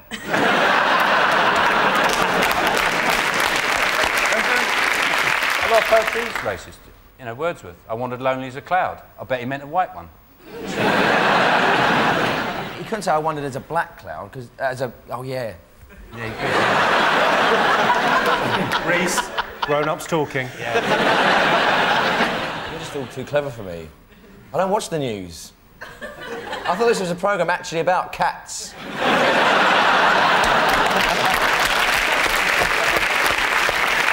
Well, let's see if the Conservative Party's race controversy is one of the most talked about things this week.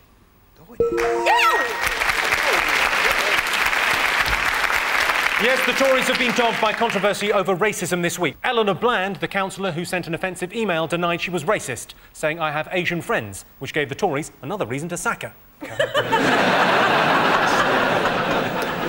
Well, at the end of that round, I can tell you it's two points for Sean's team and three points to Dave's team. The next round is called the poll with a hole. Here's your first one. 26% of Brits say a TV show has motivated them to what? Is it um, shit in a Tupperware box and have a good route through it? I hate that programme. Gillian McKeith, isn't it, that does the uh, How Clean Is Your Poo? You know that table that she shows everyone, that table of food? She Doctor goes, Who? "Oh, Yeah. Oh, look at this. Look at this table of food. It's exactly the same table that Kerry McFadden shows in the Iceland ads. A lot of stuff's on telly these days. I would make me want to invade Poland because there always seems to be Nazi shows on television, isn't it? History Channel, just Nazis marching. You've got two sound effects: Nazis marching or. 26% of Brits say TV has motivated them to solve crimes in the Yorkshire Dales. Is it motivated them to buy a product that isn't available in the shops? And when they get it through the post, they know why. It's fucking shit. I once, to my shame, I bought a machine that would rock, rock, rock my way to a flatter stomach. Jimmy, I think it's to be successful. Well, your show motivates people to queue up in a car park for four hours. And be famous, yeah, for a short And be while. famous, yeah. For a short while. Yeah. Yeah. Yeah, you said it. What is the X Factor? You're looking for the X Factor, It's like a- it's a special potion or something like that. it's a syndrome that means you can't get embarrassed. Is it redecorate your house? That is the correct answer.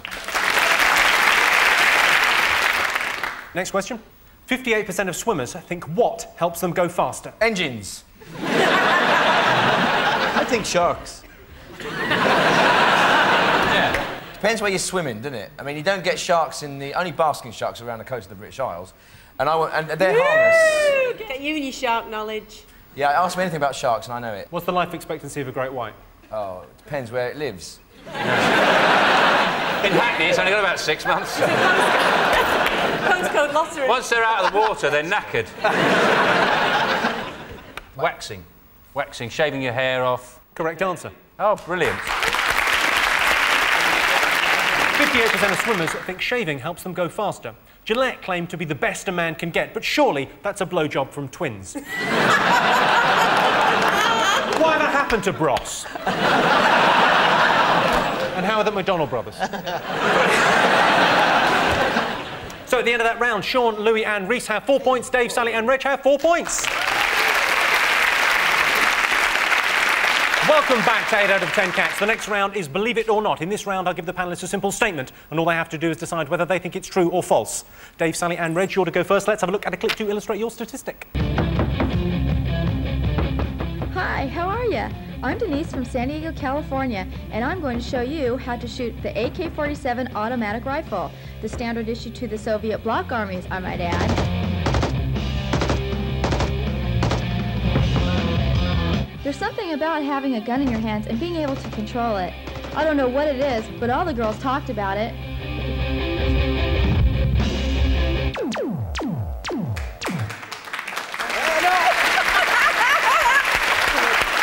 Did you notice they were all wearing what they'd shot. Those Al Qaeda training videos. Here's your related statistic 14% of American husbands have bought their wives a gun as a Christmas present. True or false? Go ahead and go with that's probably being true, man. You want a woman who can just reach down under the pillow and just go doof, doof, doof. Doof, doof. Doof, doof. Doof, doof. Yeah. We are barking at each other now. I think if they did buy someone a gun, it wouldn't be the main present. They go, oh, and I've got you a gun as well. Yeah, because you'd be gutted Christmas morning and it's a gun. You'd be like, ah, is that it? Well, you'd also you'd never buy the right gun, would you? You'd never be happy. It's like, how many hints do I have to drop? I didn't want the AK-47, I wanted the M16. Reg, you grew up in the States. Did you have a gun at any stage? I'd never owned a gun, but parents had guns, and uh, and you know, just w- they would argue a lot, but they never like reach for their guns or nothing. because you know they civilized and shit. 14% of American husbands have bought their wives a gun as a Christmas present. True or false? it? Um, you think it's higher? I do think it's higher, but the option is offered is true or false, not possibly more. Well, if So- it's not, well, if you think it's more, then it's false. Really? Yeah. Damn. You're a real trickster, you know that? Dude, dude, dude, dude. True. False. I can tell you the answer is false. Only 5% of American husbands have bought their wives a gun both at Christmas. Okay. Sean, Louis, and Reese, let's have a look at a clip to illustrate your statistic. Once every two weeks at Wrexham in North Wales, Barry Manilow fans get together for a Barry night. Boyfriends and husbands are excluded, so the money lovers can devote all their time and attention to an uninterrupted weekend of money lust. I think I'm more of a fan in the way that I have used Barry's influence to help me in my professional life.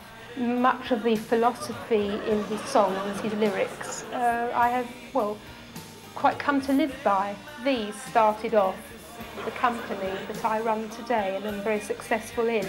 And the eyeliner is very interesting because I think I may be one of the first people who have ever painted onto felt. But I want to know, how do they get in your bedroom? Here's your related statistic 43% of Brits say the 80s was the best decade ever. Is that true or false? Which 80s? The 1680s or the 1580s? I think they're talking about the 1980s. I think the voice of wisdom has spoken. I think maybe the music was better in the 80s, Jimmy. The music was better. music Whose was fault's better. that? It was the Falklands, Tiananmen Square, on the downside, but then again, SodaStream. They didn't have that a terrible show. I love the 80s. That didn't come out. The weather was better then. They had proper winters. It hasn't snowed since then on Christmas Day. As in Manchester. That's it? Doesn't count. Pot noodles weren't as advanced. It was only chow mein and chicken and mushroom then, wasn't it? But now we've got everything. Oh, yes, cuisine has moved on. okay, so 43% of Brits say the 80s was the best decade ever. True or false? Wasn't that British TV show Minder on in the 80s? Oh, yeah. Yes, it was, yeah. Yeah, the 80s was the best. I mean, yeah, they should bring Minder back. It'd be quite good to bring it back. But actually, with George Cole and Dennis Waterman. So Dennis Waterman's basically wiping his arse and giving him bed baths. now. He literally is Minder. He's winching him out of the bath, drying him down, feeding him, there you go, like that, in the bowl, there you go. Okay, so what are you going for? True or false? I think true. Yeah. 43% of Brits say the 80s was the best decade ever. I can tell you the answer is so true. Funny how it seems. Always in time, but never in line for dreams. Head over heels, went toe to toe. This is the sound of my soul. This is the sound.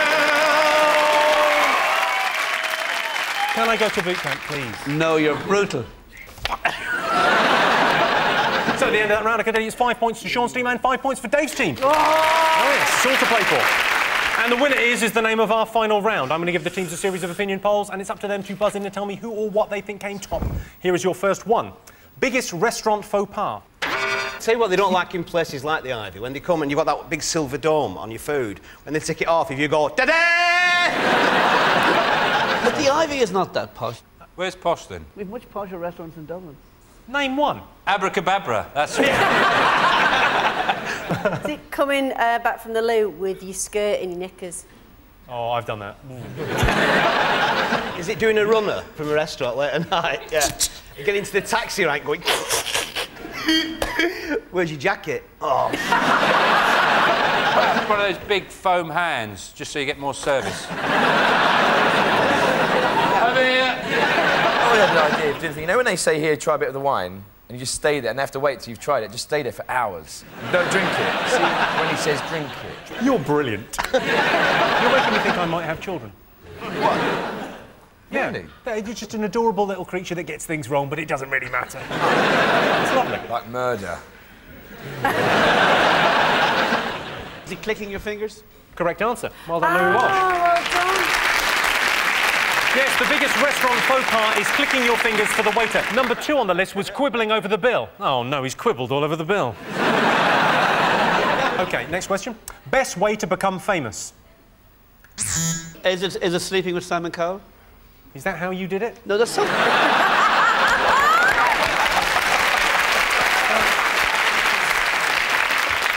Do you think he has his pyjamas up to about there? Run faster than anybody else in the world.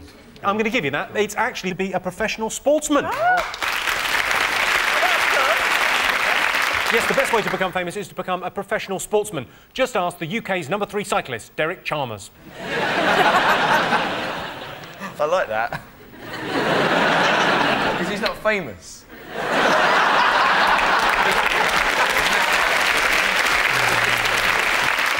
Most. Well, that sound tells me it's the end of the round and the end of the show, which means the final scores are Dave, Sally, and Reg have six points. Sean, Louis, and Rhys have six points. It's a dead heat. Everyone's a winner. Thanks to all our panelists, our wonderful studio audience, and to all of you for watching at home. That's it from us. Good night.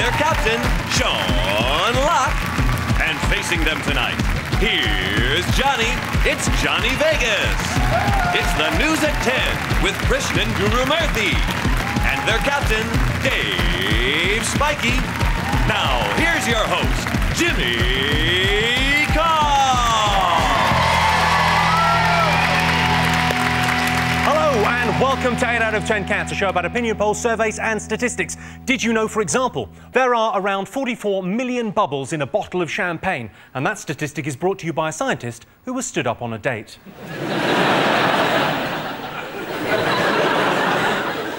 In 2005, it was made illegal to keep goldfish in goldfish bowls in Italy. So, that's goldfish sorted. Now, organised crime. And the average woman will tell 28,000 lies in her lifetime. I don't know what my girlfriend would make of that. She's out with an old school friend tonight. Apparently, she might have to stay over. Let's get started.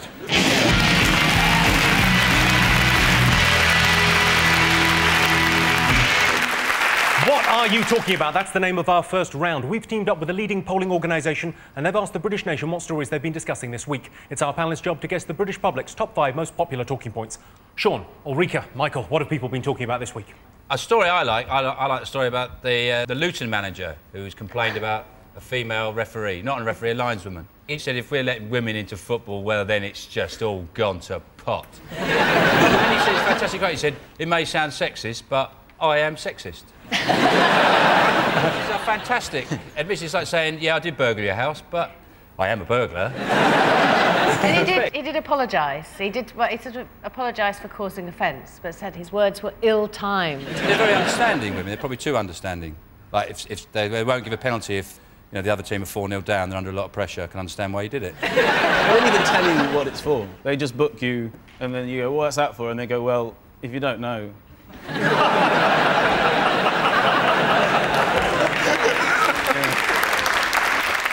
Some would be good referees. Dinner ladies. you wouldn't argue with a dinner lady, would you? You wouldn't argue with a woman in a tabard and a tash, would you? You wouldn't. You thought the ref wasn't facing you. You thought you were going to kick someone and they're applying makeup. Bang to race in the middle, right? Bang to... I saw that! I saw it! You've dated a couple of footballers. Were they sexist? Were they all right? Oh, they were lovely. a couple? I ca- well, have you? I don't know. I'm you just. said that couple like there was loads. A couple? Hundreds? Go on. Did you find any of those guys you dated to be sexist? Of course. Well, you don't have video refs, do you? Like they do in rugby league. No, we. You I have it in football. if you had a video ref and they go, let's go to the big screen, and a female ref went, oh, put X Factor in. I just want to see if he's gone out. The lady in question, uh, Amy Rayner, has been qualified for 14 years. So she's actually more qualified than he is? Yeah, he's been a manager, I think, for four years. Oh, good. Would you fancy refereeing? Uh, no. You said that like you could actually arrange it. Do you Yeah, fancy would you? refereeing?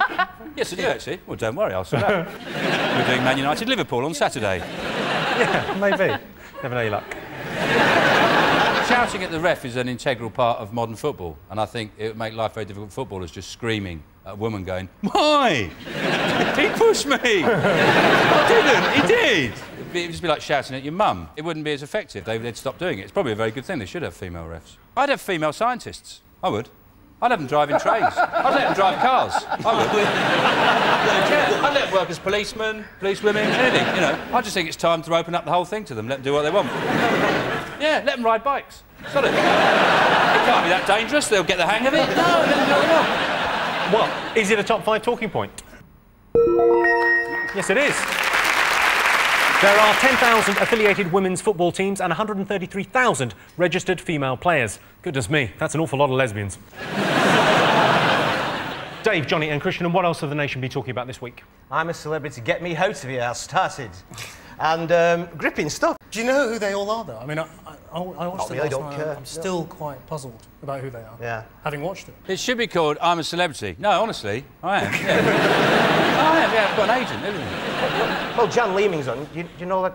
No, the thing I like about Jan Leeming is that she's obviously full of shit a lot of the time. She, li- you know, she lied about her task and made it out to be a lot worse than it really was.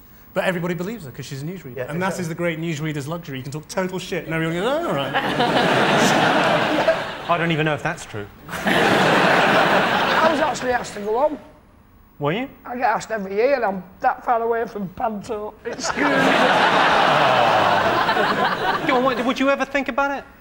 I've thought about it, but in really vicious dreams. Just turn up the first night, eat every bit of rice in the camp, stand there looking menacing, and then set your own camp up 10 yards away going, One of you will die tonight!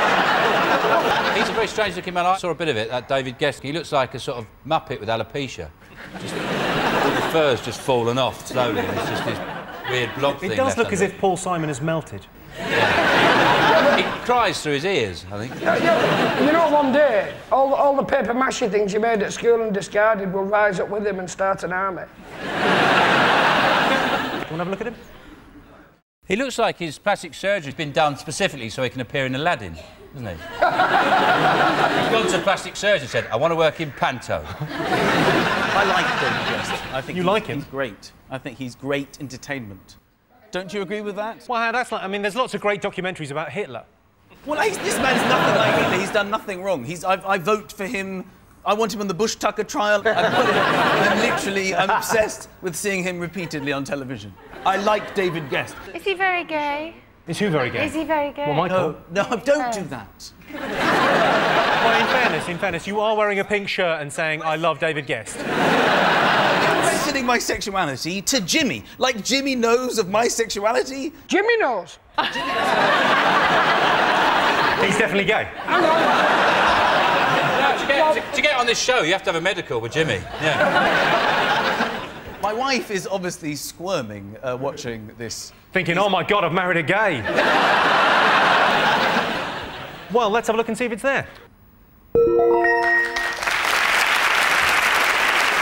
Yes, the latest series of I'm a Celebrity started this week. Fashion designer Scott Henshaw said he tried to turn the other men in the camp gay. What, Jason Donovan, David Gest, and Toby Anstis? Good luck with that. I saw you went straight, you cut to me after the gay joke.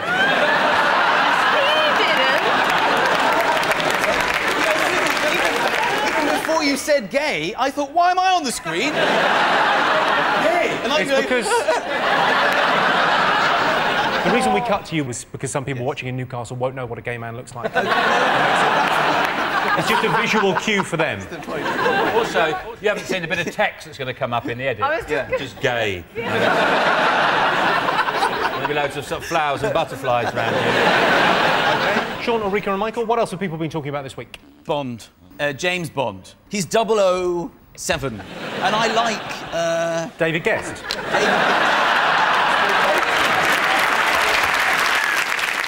I just like the, the use of the 007 because I have a lot of trouble with O and zero. You've missed the point. It's not zero. That's why it's O. That's why it's not just seven. It's 007. So when you see me go, uh-oh, seven. Are you a Daniel Craig convert? Yes, definitely. It's pathetic, isn't It's it? The way they all slagged him off beforehand and then I know, turned it's around. great. He's a real hunk. He emerges from the water. I can't, I can't, I can't keep up this facade any longer. He was in the National Youth Theatre around the same time as me, I think, and he. he, he Sorry, I thought we booked Krishnan Guru-Murthy. I know I was in the National Youth Theatre very briefly, but not as long as he was. As a But newsreader? He used to get a lot of big parts. Most of the Bonds couldn't act, could they? I mean, but he actually can. He's stolen a lot of your moves. There's a thing where he punches someone in the neck and it's pure Krishnan Guru If Murthy. things had been different, I've seen the film. I was there on the night. Oh, was it? How did you enjoy the premiere? Lovely, yeah. They're not that impressed, are they? You got four viewing. Mm. I got to go to the premiere as well. Well, who couldn't go? No, I did go, and I found myself turning to my brother, who I brought along, and going, oh, for fuck, "What are we waiting for?" And he went, "The Queen." Did she come round with the ice creams? I don't think she enjoyed it. Does she sit with everyone, front, middle, or back? I mean, where does she choose to sit? Front, middle, or back? No, she's yeah. What the Queen does, what the Queen does, she sits on a massive throne in front of the screen so no one can see it. She keeps, she's got a big How does it on, she keeps moving it around. Sure, It's she right was. pain in the arse. Nobody saw a thing. Okay, let's see if it's one of the top five stories. Yes, it is. The most talked about thing this week. Yes, the latest Bond movie was released this week. Casino Royale is the first Bond movie that doesn't rely on gadgets. Q must be spinning in his grave, powered by the Grave Spinatron 3000. uh, Dave Dean, what else have the nation been talking about this week? apparently the taxpayers had to compensate a load of ex-heroin addicts in prison um, because they were forced to come off heroin when they were sent to jail Too soon. too soon, and it was too painful. I think it's bizarre that, you know, you can have drugs in prison because it's not really prison if you're off your face, is it? the judge said to me, you got six months, but you won't feel a thing. I go, oh, fine, that's great. It costs £150 a day, though, for methadone to get someone off heroin. Yeah. Which I can't help feeling, give them heroin then. Where are they getting it from? Harrods? Right, have we not learned from society within lessons to build prisons like Charlie Wonka's chocolate factory? Like Charlie Wonka's well, if they chocolate had a factory. if they had a ribbon of chocolate, they wouldn't take cocaine, would they? I like the way you follow that around and eating. What's the finance costs? I just want to see the figures. Jesus, why am I not on a government panel? Is this a cry for help? I've thought it through. Let's see if prisoner compensation is one of the most talked about things this week. Yes, prisoners have got compensation because they were denied treatment for drug addiction. And also in the news this week, a prison chaplain admitted to smoking crack cocaine. He apparently had so much of the drug, he believed that a man put to death over 2,000 years ago was his best friend. right, one more to get. Fingers on buzzers. What else have the nation been talking about this week? Desert Orchid died. People got upset about that, didn't they? The nation's favourite horse. How nice can a horse be, really? It's like, how evil can a horse be? It's a pretty sort of thin area, that scope of behaviour that they live in, isn't it? It's trotting round a field or stopping. and it's sad, sad, sad, sad. Because everyone was very upset that he, you know, he died. But in fairness, at any point in his career, if he'd so much as sprained an ankle, they would have shot him in the head. There's some amazing quotes, though, wasn't it? So, uh, he was loved because he was so versatile. It's a bloody horse. He couldn't make a brewer do a bit of pottery, surely to God.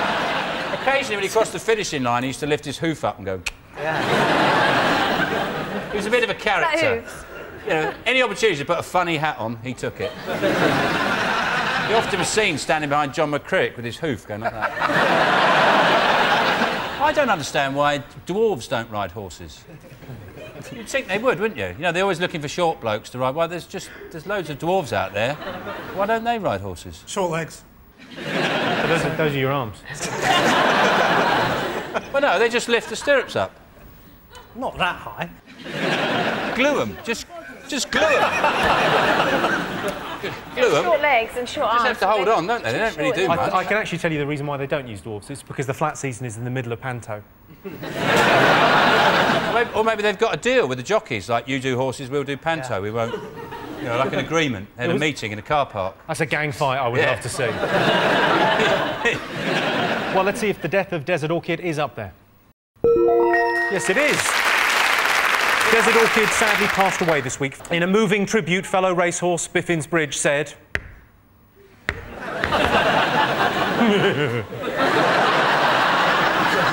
At the end of that round, it's three points to Sean's team and two points to Dave's team. The next round is called the pole with a hole. Here's your first question. 12% of lottery winners have what? I know what I'd do if I won the lottery. Right, first thing I'd do is liquidise an elephant. That's good. Just get a big liquidizer, put it in. You'd hear the tusks. And then, and then I'd open uh, hairdressers. You know, just so it keep ticking over. But also the added thing is, if people come in, you completely mess their hair up, and you go, don't have to pay. I'm not really a hairdresser. Just... it's like the lottery, actually. All right, Kim, calm down. I heard that you've got as much chance of winning the lottery this week because so many people bought tickets as guessing somebody's phone number. How awful would that be if you actually guessed somebody's number and then you've won nothing? It's related to travel. I've gone abroad. Exactly the opposite of that. Have disappeared completely. Just completely vaporised as soon as they won. They were so ecstatic, all their cells inverted and they became antimatter. Is it not going away? Yeah, I'll give you that. The answer is, in fact, they still haven't been abroad. 12% of lottery winners have never been abroad. Of course, a lot of people only win a tenner. Where's that going to get you? Prague? Yeah. 34% of people in Blackpool would like what? Would like a supermarket. Because there's only so many recipes that take in rock and sugar dummies. and a lot of them are developing varicose veins that actually says Blackpool down the side.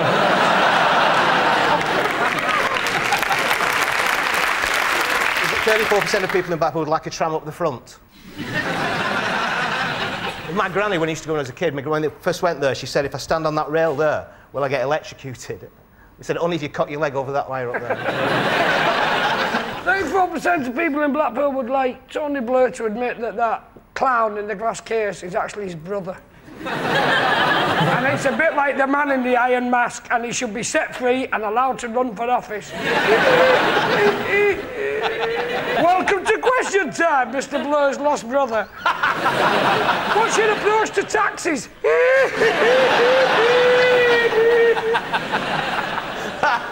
Would they think they'd like a piazza? Don't know, just give it a bit of class. Casino? That's exactly the right answer. Oh. God, thank God for me. Yes, 34% of people in Blackpool would like a super casino. I'll tell you what, if you want to gamble in Blackpool, why don't you just get a hot dog from one of the vans? At the end of that round, I can tell you Sean, Ulrika, and Michael have six points, and Dave, Johnny, and Krishnan have two points. Welcome back to 8 out of 10 cats. The next round is Believe It or Not. In this round, I give the panellists a simple statement. All they have to do is decide whether they think it's true or false. Sean, Ulrika, and Michael, let's have a look at a clip to illustrate your statistic. This shipment is supposed to be for 12 cartons. Can you get the rest for me? Oh, okay, I'll be right back.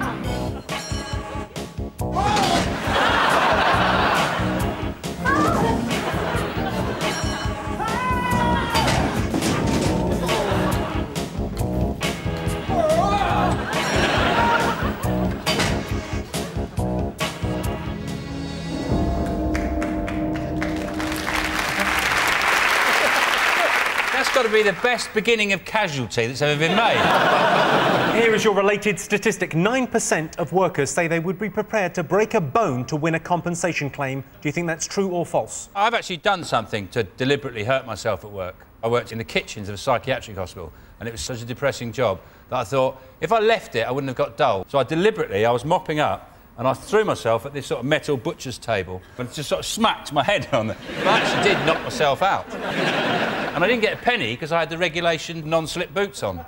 So they said, well, there's no way you could have slipped. You must have, it must be your fault. And they sacked me because they said, you're an idiot, throw it yourself. I've thrown myself off a horse once. You threw yourself off a horse? Yeah. Well, onto a footballer. I would think it's very. In most jobs, though, it's quite hard to break break something. If you can't break Yeah. your leg photocopying, can you? Unless you have like Breaking your bone, repetitive, a repetitive incident, like you keep dropping a stapler on your foot, like about hundred times a day, like just doof, ow, doof, oh, keep knocking that, and then they just say, "Well, just move the stapler." 9% of workers say they would be prepared to break a bone to win compensation. True or false? I'd say it's false. I can tell you the answer is false. Well done. Yes, only 2% of workers say they would be prepared to break a bone to get compensation. My gran broke both her hips at work. She made a fortune suing that porn company. Dave, Johnny, and Krishnan, let's have a look at a clip to illustrate your statistic. Do you hear something? Yeah, wait, there's one over there. Okay. Let me get him. Go ahead. Good shot, Justin. You're gonna put some meat in the freezer this year, I think. Beautiful. You've heard of tuna melts or patty melts. Why not squirrel melts? Well, this is Justin's squirrel. He's kind of cute. I'm gonna put his little tender button there. And some celery. I like to use the leaves. You want to poach this for about an hour on a low simmer. And I've got some already done here. This makes a nice weekend snack, maybe while watching a football game, or you can take it to a tailgate party. I'm going to add a, just a slice of cheese. Now you want to pop these into an oven that I've preheated to 350 degrees for about 8 to 10 minutes. Perfecto! Squirrel melts. You must try them. I just have to say, no animals were hurt in the making of that film, unless you count squirrels. Here's your related statistic 25% of Brits say they would definitely try squirrel meat if Jamie Oliver demonstrated a recipe on TV. True or false? Only if it was appropriately labelled may contain nuts. I don't think it's the recipe that's the issue, really. It's not like you go, oh, well, I haven't tried it with coriander. I always thought squirrels are a bit like Tyrannosaurus rex, aren't they? Because they they got those. You see them, they're quite terrifying squirrels. They come towards you. There was a campaign in Britain about 10 years ago to encourage people to eat squirrel meat. I did a piece about it on the news. It was total rubbish, but because I did it on the news, everyone believed it. And um, Do you ever do that? Is there ever a slow news day and you just go, make it up? Doesn't matter. Squirrel meat. Yeah, I'll do. Is that a story? Yeah, why not? 25% of Brits say they would definitely try squirrel meat if Jamie Oliver demonstrated a recipe on TV. True or false? I mean, that's basically, would you do anything Jamie Oliver told you to do? Most people seem to, don't they? Well, he's an inspiration. He's brilliant at humiliating fat kids. Some of them fat kids go on to be fat adults. You ever see people busking with squirrels, do you? Like they do with cobras in India. You could do some good busking with a squirrel, couldn't you? If you, you know, if you had like an elaborate system of ladders and pulleys and swings, and you just got him climbing around and he would put some music, and then you could make a fortune. You wouldn't need to kill them. You could actually have them working for you. Probably become a millionaire. Start more travelling, hundreds of blokes. Franchise it. A bit like the cats, the squirrels. Uh, 25% of Brits say they would definitely try squirrel meat if Jamie Oliver demonstrated a recipe on TV. True or false, Dave? It's genuine. You think it's true? Do I ever ask you to trust me? True. True. True. Well, I can tell you the answer is true. Yes, 25% of Brits say they would try squirrel meat if Jamie Oliver demonstrated a recipe on TV. I'll tell you what, I'd try Jamie Oliver meat if a squirrel told me to.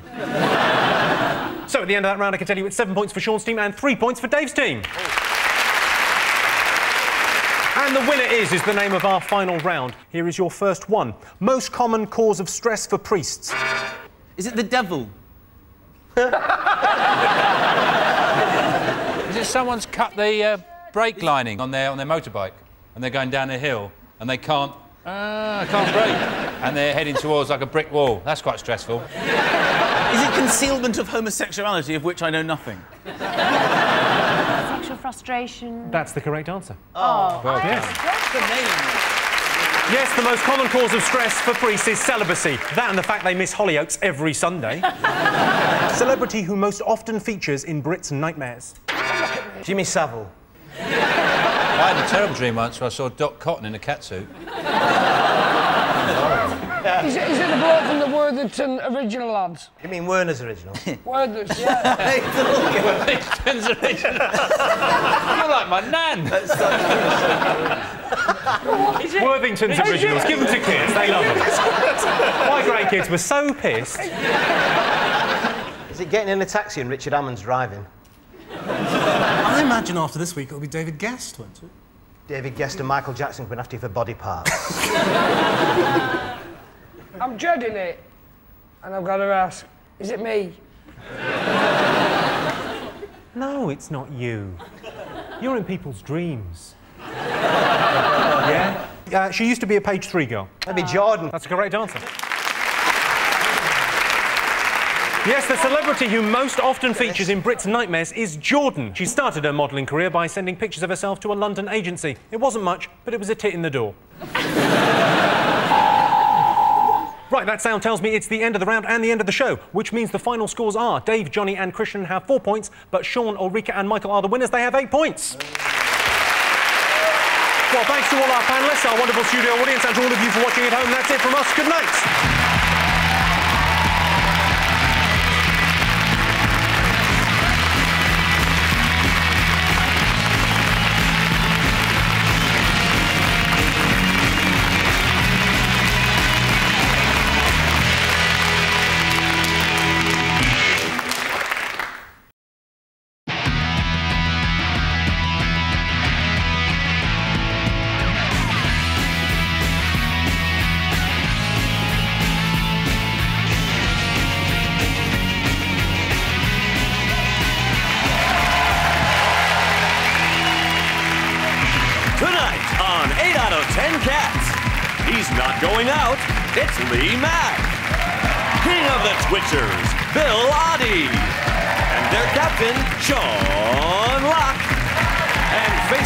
Tonight,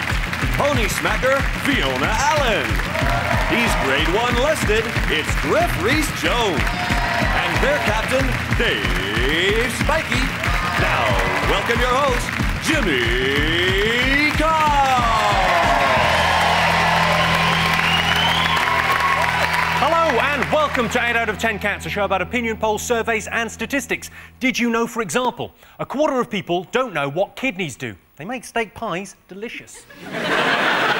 One in three pet owners has made an unplanned visit to the vet in the past two years. I don't know, it's just a whim, put him down. and one in ten housewives plan ahead when it comes to evening meals. They plan to eat oysters under the stars with a Brazilian tango instructor.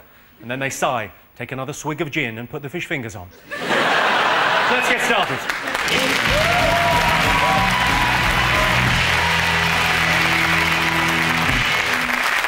What are you talking about? That's the name of our first round. We've teamed up with a leading polling organisation and they've asked the British nation what stories they've been discussing this week. It's our panelist job to guess the British public's top five most popular talking points. Dave, Fiona, Griff, what have the nation been talking about this week? Well, like it or loathe it, I'm a celebrity, get me out of here, rumbles on, with uh, David Gest as the unlikely star. And he is a bit odd, but he, he- he's good value, I think. Do you not? Yeah. And Liza Minnelli said this week, they asked her opinion on his, uh, his venture into the jungle, and she said, I hope he gets fucked by a kangaroo. not only is that a great statement, but it would make a great Bush Tucker trial. It would, wouldn't it? You're getting fucked by a kangaroo, you've got to get the stars out of its pocket. Like that. That is a great One trial. thing I never understand about this is what's a kangaroo doing in the jungle? Exactly. I've never understood. I thought a kangaroo lived in the desert. And They every do time indeed. when they're in the bush, they're always eating kangaroo testicles and things like this. Hmm. This is some poor kangaroo's gone on a holiday, and it's happened to just wander into this thing. What about Jan Leeming, who's, who's there saying, I'm not a girl's girl? Well, clearly by her five failed marriages, she's not a boy's girl either, is she? When you first heard that, you went, five, five divorces, that's a lot. Yeah. And then you see her for about half an hour and go, no, no, fair enough, yeah. Yeah. We've all made mistakes, get out of that. Yeah, take the house, fuck off. Any, any thoughts on I'm a Celebrity over here? Have you been watching it, Sean? You love that kind of thing, don't you? I watch it from behind the sofa, groaning. I thought it reached its lowest ebb when they tried to get that earwig out of Jason Donovan's bum. Dr. Bob got involved, and I, I'm fascinated by Dr. Bob because a few series ago he was called Dr. Bob, and then last series was called Medic Bob. and the last thing you want when someone's got the fingers up your bum is to go, uh, Are you Dr. Bob? Well, Medic Bob, actually. actually, it's just Bob. I don't even work on the show. Go on, Bill. There's no need to do that, Lee. Uh, all right. I don't think that adds a lot. Uh, why don't you do this? Am I the only one in thinking that I don't find it terribly edifying to be in the jungle eating wild animals and insects? Hey, you don't mind it when the woodpeckers are doing it? Yeah. They love a bit of grub, the woodpecker. They're at it like woodpeckers.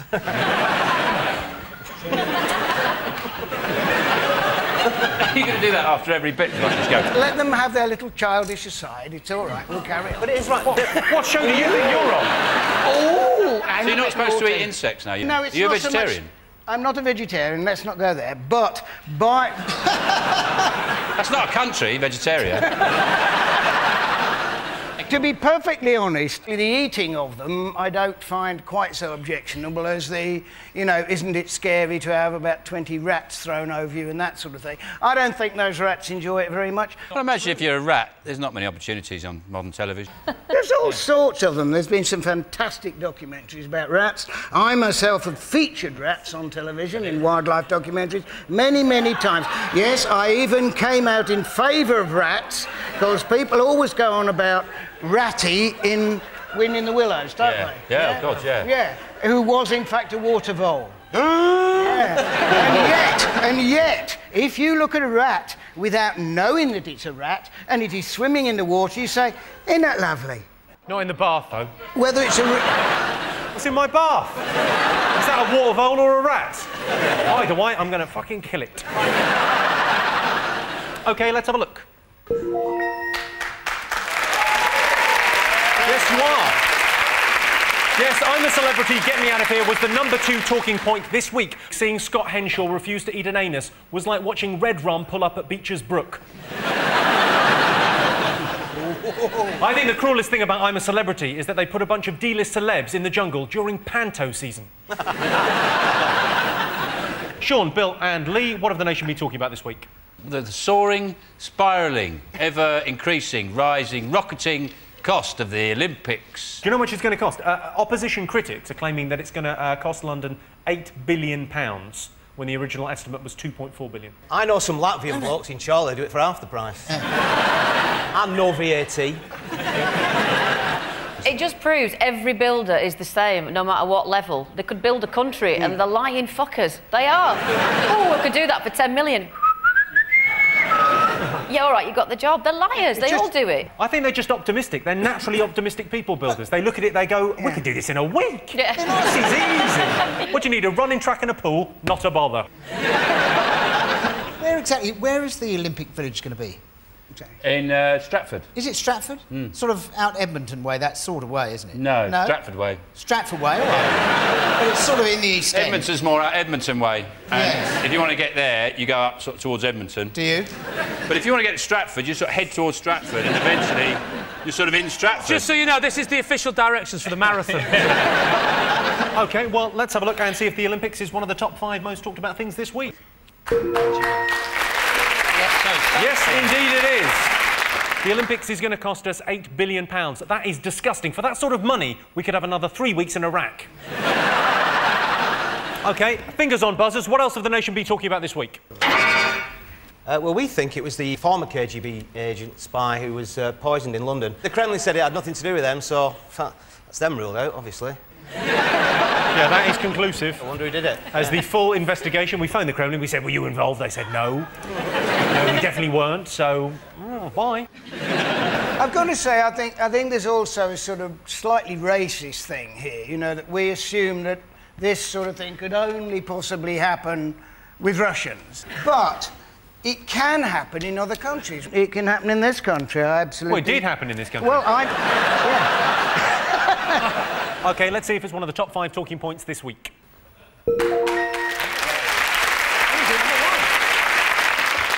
Yes, this is the sad story that a former Russian spy was poisoned and died in London this week. The former KGB spy said, I ate in a restaurant last night in London and something disagreed with me. The Russian government. what else have the nation been talking about? Tom Cruise getting married? You're broken-hearted. Too short. I was talking to Griff. They got married in Rome, which is a bit odd because they're a Scientology faith. Yeah. Get married in Rome, in Italy. Why is that odd? Well, it- it's, it's like Catholics getting married at a Star Trek convention. Isn't it really? Interestingly, the, the um, critics of the, of the marriage have said that Scientology is a made-up religion. Well, unlike every other religion. Yeah, yeah. Christianity. Far from that. Far from that, isn't it? It's like, uh, no, no, he could walk on water, and he could, yeah, he could raise the dead and just eat that. That's his body, and that's his blood. That's perfectly normal, obviously. There's a line Yeah, in it is normal compared to the Scientologists who believe that we're all exiled aliens called Thetans. I'm a Scientologist. Are you I a like Scientologist? Yeah, I am. I'm not surprised. I'm a fuck. Look at your face.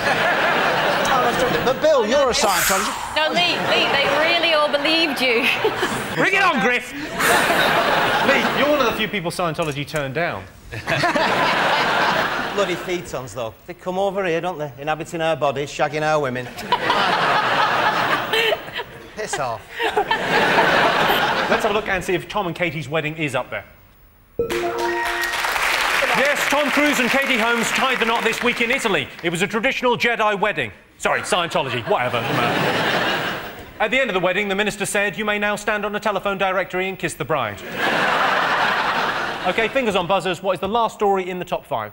Okay, um, we, think it possibly could be the government has had this wheeze to have super nannies for teaching parenting skills to kids with Asperger's and stuff like that. Um, and they seem to be like uh, influenced by TV programmes, the government at the moment. Yeah, they do love it, don't they? Jamie's school dinners. I know Super Nanny. Yeah, how does Tony Blair get so much time to watch so much early evening TV? I Don't know how he does it. The thing is, a lot of our wartime leaders have hmm. been bothered about winning the war. He's taking a very sort of laissez-faire attitude. Also- watching a lot more telly and going, ah, Yeah. "Oh, fuck it, we'll never win this. I think he should watch the news. Probably doesn't like it. It comes out of it quite badly, doesn't he? Also, how can he get his, his maths so wrong? There must be how many thousands and thousands and thousands of kids have got ASBOs, and he, he's only sending 70. Yeah, but they're Which- super nannies. okay. These, these ladies can fly. the best way to deal with this is get all those kids with behavioural problems, put them on a plane and fly them to a country where you're allowed to give them a good clout. Saudi Arabia, something like that. That's more than a good clout, Sean. Right, let's have a look and see if it's up there. Oh, yes, Tony Blair has announced plans to hire super nannies to help parents. The government's new transport policy has been revealed. Blair plans to pimp our rides. so at the end of that round, it's one point to Sean's team and four points to Dave's team. Oh, the next round is called the poll with a hole. Sean's team to go first. While on a job, one in four builders, what? Well, I'd just like to say, at 4 1 down, we've never come back from a score like that, so we actually just concede. OK, well, that's, that's the end of the show, ladies and gentlemen. We've never had this had before. It'd just be the test card for the next 15 minutes. you do look a bit like that girl from the test card, Jimmy.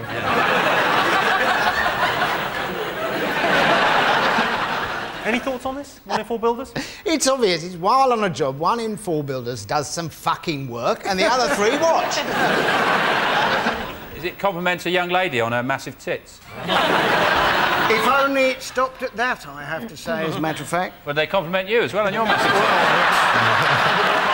all right, Bill? Hey! No, it's Bill. That's what I said. B-I-W. It's Bill. So, and you can tell how they're spelling it just from them shouting. Oh, yeah, absolutely. Oh, I've never yet been called by my name properly by Bill. It's always Bill. I bet it's not always Bill.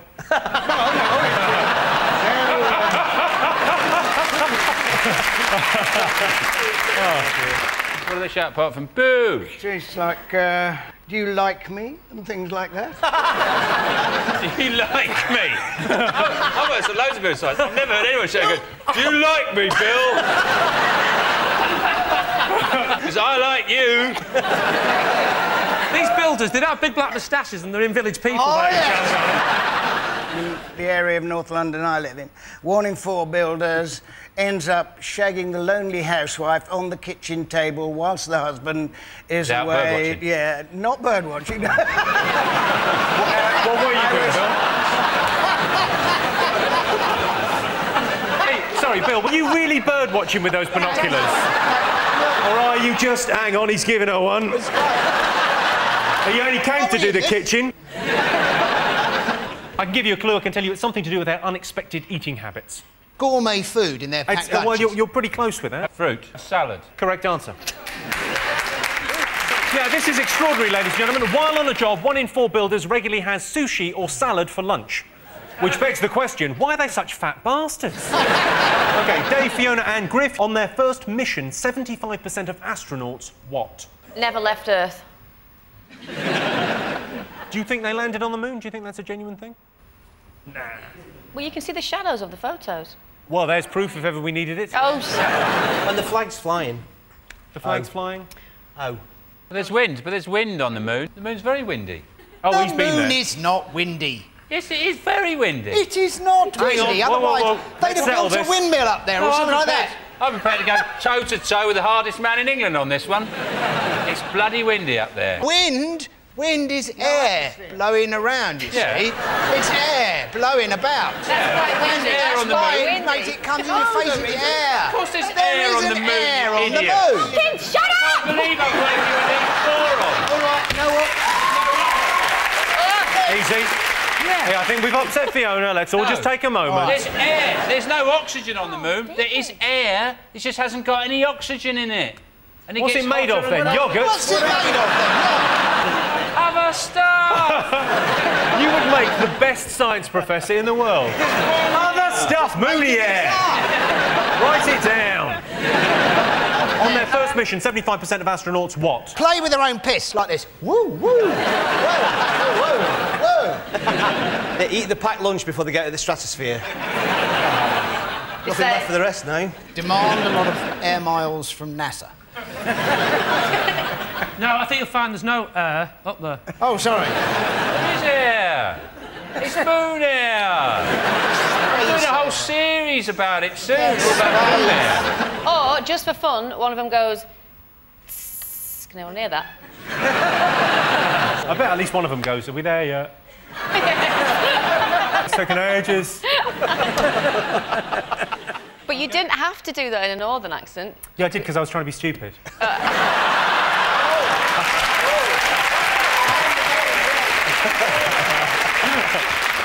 it's something to do with their stomachs. Any thoughts? I wish they hadn't had a curry last night. Throw up.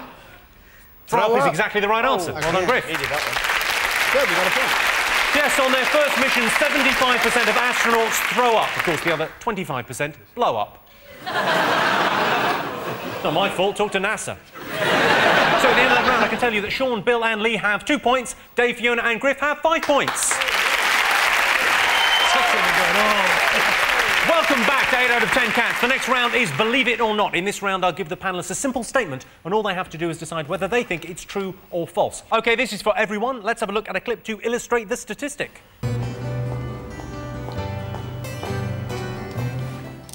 Suda, I don't seem to have an email from you again. Really?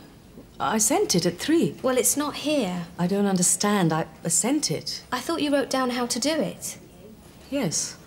Well, perhaps you wrote it wrong with your dyslexia and.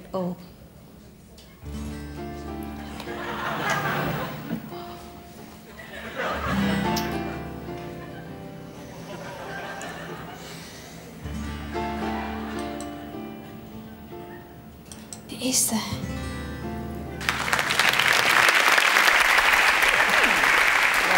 That was a clip from a training video for office managers. If you've got dyslexia, there is a number you can call, but pointless giving it to you. You won't be able to write it down, will you?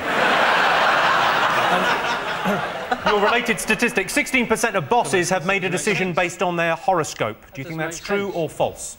What are you? I'm a Virgo. Ah, What are you then, Fiona? I'm a Piscean. A Piscean? Least likely to kill somebody in your family if you're a Piscean. Least likely to kill someone. You are clutching at straws. Here's some advice don't put that in a personal ad. It's all bollocks. Apart from the magpies, obviously. Got to see two magpies, haven't you? That's typical Or else you're in the shit. Well, hang on, you must see two magpies every day, surely. Uh, several. Would you call yourself lucky? Absolutely. Every time I go past a building site, somebody goes. Come on, then you get lucky. Bill! Bill, come here! I want to make love to you, Bill! I don't think it's ever happened before, but I imagine this weekend it's going to be happening a lot. Builders, if you're watching, please, for us. Can you make bird noises? I don't Some think- of them, yeah. I can make the one of one of a bird hitting the pavement. it's the only one I do, really. I would like a chaffinch. Yeah. Well, no, chaffinch, all right. It's like a fast bowler running up, and so he goes, want to little bit bowl. That's countdown. No, he comes up. Boom, boom, boom, boom, boom, boom. Well, that, that's what the, the bird makes that noise. Did Bill just stand up then? Amazing. That's extraordinary. A man actually gets out of his seat and is smaller than when he was sitting down. Bill Oddie, I've had it up to here. Have you really had Bill Oddie up to there? You bloody haven't. Yeah, I used to work on a building site, Lee. But you don't know what this one is. though. this is for true. This is true. It goes. That's not an impression of a bird. It is. That's a midlife crisis, is what that is, Bill.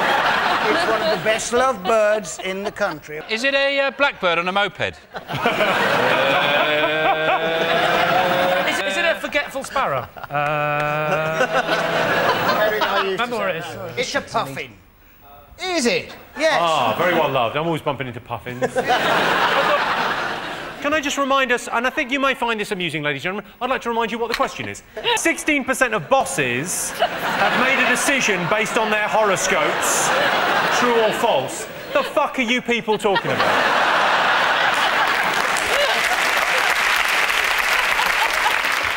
Sixteen percent of bosses have made a decision based on their horoscopes, true or false. Well, it's, we think it's true. You think it's true? Oh, aye. What do you think?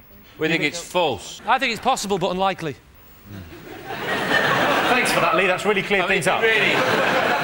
I can tell you that the answer is true. So at the end of that round, I can tell you it's two points for Sean's team and six points for Dave's team. And the winner is, is the name of our final round. I'm going to give the teams a series of opinion polls. It's up to them to buzz in and tell me who or what they think came top. Here is your first one. Britain's favourite noise. Is it that honking noise that women's breasts make when you go that?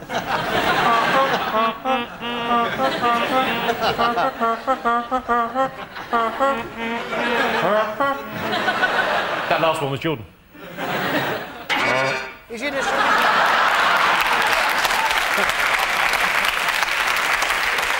That's the biggest hit I've ever seen. okay, it's not that. It might be. It isn't. That's Britain's favourite noise. How about... What was that? That's an albatross shitting on Bill Oddie.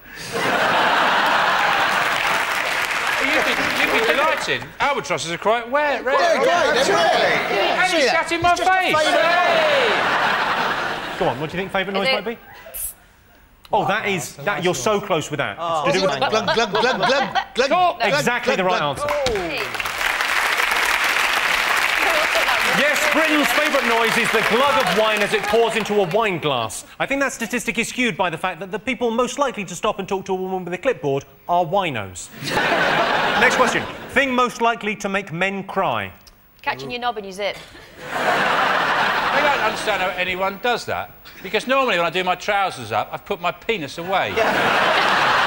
I've had the presence of mind to finish my, my urination and put the penis away and then do my trousers up. I don't shake it, then go, ah! Oh, I forgot to put my penis away. the thing is, though, so it would be a miracle if I was in a toilet in the first place, if I was that bleeding stupid. I'd probably be standing in the There's food hall at Harrods pissing on some cheese. Thing most likely to make men cry. Griff? It's a little pony with a very long mane getting separated from its mothers and getting lost in the enchanted forest. and then, after a lot of adventures, finally finding its way back to its mother and the rest of the herd. Speaking for the older generation, I would have to say that it's accepting that your daughter's friends simply think of you as her dad. So you're crying because you can't fuck your daughter's friends?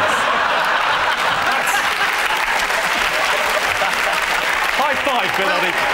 Come on. That is perhaps the most honest answer we've ever had on this show. Great image, isn't it? Just so we got up to Bill Oddie, you go, oh, you must be Joanne's dad.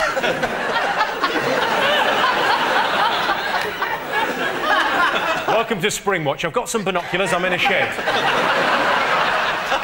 My daughter's having a sleepover. Should be a hell of a show.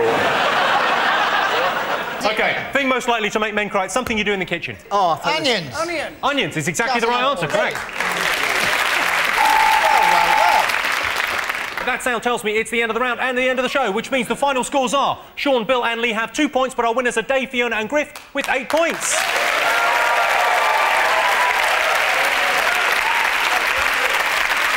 Thanks to all our wonderful studio audience, and to all of you for watching at home. That's it from us. Good night.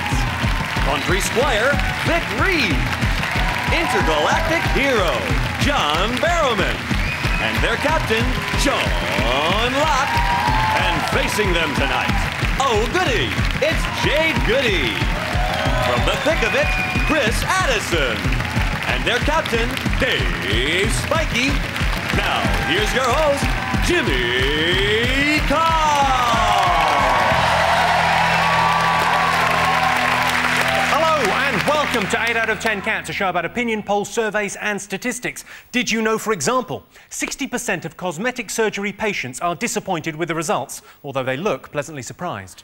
a quarter of the over 50s are failing to save. It's Control S, you old buffers. While abroad, two thirds of Brits are more sexually adventurous. So, look out, Iraq. And one in four Brits claims that their post has been lost or stolen. Well, I can reassure you, it was definitely stolen. Let's get started.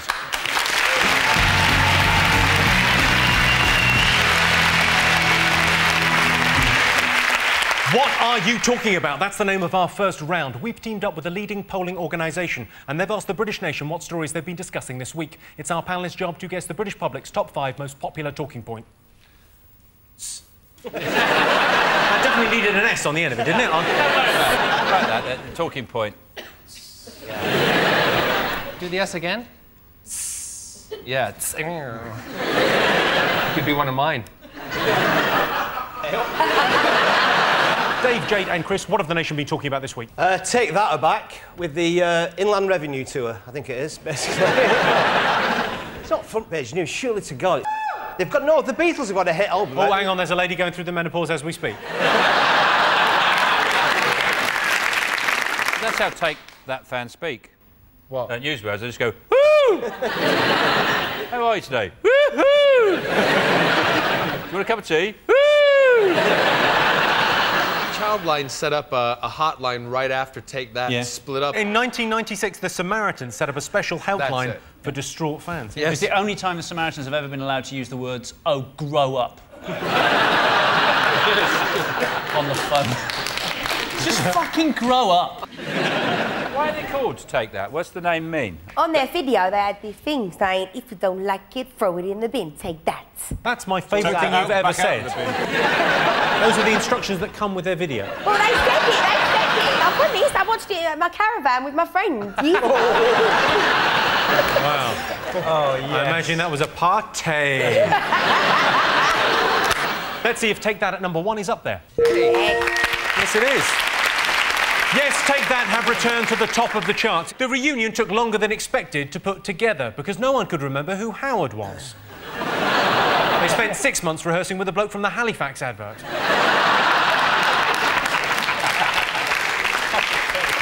Vic, Sean, and John, what have the nation been talking about this week? I think they're talking about Michael Grade going from the uh, BBC over to ITV. You know, they're saying he got something like 8 million, and he's saying he didn't do it for the money. No. Rubbish. He's genuinely saying that, though. He's going to come Yeah. out in the press and gone, it's not about the money. You I don't do a job for the money.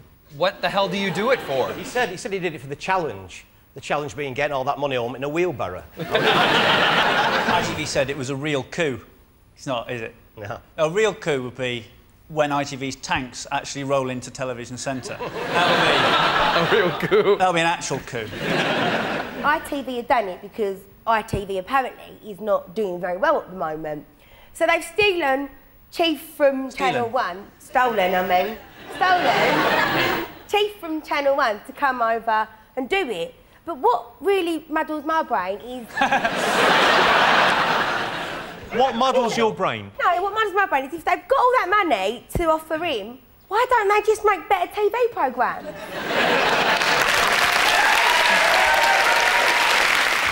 I hope he finally ends Coronation Street because this first series is really dragging on. You know what he's doing to Coronation Street? What? He's changing. He's going to be CSI Weatherfield. Let's have a look and see if it's up there. Yes, indeed it is. Yes, Michael Grade has announced he's moving to ITV. ITV needs him. They're in trouble. I tried to tape the Mint the other night, and my Sky Plus box started crying. Dave, Chris, Jade, what else have the nation been talking about this week? Chris. Hiya. Hiya. What have you been talking about? Oh, well. Uh, I've been talking about the uh, this royal editor of the News of the World, Dave. Oh, yeah, they've been listening in to people's phone calls. Yes, I was listening to stuff. But they've actually been tapping into the voicemail. That's how they do it. They hack into the voicemail and they put some sort, sort of code in. If you were phoning up a, a royal like Prince Charles, you wouldn't leave like an important message on voice. If he doesn't answer, you're not going to leave. It's not going to happen, is it? You're not going to Hey. pick up any real news. It's not going to be like the Queen phoning Prince Charles and going, "Hello, Charles, Mum here. I think I'll abdicate. Give us a ring later on." You know, it, it's not going to happen, is it? No, you text that, wouldn't you? Yeah. The Queen doesn't use a phone. She does? She doesn't use. No, she hasn't. She has a, a big chain of butlers, and they just whisper messages along. Go on for miles. Let's see if it's up there.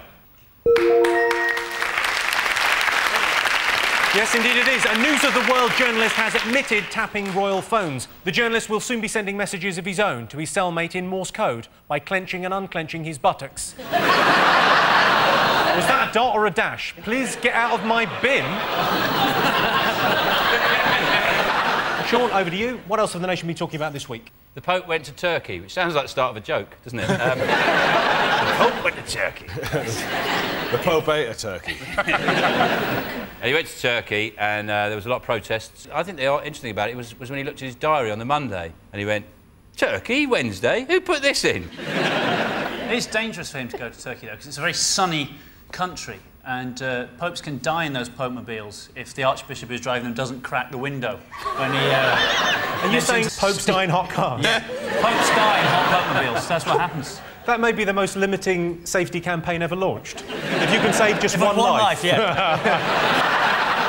well, I can tell you that the Pope isn't one of the most talked about things this week, but he did make an official visit to Turkey. The Pope, ever the diplomat, was very happy with the warm welcome he received. He said, at least I think it was a warm welcome from what I could understand of their jibber jabber language. Figures or buzzers, what else have people been talking about this week? Uh, we think it's the fallout uh, from this KGB poisoning. That still rumbles on. There seems to be three suspects. It's either Putin and the Kremlin, it's either enemies of Putin and the Kremlin who are trying to discredit him, or it's a group of ex-KGB spies led by a guy called Igor the Poisoner. The police said the, the death was suspicious. yeah. I think they should upgrade it to fucking suspicious. Is he having a traditional Russian burial where they put them in a, a little coffin inside a bigger coffin, inside a much bigger coffin? I think you're fine, Dave. A traditional Russian burial, you have to dig your own grave. Ah, But don't blame me, blame Stalin. No, on a serious note, we indicted her because it was on the planes. Yeah. It was in a bag. Yeah. Unle- Unless they put it in TK Maxx, you'll be fine. They found it in a restaurant. They found it in two hotels. On a humpback whale. Humpback whale's got a 10 foot dick, hasn't it? Sounds like the start of a song. Yeah, I was going to say. Oh, the humpback whale's got a 10 foot cock. Doo da, doo da. The humpback whale's got a 10 foot cock and it's so hard as a rock. That's I think I think I've won money on you singing in the first 10 minutes. You have gone quite a long way to kill him. This is it's a lot of effort, isn't it? Uh, to kill somebody by radiation. Why don't we just you shoot him? No. No, we're going to kill him by radiation. I think maybe the KGB are having some kind of union issues with their snipers. But the KGB, the interesting thing about this is the KGB aren't called the KGB anymore. They're called the FSB, which worries me because I think I bought a sofa from them. I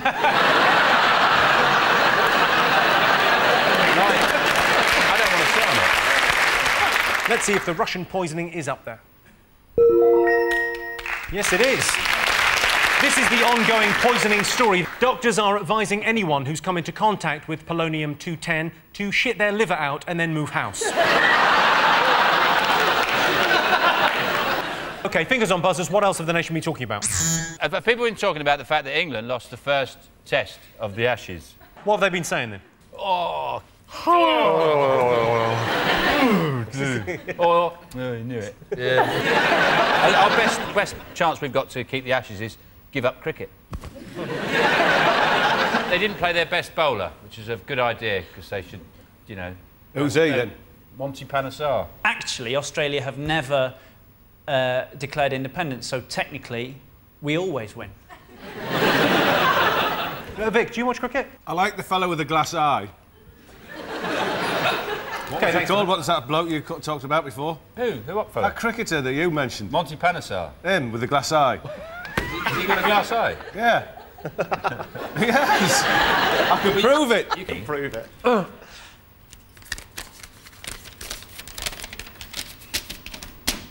What's that say there? Look.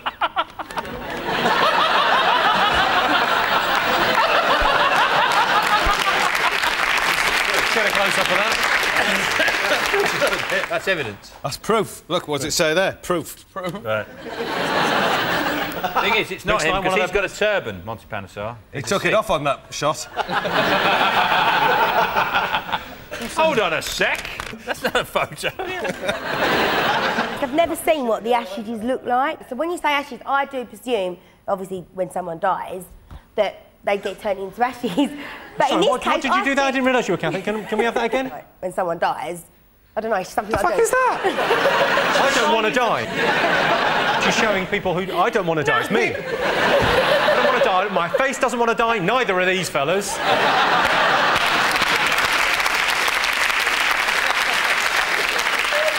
Let's have a look and see if the Ashes is one of the most talked about things this week. Yes, it is. Yes, the Ashes continue. I guess if England wants to enjoy a sporting victory, we're just going to have to wait until Wimbledon. Come on, Tim.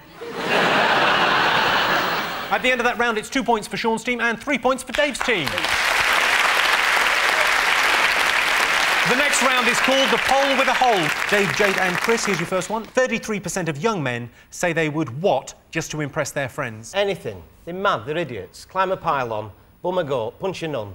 Anything. 33% of young men say they would spunk on a cracker and eat it just to impress their friends. Oh! On a cracker. Oh. No, but that's a, that's a big thing in the States with college. Chocolate in college. digestive, of course. Maybe a hot Fig roll. That's isn't it? I don't, I don't like fig rolls. I'm allergic. I'm not allergic to them, but I won't eat them. Why? Do you not when I agree was a with them? little kid, I went to a party and there was a game of pin the tail on. This is true. Pin the tail on the donkey, and I cheated. Right, I went like that, and I pinned it straight on first go. Obviously, I thought got away with it, mm. and the prize was some fig rolls. and not only did I cheat, I was greedy as well, and I ran off and I ate all the fig rolls in one go. Then I was sick. and strangely, the thing I didn't learn from that was don't cheat. I learned don't like fig rolls. 33% of young men say they would what just to impress their friends? Would have a willy implant. A willy implant. You make it longer. I watched a programme on it the other day. willy extension. Ah, I see. I'm thinking of having a conservatory put on the end of mine. For the summer months. It's going to be the devil to get the planning permission, isn't it? With something that size, Chris, it is difficult, yes. uh, Vic, what do you think young men do to impress their friends? Well, it's obvious. They'd uh, spend a week in a coal bunker.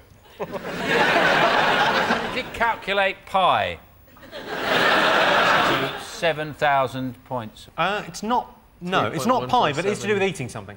No, when I said calculate pi, I meant the mathematical equation, not pi. Yeah, but words can mean two things at the same time. Eat a really hot curry. Really- Exactly the right Yay! Yes. I'm excited then. Yes, 33% of young men say they would eat an unbearably hot curry just to impress their friends. Yes, I'll have a number 68, uh, with a number 33, followed by an extremely painful number 2. Sean, Vic and John, 99% of the over 50s say that what has got more difficult over the last 10 years? Being under 40. Firstly. but there's still 1% that it's not a problem for. but who is that person? Doctor Who? The time travellers, yeah. exactly. I can't live forever. I'm just not able to die. It's the doctor who can only live forever. This see, this is really scary because I talk about it like it's actually real. How frightening is that? Quite frightening close up. Yeah. Well, over 50s, uh, I imagine uh, Countdown. It's got a lot tougher over the last 10 years. Your brain's going smaller and smaller. Because it gets, that's how you die, isn't it? Your brain, as you get older, it gets smaller and smaller and smaller, and then it pops out your ear, and then you die. I'm, speaking as an over 50 here. Remembering stuff. As, as you get older, you just forget all sorts of shit. When it's like if you're looking for scissors, you have to incorporate a little mime when you get to a certain age. You're going like, scissors, scissors, scissors. As if that's going to help, as if that's some sort of scissor diviner that's going to go, scissors, there they are, there they are. Sudoku? No, that only came along a couple of years ago. I remember I went on holiday, came back, there was two new phenomenons. Happy slapping in Sudoku. Which one did you go for? I used to happy slap people who are doing Sudoku. OK, 99% of the over 50s say that what has got more difficult over the last 10 years? Come on, Vic, we need these points. What, playing the bazooki? I don't know. Walking up the stairs. Oh, sorry. It's all right. Sorry, I just ain't coming to my head. Best to get it out quickly. You don't want any stuff clogging it up in there. I'll tell you what. a I'll give you a clue. It's to do with um, it's to do with being all fingers and thumbs. Opening a milk carton. I'll give you that. Opening packaging. is Opening the answer, packaging. Yes, 99% of the over 50s say that opening packaging has got more difficult in the last 10 years. The survey was originally about Scottish devolution, but they wittered on about packaging anyway. so at the end of that round, Sean, Vic, and John have three points. Dave, Jade, and Chris have four points. Welcome back to 8 out of 10 cats. The next round is Believe It or Not. Everyone, let's have a look at a clip to illustrate your statistic. Hey, praise the Lord, Jesus is Lord. Get the writing on the back.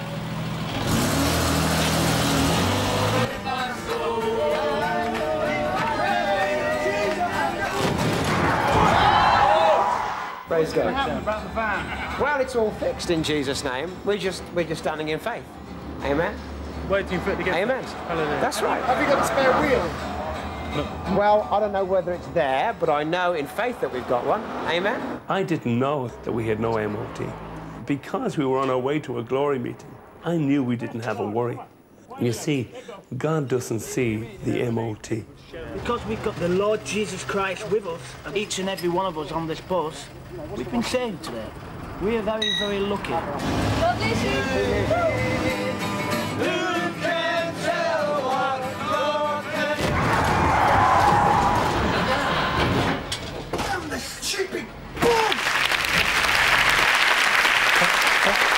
God doesn't see the MOT. He doesn't like it if you're untaxed, though. It was your related statistic. 62% of Brits say they would believe in God if they saw a man walk on water. Is that true or false? It Could be ice. You could be walking on ice. Yeah. Technically, on ice, there's a thin layer of water on top that keeps the ice smooth. So you are walking on water. So there is a God. Many Brits are quite cynical. I think 62% of Brits wouldn't believe in God if they saw God walking on water. David Copperfield walked through the Great Wall of China once. I saw it. So he could do it, couldn't he? He made the Taj Mahal disappear. Indian tourist board were livid. Jay, do you believe in God? I don't just want to sit here and say, no, I don't believe in God and I get in grave and that's the end of me. I'd like to think that I could come back as a bee or something. Do you know most people now have in their wills that they want to be buried with their mobile phone on a full charge? Just in case they're not dead and they wake up, they can call somebody Oh. to come and oh. get them out. They're not going to get a signal. If I was buried with my phone and I was like to wake up, I'd start phoning people up going, oh, it's me. I never liked you. There was a rapper in the States buried in his Cadillac because they couldn't find a coffin that was big enough for him. He was so big, and they buried him in the They- Cadillac. Get you out your ass with a crane if you're overweight in America. yeah. Hmm. That's a bit harsh, that. I think the best way to get someone out, someone really big, out of a house is with those mincing machines.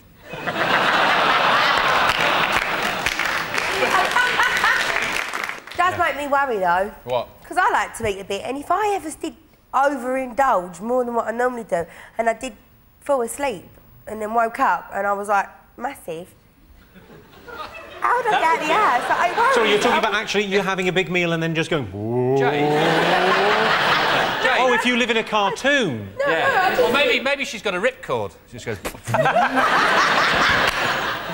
Okay, well, back, back to God. Um, 62% of Brits say they would believe in God if they saw a man walk on water. Is that true or false? We're so used to illusionists, brilliant illusionists like Mr. Blaine or Paul Daniels, even. You know, the way he passed himself off as a magician all those years. I think they'd say no, it's false. And what about over here? What do you think? We're going to say true. I'm captain's decision, yeah, 62% true. True. Well, I can tell you the answer is false. Oh, yes. So Sean's got the point there. It's obviously false. Yes, just 20% of Brits say they would believe in God if they saw a man walk on water. Interestingly, 37% of people would believe in God if they saw a man come back from the dead. Have they not seen Deal or No Deal? It's happened.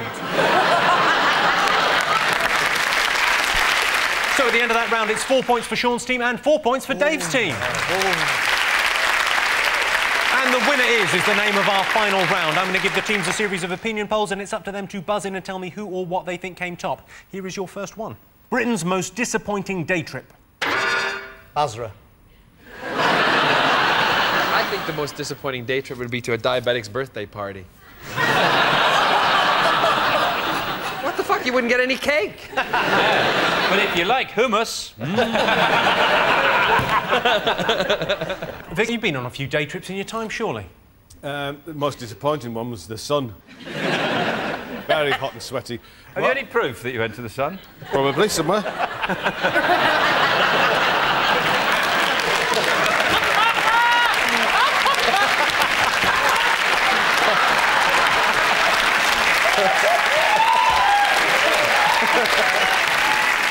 Most disappointing data. Is it Madame Tussauds after a fire?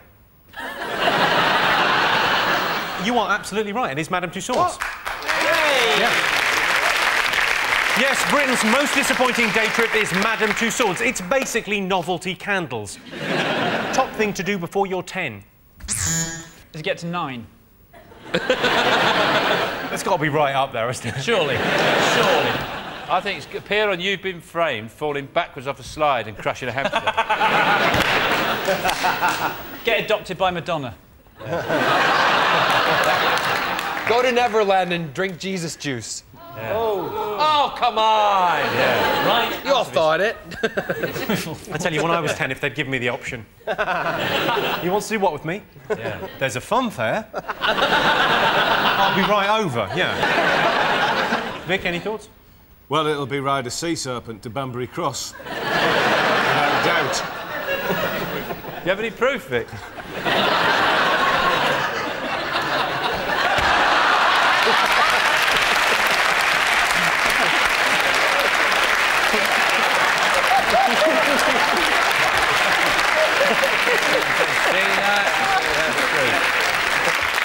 I've got a speeding charge coming up. Could you come and draw a picture of my car going quite slow? No worries, I'll just. Do you think you could? I'll do, I'll do a picture of you in your car with slow written above it. Well, that is all they'll need, because they've sent me a picture of the car going quite fast. Why not just have him not in the car at all? Water skiing. Exactly. I'll put someone else in the car. Yeah. Brezhnev. OK, top thing to do before you 10. It's an overnight thing. Ham. Correct. Yes, the top thing to do before your 10 is camp out in the garden. Camping with your child is a great way to teach them about wildlife. That's an owl, that's a fox, that rustling sound is a released psychiatric patient trying to get through our hedge. right, that sound tells me it's the end of the round and the end of the show, which means the final scores are Sean, Vic and John have four points, but Dave, Jade and Chris have one with six points. Thanks to all our panellists, our wonderful studio audience, and all of you for watching at home. That's it from us. Good night.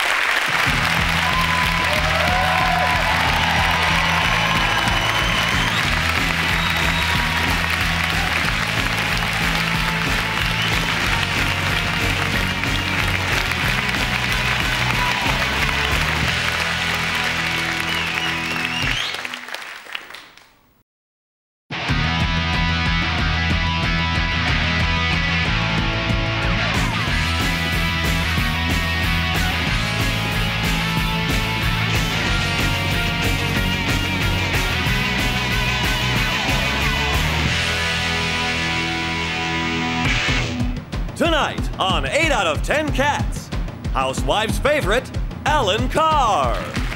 The Jungle VIP, David Gest. And their captain, Sean Lock. And facing them tonight, the Queen of Comedy, Joan Rivers. The Prince of Pop World, Alex Zane. And their captain, Dave Spikey. Now, welcome your host, Jimmy Carr. Well, thanks very much. Hello and welcome to 8 out of 10 Cats, a show about opinion polls, surveys and statistics.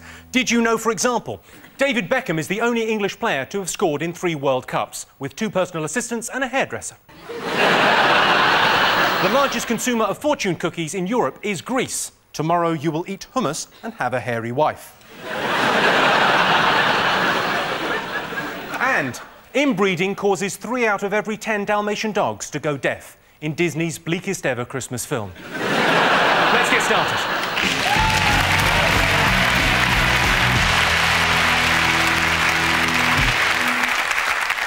Are you talking about? That's the name of our first round. We've teamed up with a leading polling organisation and they've asked the British nation what stories they've been discussing this week. It's our panellists' job to guess the British public's top five most popular talking points. Dave, Joan, Alex, what have the nation been talking about this week? Um, I think it's this great story that the NHS are going to offer dance lessons to fatties, basically, isn't it? They're going to, to help them with the obesity crisis. But the only way you're going to get fat people on the dance floor, I think, is by making the announcement the buffet is now open. Just across the dance floor there. And it's, a, it's another government gimmick, isn't it? It must be awful to s- see like hear like a fat person dance. I'm not being over, but you know, like the. Uh, uh, uh, well, that's the shoes on. you know, it's going to be a slow process. I resent people talking about fatties like this. Mhm, I mhm. belong to Overeaters Anonymous. Really? Yes, this is the truth. And it's a, it, it's very. A lot of you here are thin, so, but it is very, very sad because we all sit there and the women cry. Cry and they go, no one loves me. And I always say, yes, yes, your butcher loves you, your, your, your baker loves you. And one woman, I mean, last week, right before I came over here, she was saying things like, I went on an airplane and she was sobbing. And she said, and they made me buy two seats. And she just cried. And then I said, yes, but now you can have two meals. And she perked up. if we want to be fat, God damn it, we can be fat. That's the way it goes. David, are you, do, you, do you dance? No, I have a, I have a cousin. You have a cousin? Yeah. I have a cousin. Good answer. I have Yeah. a cousin, 279 pounds. 279 pounds. Started ballroom dancing, Fred Astaire studio. Met this lovely woman. Five months, lost 100 pounds, got syphilis, and died. Um, if that's not being made into a musical, I... Too, come dancing too literally, I think, really. OK, well, uh, let's have a look and see whether uh, fatty dance classes is one of the top five most talked about things this week. Yes, it is. Oh, just Yes, it was. Yes. all right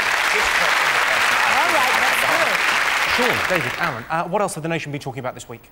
I imagine a lot of people quite upset uh, about England losing the Ashes. Well, virtually losing, losing the second test. And uh, I, think, I think it's stupid, really, because what we invented the game, we should just change the rules to suit us. so in that match, we should have said, ah, ah, yeah, we just made this new rule up. If we have tomato soup, lowest score wins. So just stuff like that. Just make up rules. If it's cloudy, oh, no, you can't lose on a cloudy day. Just anything. You've made the sport up, you can do what you want. You're not wearing the right pants. We win. My dad tried to get me, he's always trying to get me sporting. He tried to get me interested in cricket, right? And I hate cricket, it's so boring. He told me that the Ashes, yeah, were Ellen Daniels from Neighbours, right? Now, obviously, a spark of interest and I was there. like, Ellen Daniels, you say? And I was hooked. Joan, have you ever seen a cricket match? I hate sports. You hate sports. I go to tennis matches, I don't even turn my head, you know. The ball doesn't come back, that idiot missed it. I mean, it, you know, just... I don't like sports. Yeah. I don't like sport either. Really? yeah. Because you look like quite a sporty. yeah. Do you not, have you not been? you work out though, right? Yeah, of course. In indie clubs. You a big cricket fan, David? You, you aware of cricket? Not more baseball. More baseball. Have you heard of cricket? Of course. He forgets I was in the outback and I just get, was with all these crickets all over there. Yeah. You knew Phina, right? Um, well, I didn't actually watch. I I meant to watch it, but um, at the last minute, I fell pregnant. so it's been quite a few, quite a few crazy weeks for me as well. So uh, turns out it was a scare. But no, no. What did she do? What did Phina do? She stole all the food. She stole all the food. Yeah. Really? She ate a few crickets too. Did she? Yeah. People have to eat testicles, don't they? No, that? it was an anus, Matt, it? Matt ate an anus. Someone had to eat an anus. Yeah. Oh, Matt. Matt ate ate an anus. Matt ate an anus. Yes. I see. I thought you said a marinated anus. No. For second. No. We had So no- nothing, the nothing to marinate there. What, do you eat it like a hula hoop, like that?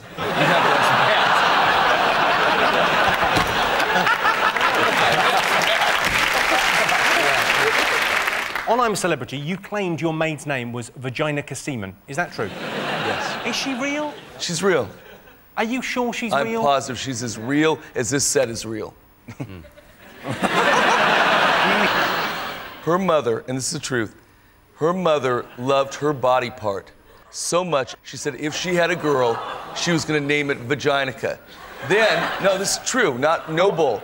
Then she married a guy named Harry Seaman. Harry Seaman. She became Vaginica Seaman. What's her middle name? I have no idea. She hasn't got a middle name. I Suppose she doesn't need one, really. Mostly when she tells, tells her name, she's probably just wiping the drink they've just spat in her face. What's your name? Let's get back to the Ashes. Should we have a look and see whether the Ashes is one of the most talked about things this week? Incredibly, it's the second most talked about thing. The Ashes is a best of five, although England have controversially opted to play worst of three. Back over to you, Dave. What else have the nation been talking about this week? John reckons it's Christmas, Well, Christmas and the politically correctness of Christmas, Oh, yeah. where they're doing the Queen's speech, and that makes sense to me, and they're having a Muslim lady do it. On Channel 4, yeah? Yeah. It's the alternative Queen's speech is being done, done by a Muslim lady in a veil. They could have gone halfway. I mean, she's a, she's a fundamentalist Muslim. She wears the hijab, whatever, the niqab, whatever, but she's covered. She could have actually really dressed up as Father Christmas with a big beard and pulled the and gone, oh, oh, oh. You she, they could have gone halfway. The Muslim lady? Yes. I'm the one that sold her the veil from my New York website.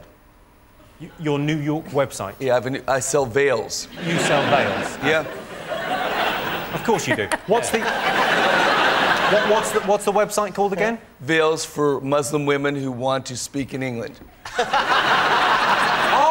That website. That website. Dot com, remember? Dot com. Dot com. Dot com. don't think you're home. but it's all crazy. The, the internet now, they had the best day ever. And The- the- yeah, indeed, yeah, the best online day. $182 million in one day mm-hmm. in internet sales. And they looked it up, and it was Mel Gibson buying Nazi memorabilia. and I found that was fascinating. I like online shopping because you know, like when you're looking, if you get bored, you can just go to some porn, did it, perks you up, and then you carry on shopping. Now, I wish it was like that. Normal shopping. Do you mean like you go around the Trafford Centre, bored, someone shows you a cock, you're like, right now, Auntie Janice. That probably does happen.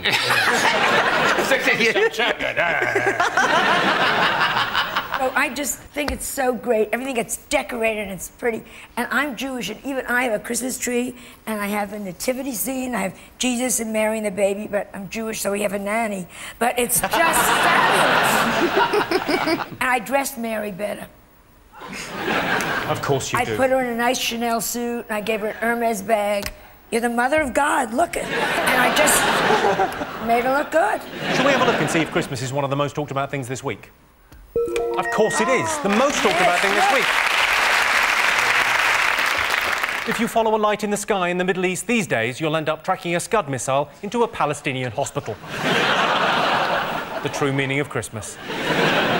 Right, over to you, Sean. What else have the nation been talking about this week? Is it the moon? Is it the moon? They're going to build a permanent base on the moon. It's going to take $10 billion, isn't it, to get people up to the moon. And you just know that if you go on the internet, EasyJet are doing it for £17.50. don't you? One way, no hand luggage, and Stelios going, it's out of this world. you just know. Joan Rivers, do you think Americans should be spending this kind of money going to the moon? I think to spend $10 billion to go to the moon is disgusting. They should spend on something important like jewelry. You could get three really nice pieces of my jewelry on QVC. You've really cut What to would the you core of rather this issue, have? I think. A great ring or some stupid trip to the moon? Who gives a fuck? I couldn't care less. twinkle, twinkle, or twinkle, twinkle. Twinkle, twinkle. If they find oil on the moon, though, that's another thing. Yeah, that'd be a hell of a pipeline, wouldn't it? Yeah, how are they going to get it back? Well, it'd just fall down onto Earth, wouldn't it? Aren't they going to build some sort of cosmic escalator? So it's sport and science you're no good at. Yeah, they were. They were, seriously, weren't they? Uh, but they can't get through. Yeah, not into science, am I? They can't get through the Van Allen belts. There's too much radiation. Mm. Belts of radiation above the Earth's surface. That's why the cosmic elevator is going to fail. In your face. That sounds like a boy that fancied his science teacher. yeah, you, that could be science, or it could be the lyrics from some indie band as well. Well, let's have a look and see if it's up there. Oh, it is. Yes, it is. Right, fingers on buzzers. One more thing to get. What else have the nation been talking about? Uh, submarines. Whoa. well, they want to spend 20 billion pounds on submarines full of missiles. The, miss- That's it. the missile's going to be outdated by 2024. How do you know if a missile's gone off or something? Gone off? The bloody Big Bang out You're implying it was like milk and you'd go, you just farted. No, it's this scud. The point is, we never use any of these missiles. They're never used. They're a deterrent, aren't they? It's a shame, really. Know, people make these amazing, amazing missiles and nobody ever bothers to use them. must be very frustrating if you do make missiles and you just go, why do I bloody bother? these amazing, can wipe out half the population ever, nobody ever bloody uses them. Years making this. Have you thought of moving to North Korea? 20 billion for the, the stupid moon thing and 10 billion for this stupid thing. It's such a waste of money. Well, if they took all that money, everyone would have a tiara. Imagine that. Oh, I'm for that. No, that's great. I'd rather go with the nuclear weapons. Enough Yeah. people think I'm gay. Without a fucking tiara. Jesus. That a fucking tiara. Yeah. How often has tiara been prefixed with fucking? you wearing my fucking tiara? I'll fucking sort you out. Put my fucking tiara back in the fucking box.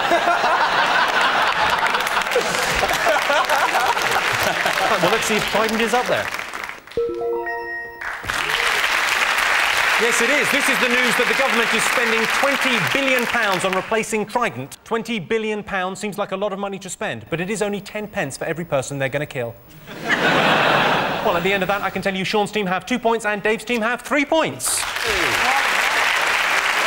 The next round is called the poll with a hole. Dave, Joan, and Alex, here is your first question. 40% of couples in counselling say what is a problem? Viagra. Oh, Oh. these old guys that take Viagra. Oh, and it's good for 36 hours. You know how many orgasms you have to fake? I imagine there's a certain amount of chafing involved as well. Oh, chafing those poor old dry ladies, they'd set them on fire.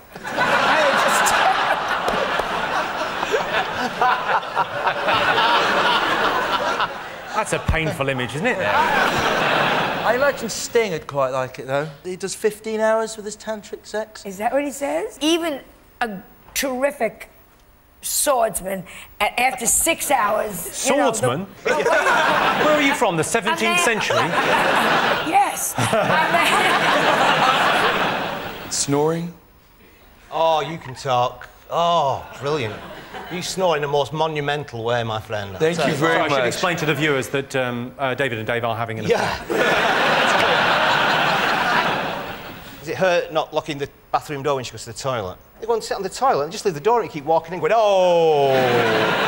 But what about men that leave the toilet seat up and they go all over? You know, Yeah, what's the you've point? got a pointer and it's a lit room, for God's sakes. a woman I could understand if we were standing up with a penis because you'd be looking around. Oh, I'd redecorate, you know, so I could see what. I'll, I'll give you a clue. It's to do with computers. Watching porn on the computer.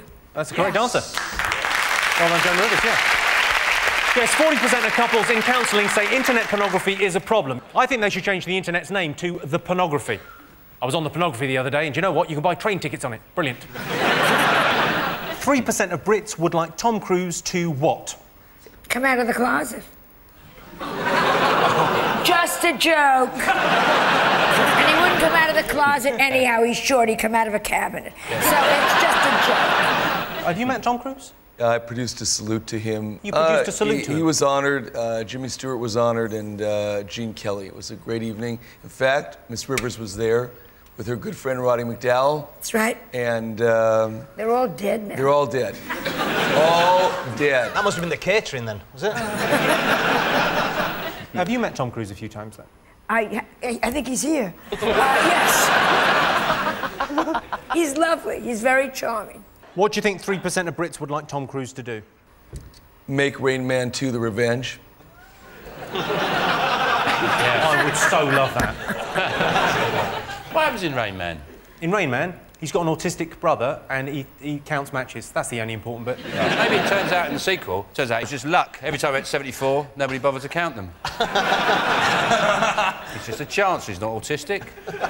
He's taking the piss. yeah, these autistic people, they've had it too easy too long. No, I didn't say that. I'm talking about the film. I have two cousins that are autistic. What are they called, David? Be some weird name like Clitty or Clitty and Anus. Yes, they're. Uh... He got their names right. It's Clitty and Anus. Just came to me, Clitty. I found it. Everything before you pipe up. That was amazing. It was on your mind, yeah. I'm going to tell you. 3% of Brits would like Tom Cruise to play them in a film about their life. That's a nice way of saying 3% of Brits are teeny tiny weirdos. so at the end of that round, Sean, David, and Alan have two points. Uh, Dave, Joan, and Alex have four points.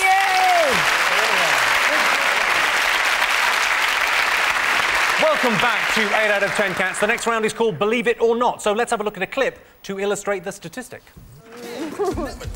Oh my god. You can dream until you do it, you will never top that. Uh-huh.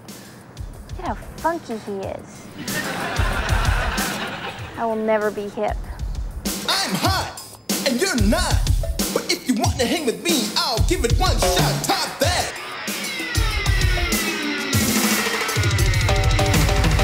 Idiotic, disconnected, not respected. Who would ever really wanna go and top that?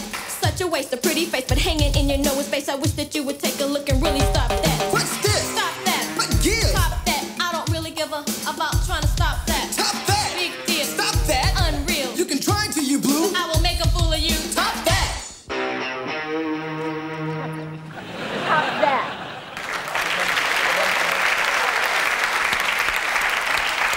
Was the American 80s teen movie uh, Teen Witch. I thought it was some kind of like public information film about twats. like warning you about there are twats around and this is what they look like. He's wearing the same outfit as me. Yes, there are twats in our area. I can see you.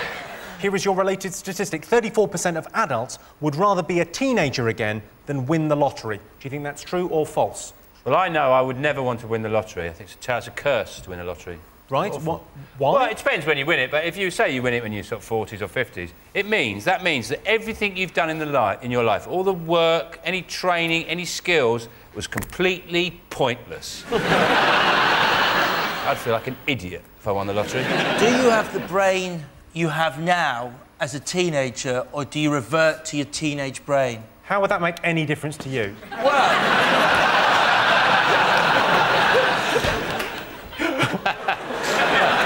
You look all sulky now. I'm sulky now. I just want, you know, wanted just a bit of, you know, attention.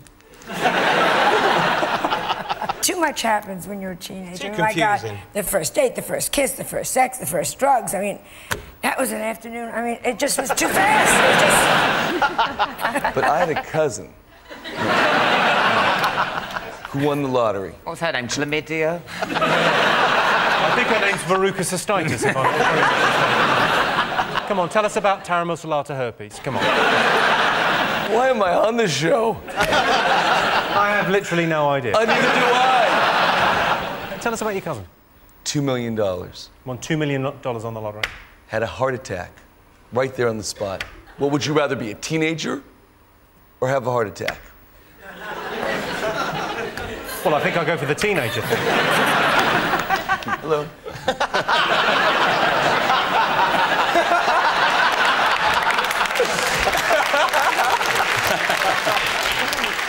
I once convinced my friends when I was a teenager that I bought a hoverboard in the US from Back to the Future 2.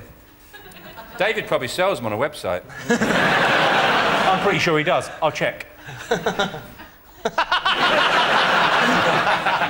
think this show's turned into Call My Bluff this week. Can you go back and be a teenage girl? What I'd like to be. A Mexican teenage girl called Bernard. He hasn't got legs, he's got wheels. A hovering, a hovering Mexican teenage girl called Bernard who's got no legs. My father only has one leg, and my mother only has one leg. It's the truth. Really? Yeah. But one has a left leg and one has a right leg, so they're able to conceive. Right. I suppose they just got one big belt.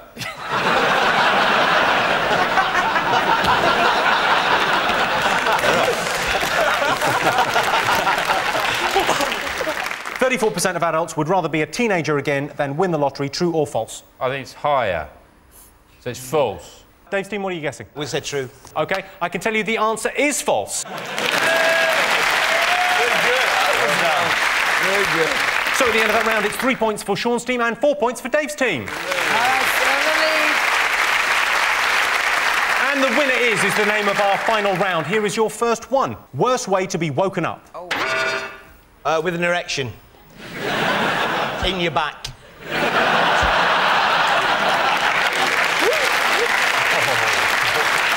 Oh, the sound of a peeping Tom vomiting. David, any, any thoughts? What's the worst way you've been woken up? Is it by a cousin? Um, Westlife waking you up thinking that you were actually in a coma. oh, no. Is it a woman demanding money in pidgin English? The sound of waves crashing against your plane windows. Oh. it does involve water. Well, uh, Just being in the on your womb. face. Water in your face is the right answer. Yes, the worst way to be woken up is having water thrown on you. Well, surely the worst way to be woken up is Kerry Katona shaking a stick at your face and saying, it's blue. Top celebrity to have a night out with. Kate Moss, because whenever you're with her, it's a white Christmas. Is it like um, Rosie and Jim? you Talking about the ragdoll puppets. No, Rosie and Jim, Rosie and Jim. What are you doing watching that? Just before loose women. Just before loose women. I'd like to take loose women out with me on a night out. That'd be Well, wouldn't we all? Yeah. Uh, Joan, I imagine you've had some stunning nights out. Uh, one of my great nights was with George Michael. And we got to see the the Hyde Park men's room at four in the morning, and it was just amazing. Did you come across any police officers? uh, it's a she.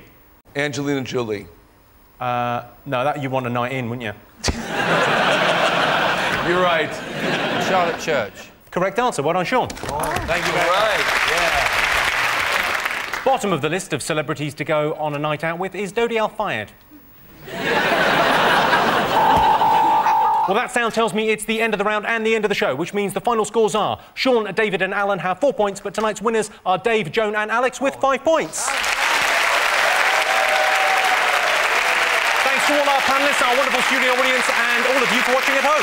Join us next week for a special show featuring all the best bits from the current series. See you then. Good night.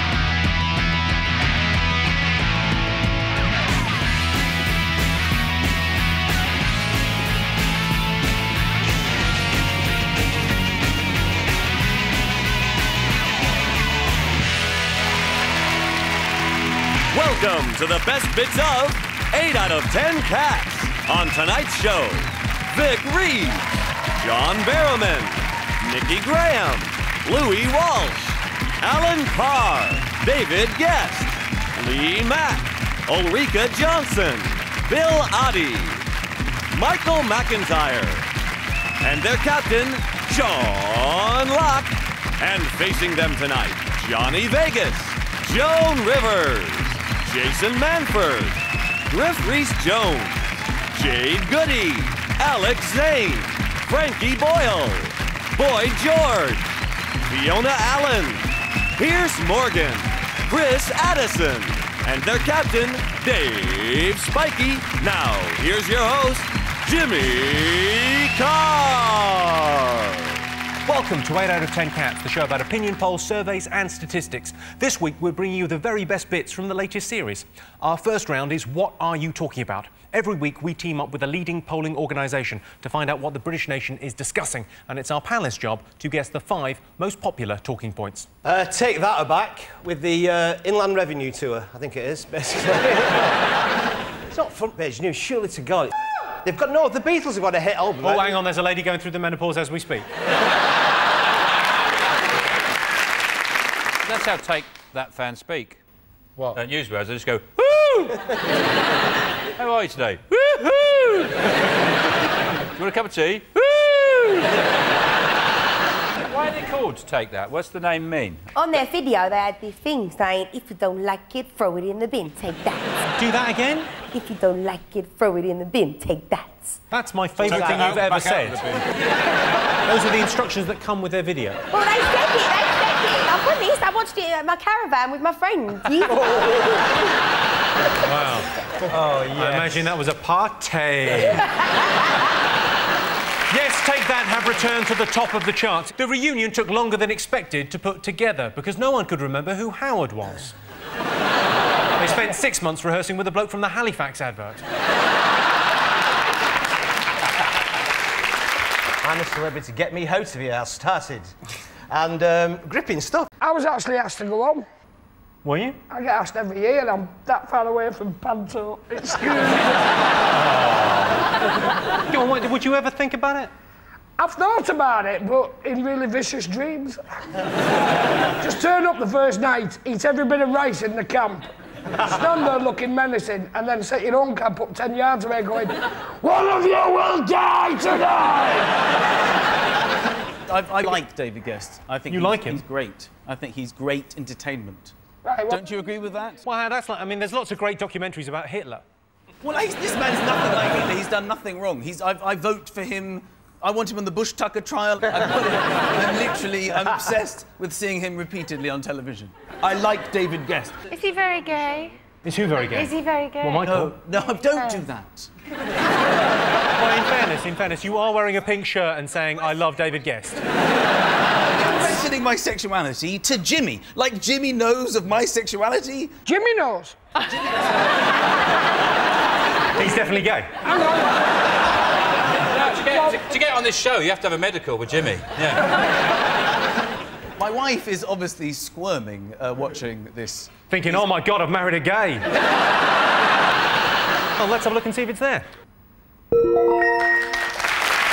Yes, the latest series of I'm a Celebrity started this week. Fashion designer Scott Henshall said he tried to turn the other men in the camp gay. What, Jason Donovan, David Gest, and Toby Anstis? Good luck with that.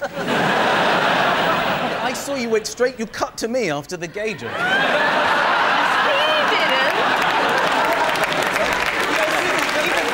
Even before you said gay, I thought, why am I on the screen? Gay. And I'm It's going, because- The reason we cut to you was because some people watching in Newcastle won't know what a gay man looks like. Uh, we think it's the fallout uh, from this KGB poisoning. The police said the, the death was suspicious. yeah. I think they should upgrade it to fucking suspicious. Is he having a traditional Russian burial where they put them in a, a little coffin inside a bigger coffin, inside a much bigger coffin?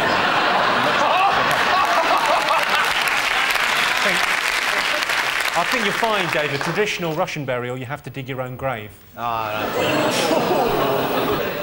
But don't blame me, blame Stalin. No, on a serious note, we dated her because it was on the planes. Yeah. It was in a bag. Yeah. Unle- Unless they put it in TK Maxx, you'll be fine.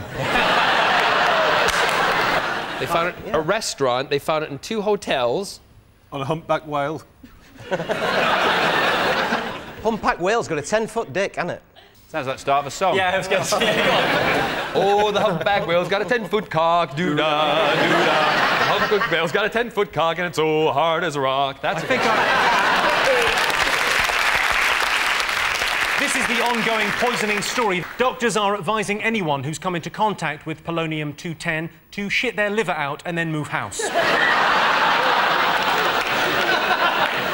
Nikki, what do you think of Madonna? She's a bit high maintenance. I like her, but to be honest, a whole week's news on her adopting the child. Oh. Who cares?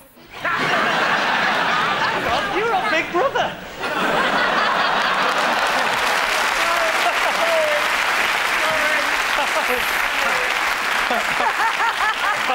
So, were you looking for more news about what was going on in Kazakhstan this week? I'm not getting the bottom of this. Just Madonna, Madonna. But you've managed to get more attention than Madonna in a very short space of time, so you're more fabulous. Oh, thanks, George. On I'm a Celebrity, you claimed your maid's name was Vagina Seaman. Is that true? Yes. Is she real? She's real. Are you sure she's real? I'm positive she's as real as this set is real. Hmm. her mother, and this is the truth, her mother loved her body part so much, she said if she had a girl, she was going to name it Vaginica. Then, no, this is true, not noble. Then she married a guy named Harry Seaman. Harry Seaman. And she became Vaginica Seaman. What's her middle name? I have no idea. She hasn't got a middle name. I Suppose she doesn't need one, really. Mostly when she tells, tells her name, she's probably just wiping the drink they've just spat in her face. What's your name? Uh, but people have been talking about the fact that England lost the first test of the Ashes. What have they been saying then? Oh. Or no, you knew it. Yeah. they didn't play their best bowler, which is a good idea because they should, you know. Who's he uh, then? Monty Panesar. Actually, Australia have never uh, declared independence, so technically, we always win. Uh, Vic, do you watch cricket? I like the fellow with the glass eye. What Okay, was he called? man. What's that bloke you talked about before? Who? Who what? That cricketer that you mentioned. Monty Panesar. Him with the glass eye. Has he got a glass eye? Yeah. yes. I can prove it. You can prove it.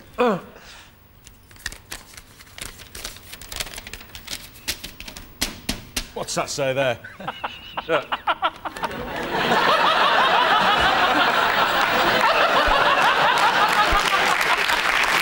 Get a close up of that.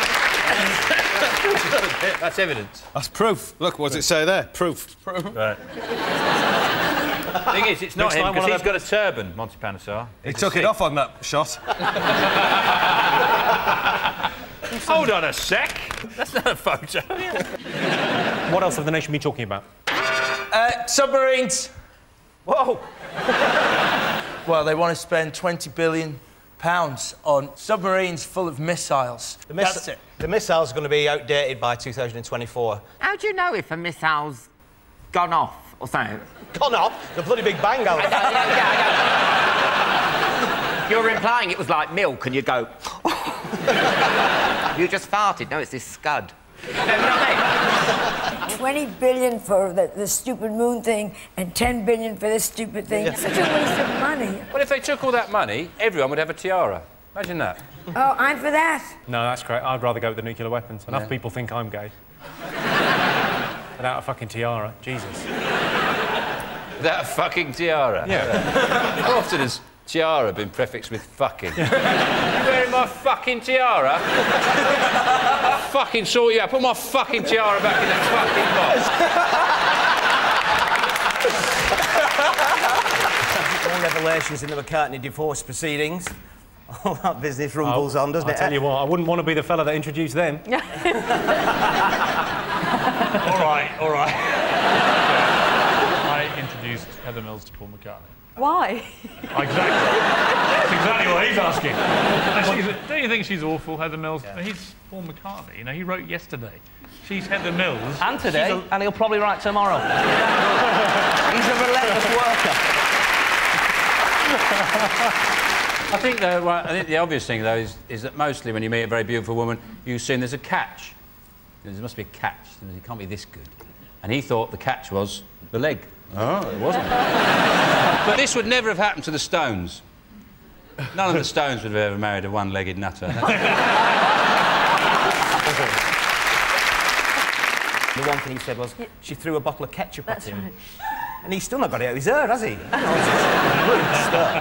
But the thing is that I like the way even celebrities can't have an argument without doing some product placement. You know, it's like, oh, he threw some Heinz ketchup at me, and then he put some Marmite bottles in a sock and hit me over the head, and tried to choke me with Jaffa cakes and sprayed Jif in my eyes. Heather is going through a very rough time at the moment, and if she were here, I would tell her, time heals all wounds. well, not that, you'd have to be a starfish.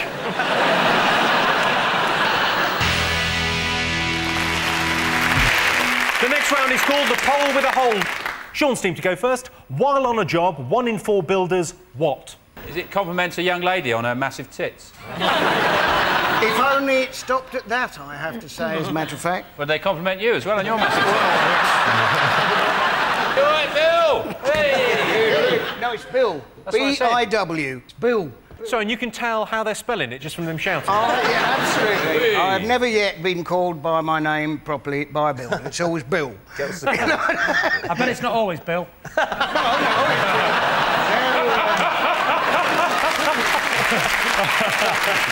Oh, What do they shout apart from boo? It's like, uh, do you like me? And things like that. Do you like me? I've worked at loads of Bill sites. I've never heard anyone shout, go, Do you like me, Bill? Because I like you. These builders, they don't have big black moustaches and they're in Village People. Oh, by yeah. 40% of couples in counselling say what is a problem? Viagra. Oh. Oh. These old guys that take Viagra. Oh, and it's good for 36 hours. You know how many orgasms you have to fake? I imagine there's a certain amount of chafing involved as well. Oh, chafing those poor old dry ladies, they'd set them on fire.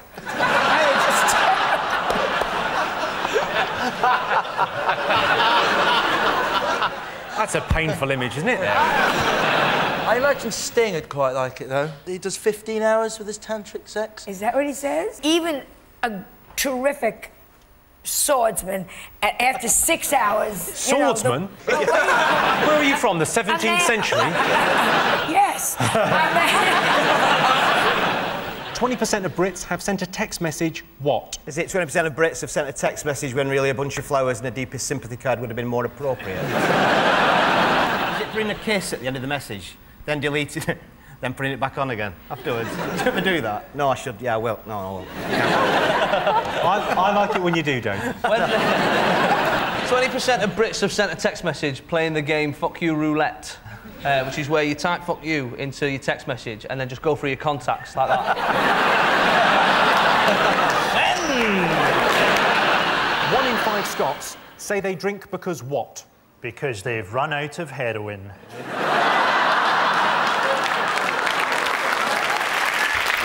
Five Scots said they drink because they want to. That's so close to the answer, I think I might give you that.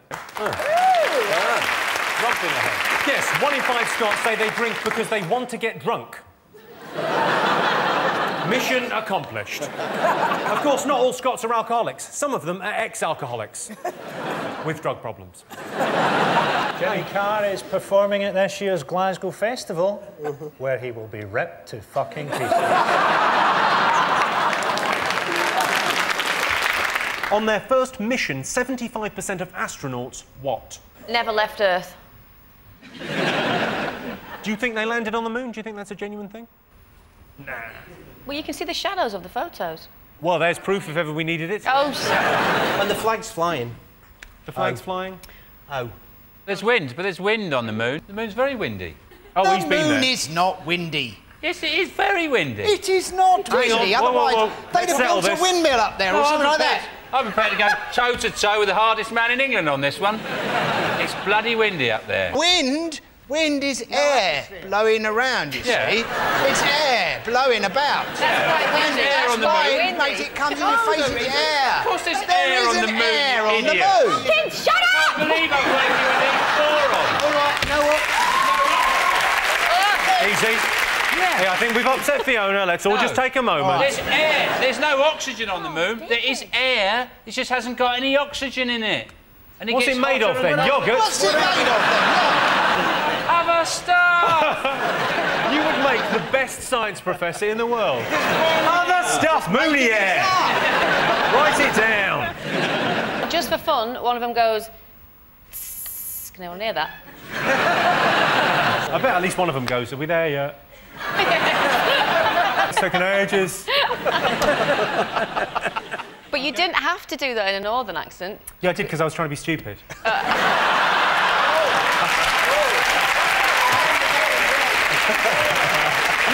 Three percent of Brits would like Tom Cruise to what? Come out of the closet. just a joke. and he wouldn't come out of the closet anyhow. He's short. He'd come out of a cabinet. So it's just a joke. Have you met Tom Cruise a few times then? I, I, I think he's here. Uh, yes. he's lovely. He's very charming. What do you think three percent of Brits would like Tom Cruise to do? Make Rain Man 2 The Revenge. I would so love that. What happens in Rain Man? In Rain Man, he's got an autistic brother and he, he counts matches. That's the only important bit. I have two cousins that are autistic. What are they called, David? Be some weird name like Clitty or Clitty and Anus. Yes, they're. Uh... He got their names right. It's Clitty and Anus. Just came to me, Clitty. I found it. Time for everything before you pipe up. Because I was amazed it was on your mind, yeah. Welcome back to 8 out of 10 cats. The next round is Believe It or Not. Let's have a look at a clip to illustrate the statistic.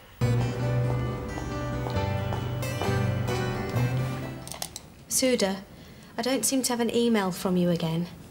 Really? I sent it at three. Well, it's not here. I don't understand. I, I sent it. I thought you wrote down how to do it. Yes. Well, perhaps you wrote it wrong with your dyslexia and or.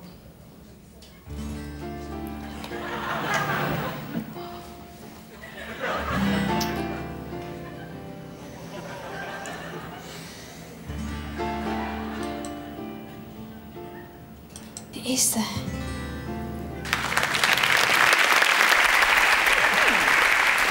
That was a clip from a training video for office managers. If you've got dyslexia, there is a number you can call, but pointless giving it to you. You might be able to write it down, won't you? Um, your related statistic 16% of bosses have made a decision based on their horoscope. Do you think that's true or false? It's all bollocks. Apart from the magpies, obviously. You've got to see two magpies, haven't you? That's typical Or else you're in the shit. Well, hang on. You must see two magpies every day, surely. Uh, several. Would you call yourself lucky? Absolutely. Every time I go past a building site, somebody goes. Well, and then you get lucky. Bill! Bill, come here. I want to make love to you, Bill. I don't think it's ever happened before, but I imagine this weekend it's going to be happening a lot. Builders, if you're watching, please. For us. Can you make bird noises? I don't Some of them, yeah. I would like a chaffinch. Yeah. No, chaffinch, all right. It's like a fast bowler running up, and so he goes, want little bit bowl. That's countdown. No, he comes up. Boom, boom, boom, boom, boom, boom, bowl. Well, that, that's what the, the bird makes that noise. Did Bill just stand up then? Amazing. That's extraordinary. A man actually gets out of his seat and is smaller than when he was sitting down.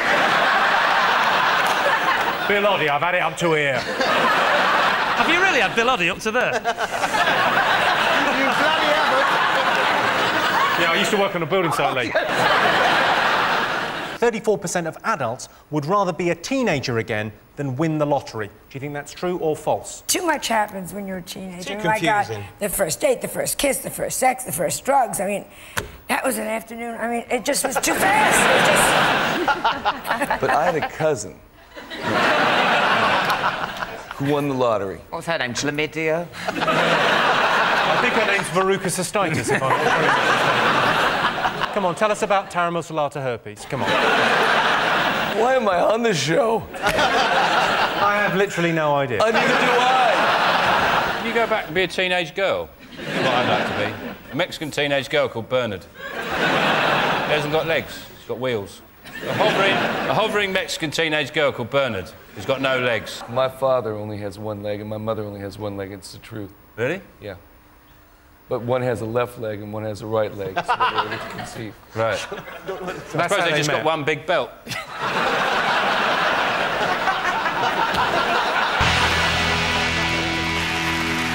And the winner is, is the name of our final round. I'm going to be giving the teams a series of opinion polls and surveys. It's up to them to buzz in and tell me who or what they think came top. Here is your first one. Top reason to celebrate. I know. Jesus Christ, don't do that. what? Try to laugh at me. It's a funeral. no. no, I tell you what. Unbelievable. You only go to funerals of people you don't like. I've been to one. I've never been invited back. Invited. Don't have to funerals. Oh, I've been to one funeral. I didn't get invited back. So same time again next year then. The biggest worry for farmers. Is it like being asleep at night and a, the scarecrow tapping on your window? Like, Me and you outside. I'm just gonna put my killing head on. Britain's favourite noise. Is it that honking noise that women's breasts make when you go out?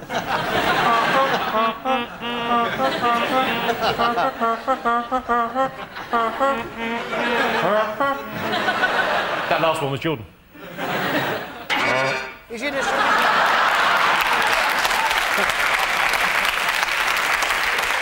That's the biggest hit I've ever seen. okay, celebrity most in need of a makeover. Cherie Blair.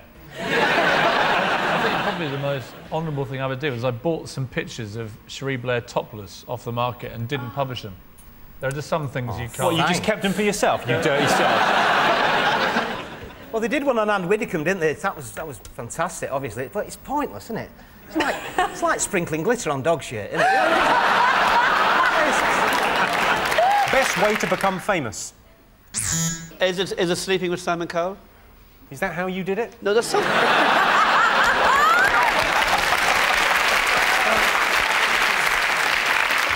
most likely to make men cry. Speaking for the older generation, I would have to say that it's accepting that your daughter's friends simply think of you as her dad. So you're crying because you can't fuck your daughter's friends? High five, Bill. Come on.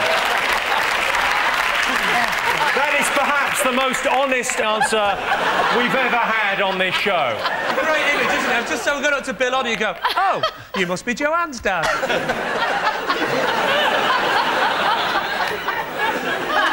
Welcome to Springwatch. I've got some binoculars. I'm in a shed. My daughter's having a sleepover. should be a hell of a show. Well, that is the end of the show. Thanks to all our fantastic panelists, our wonderful studio audience, and to all of you for watching at home. That's it for now, but 8 out of 10 cats will be back next year. We'll see you then.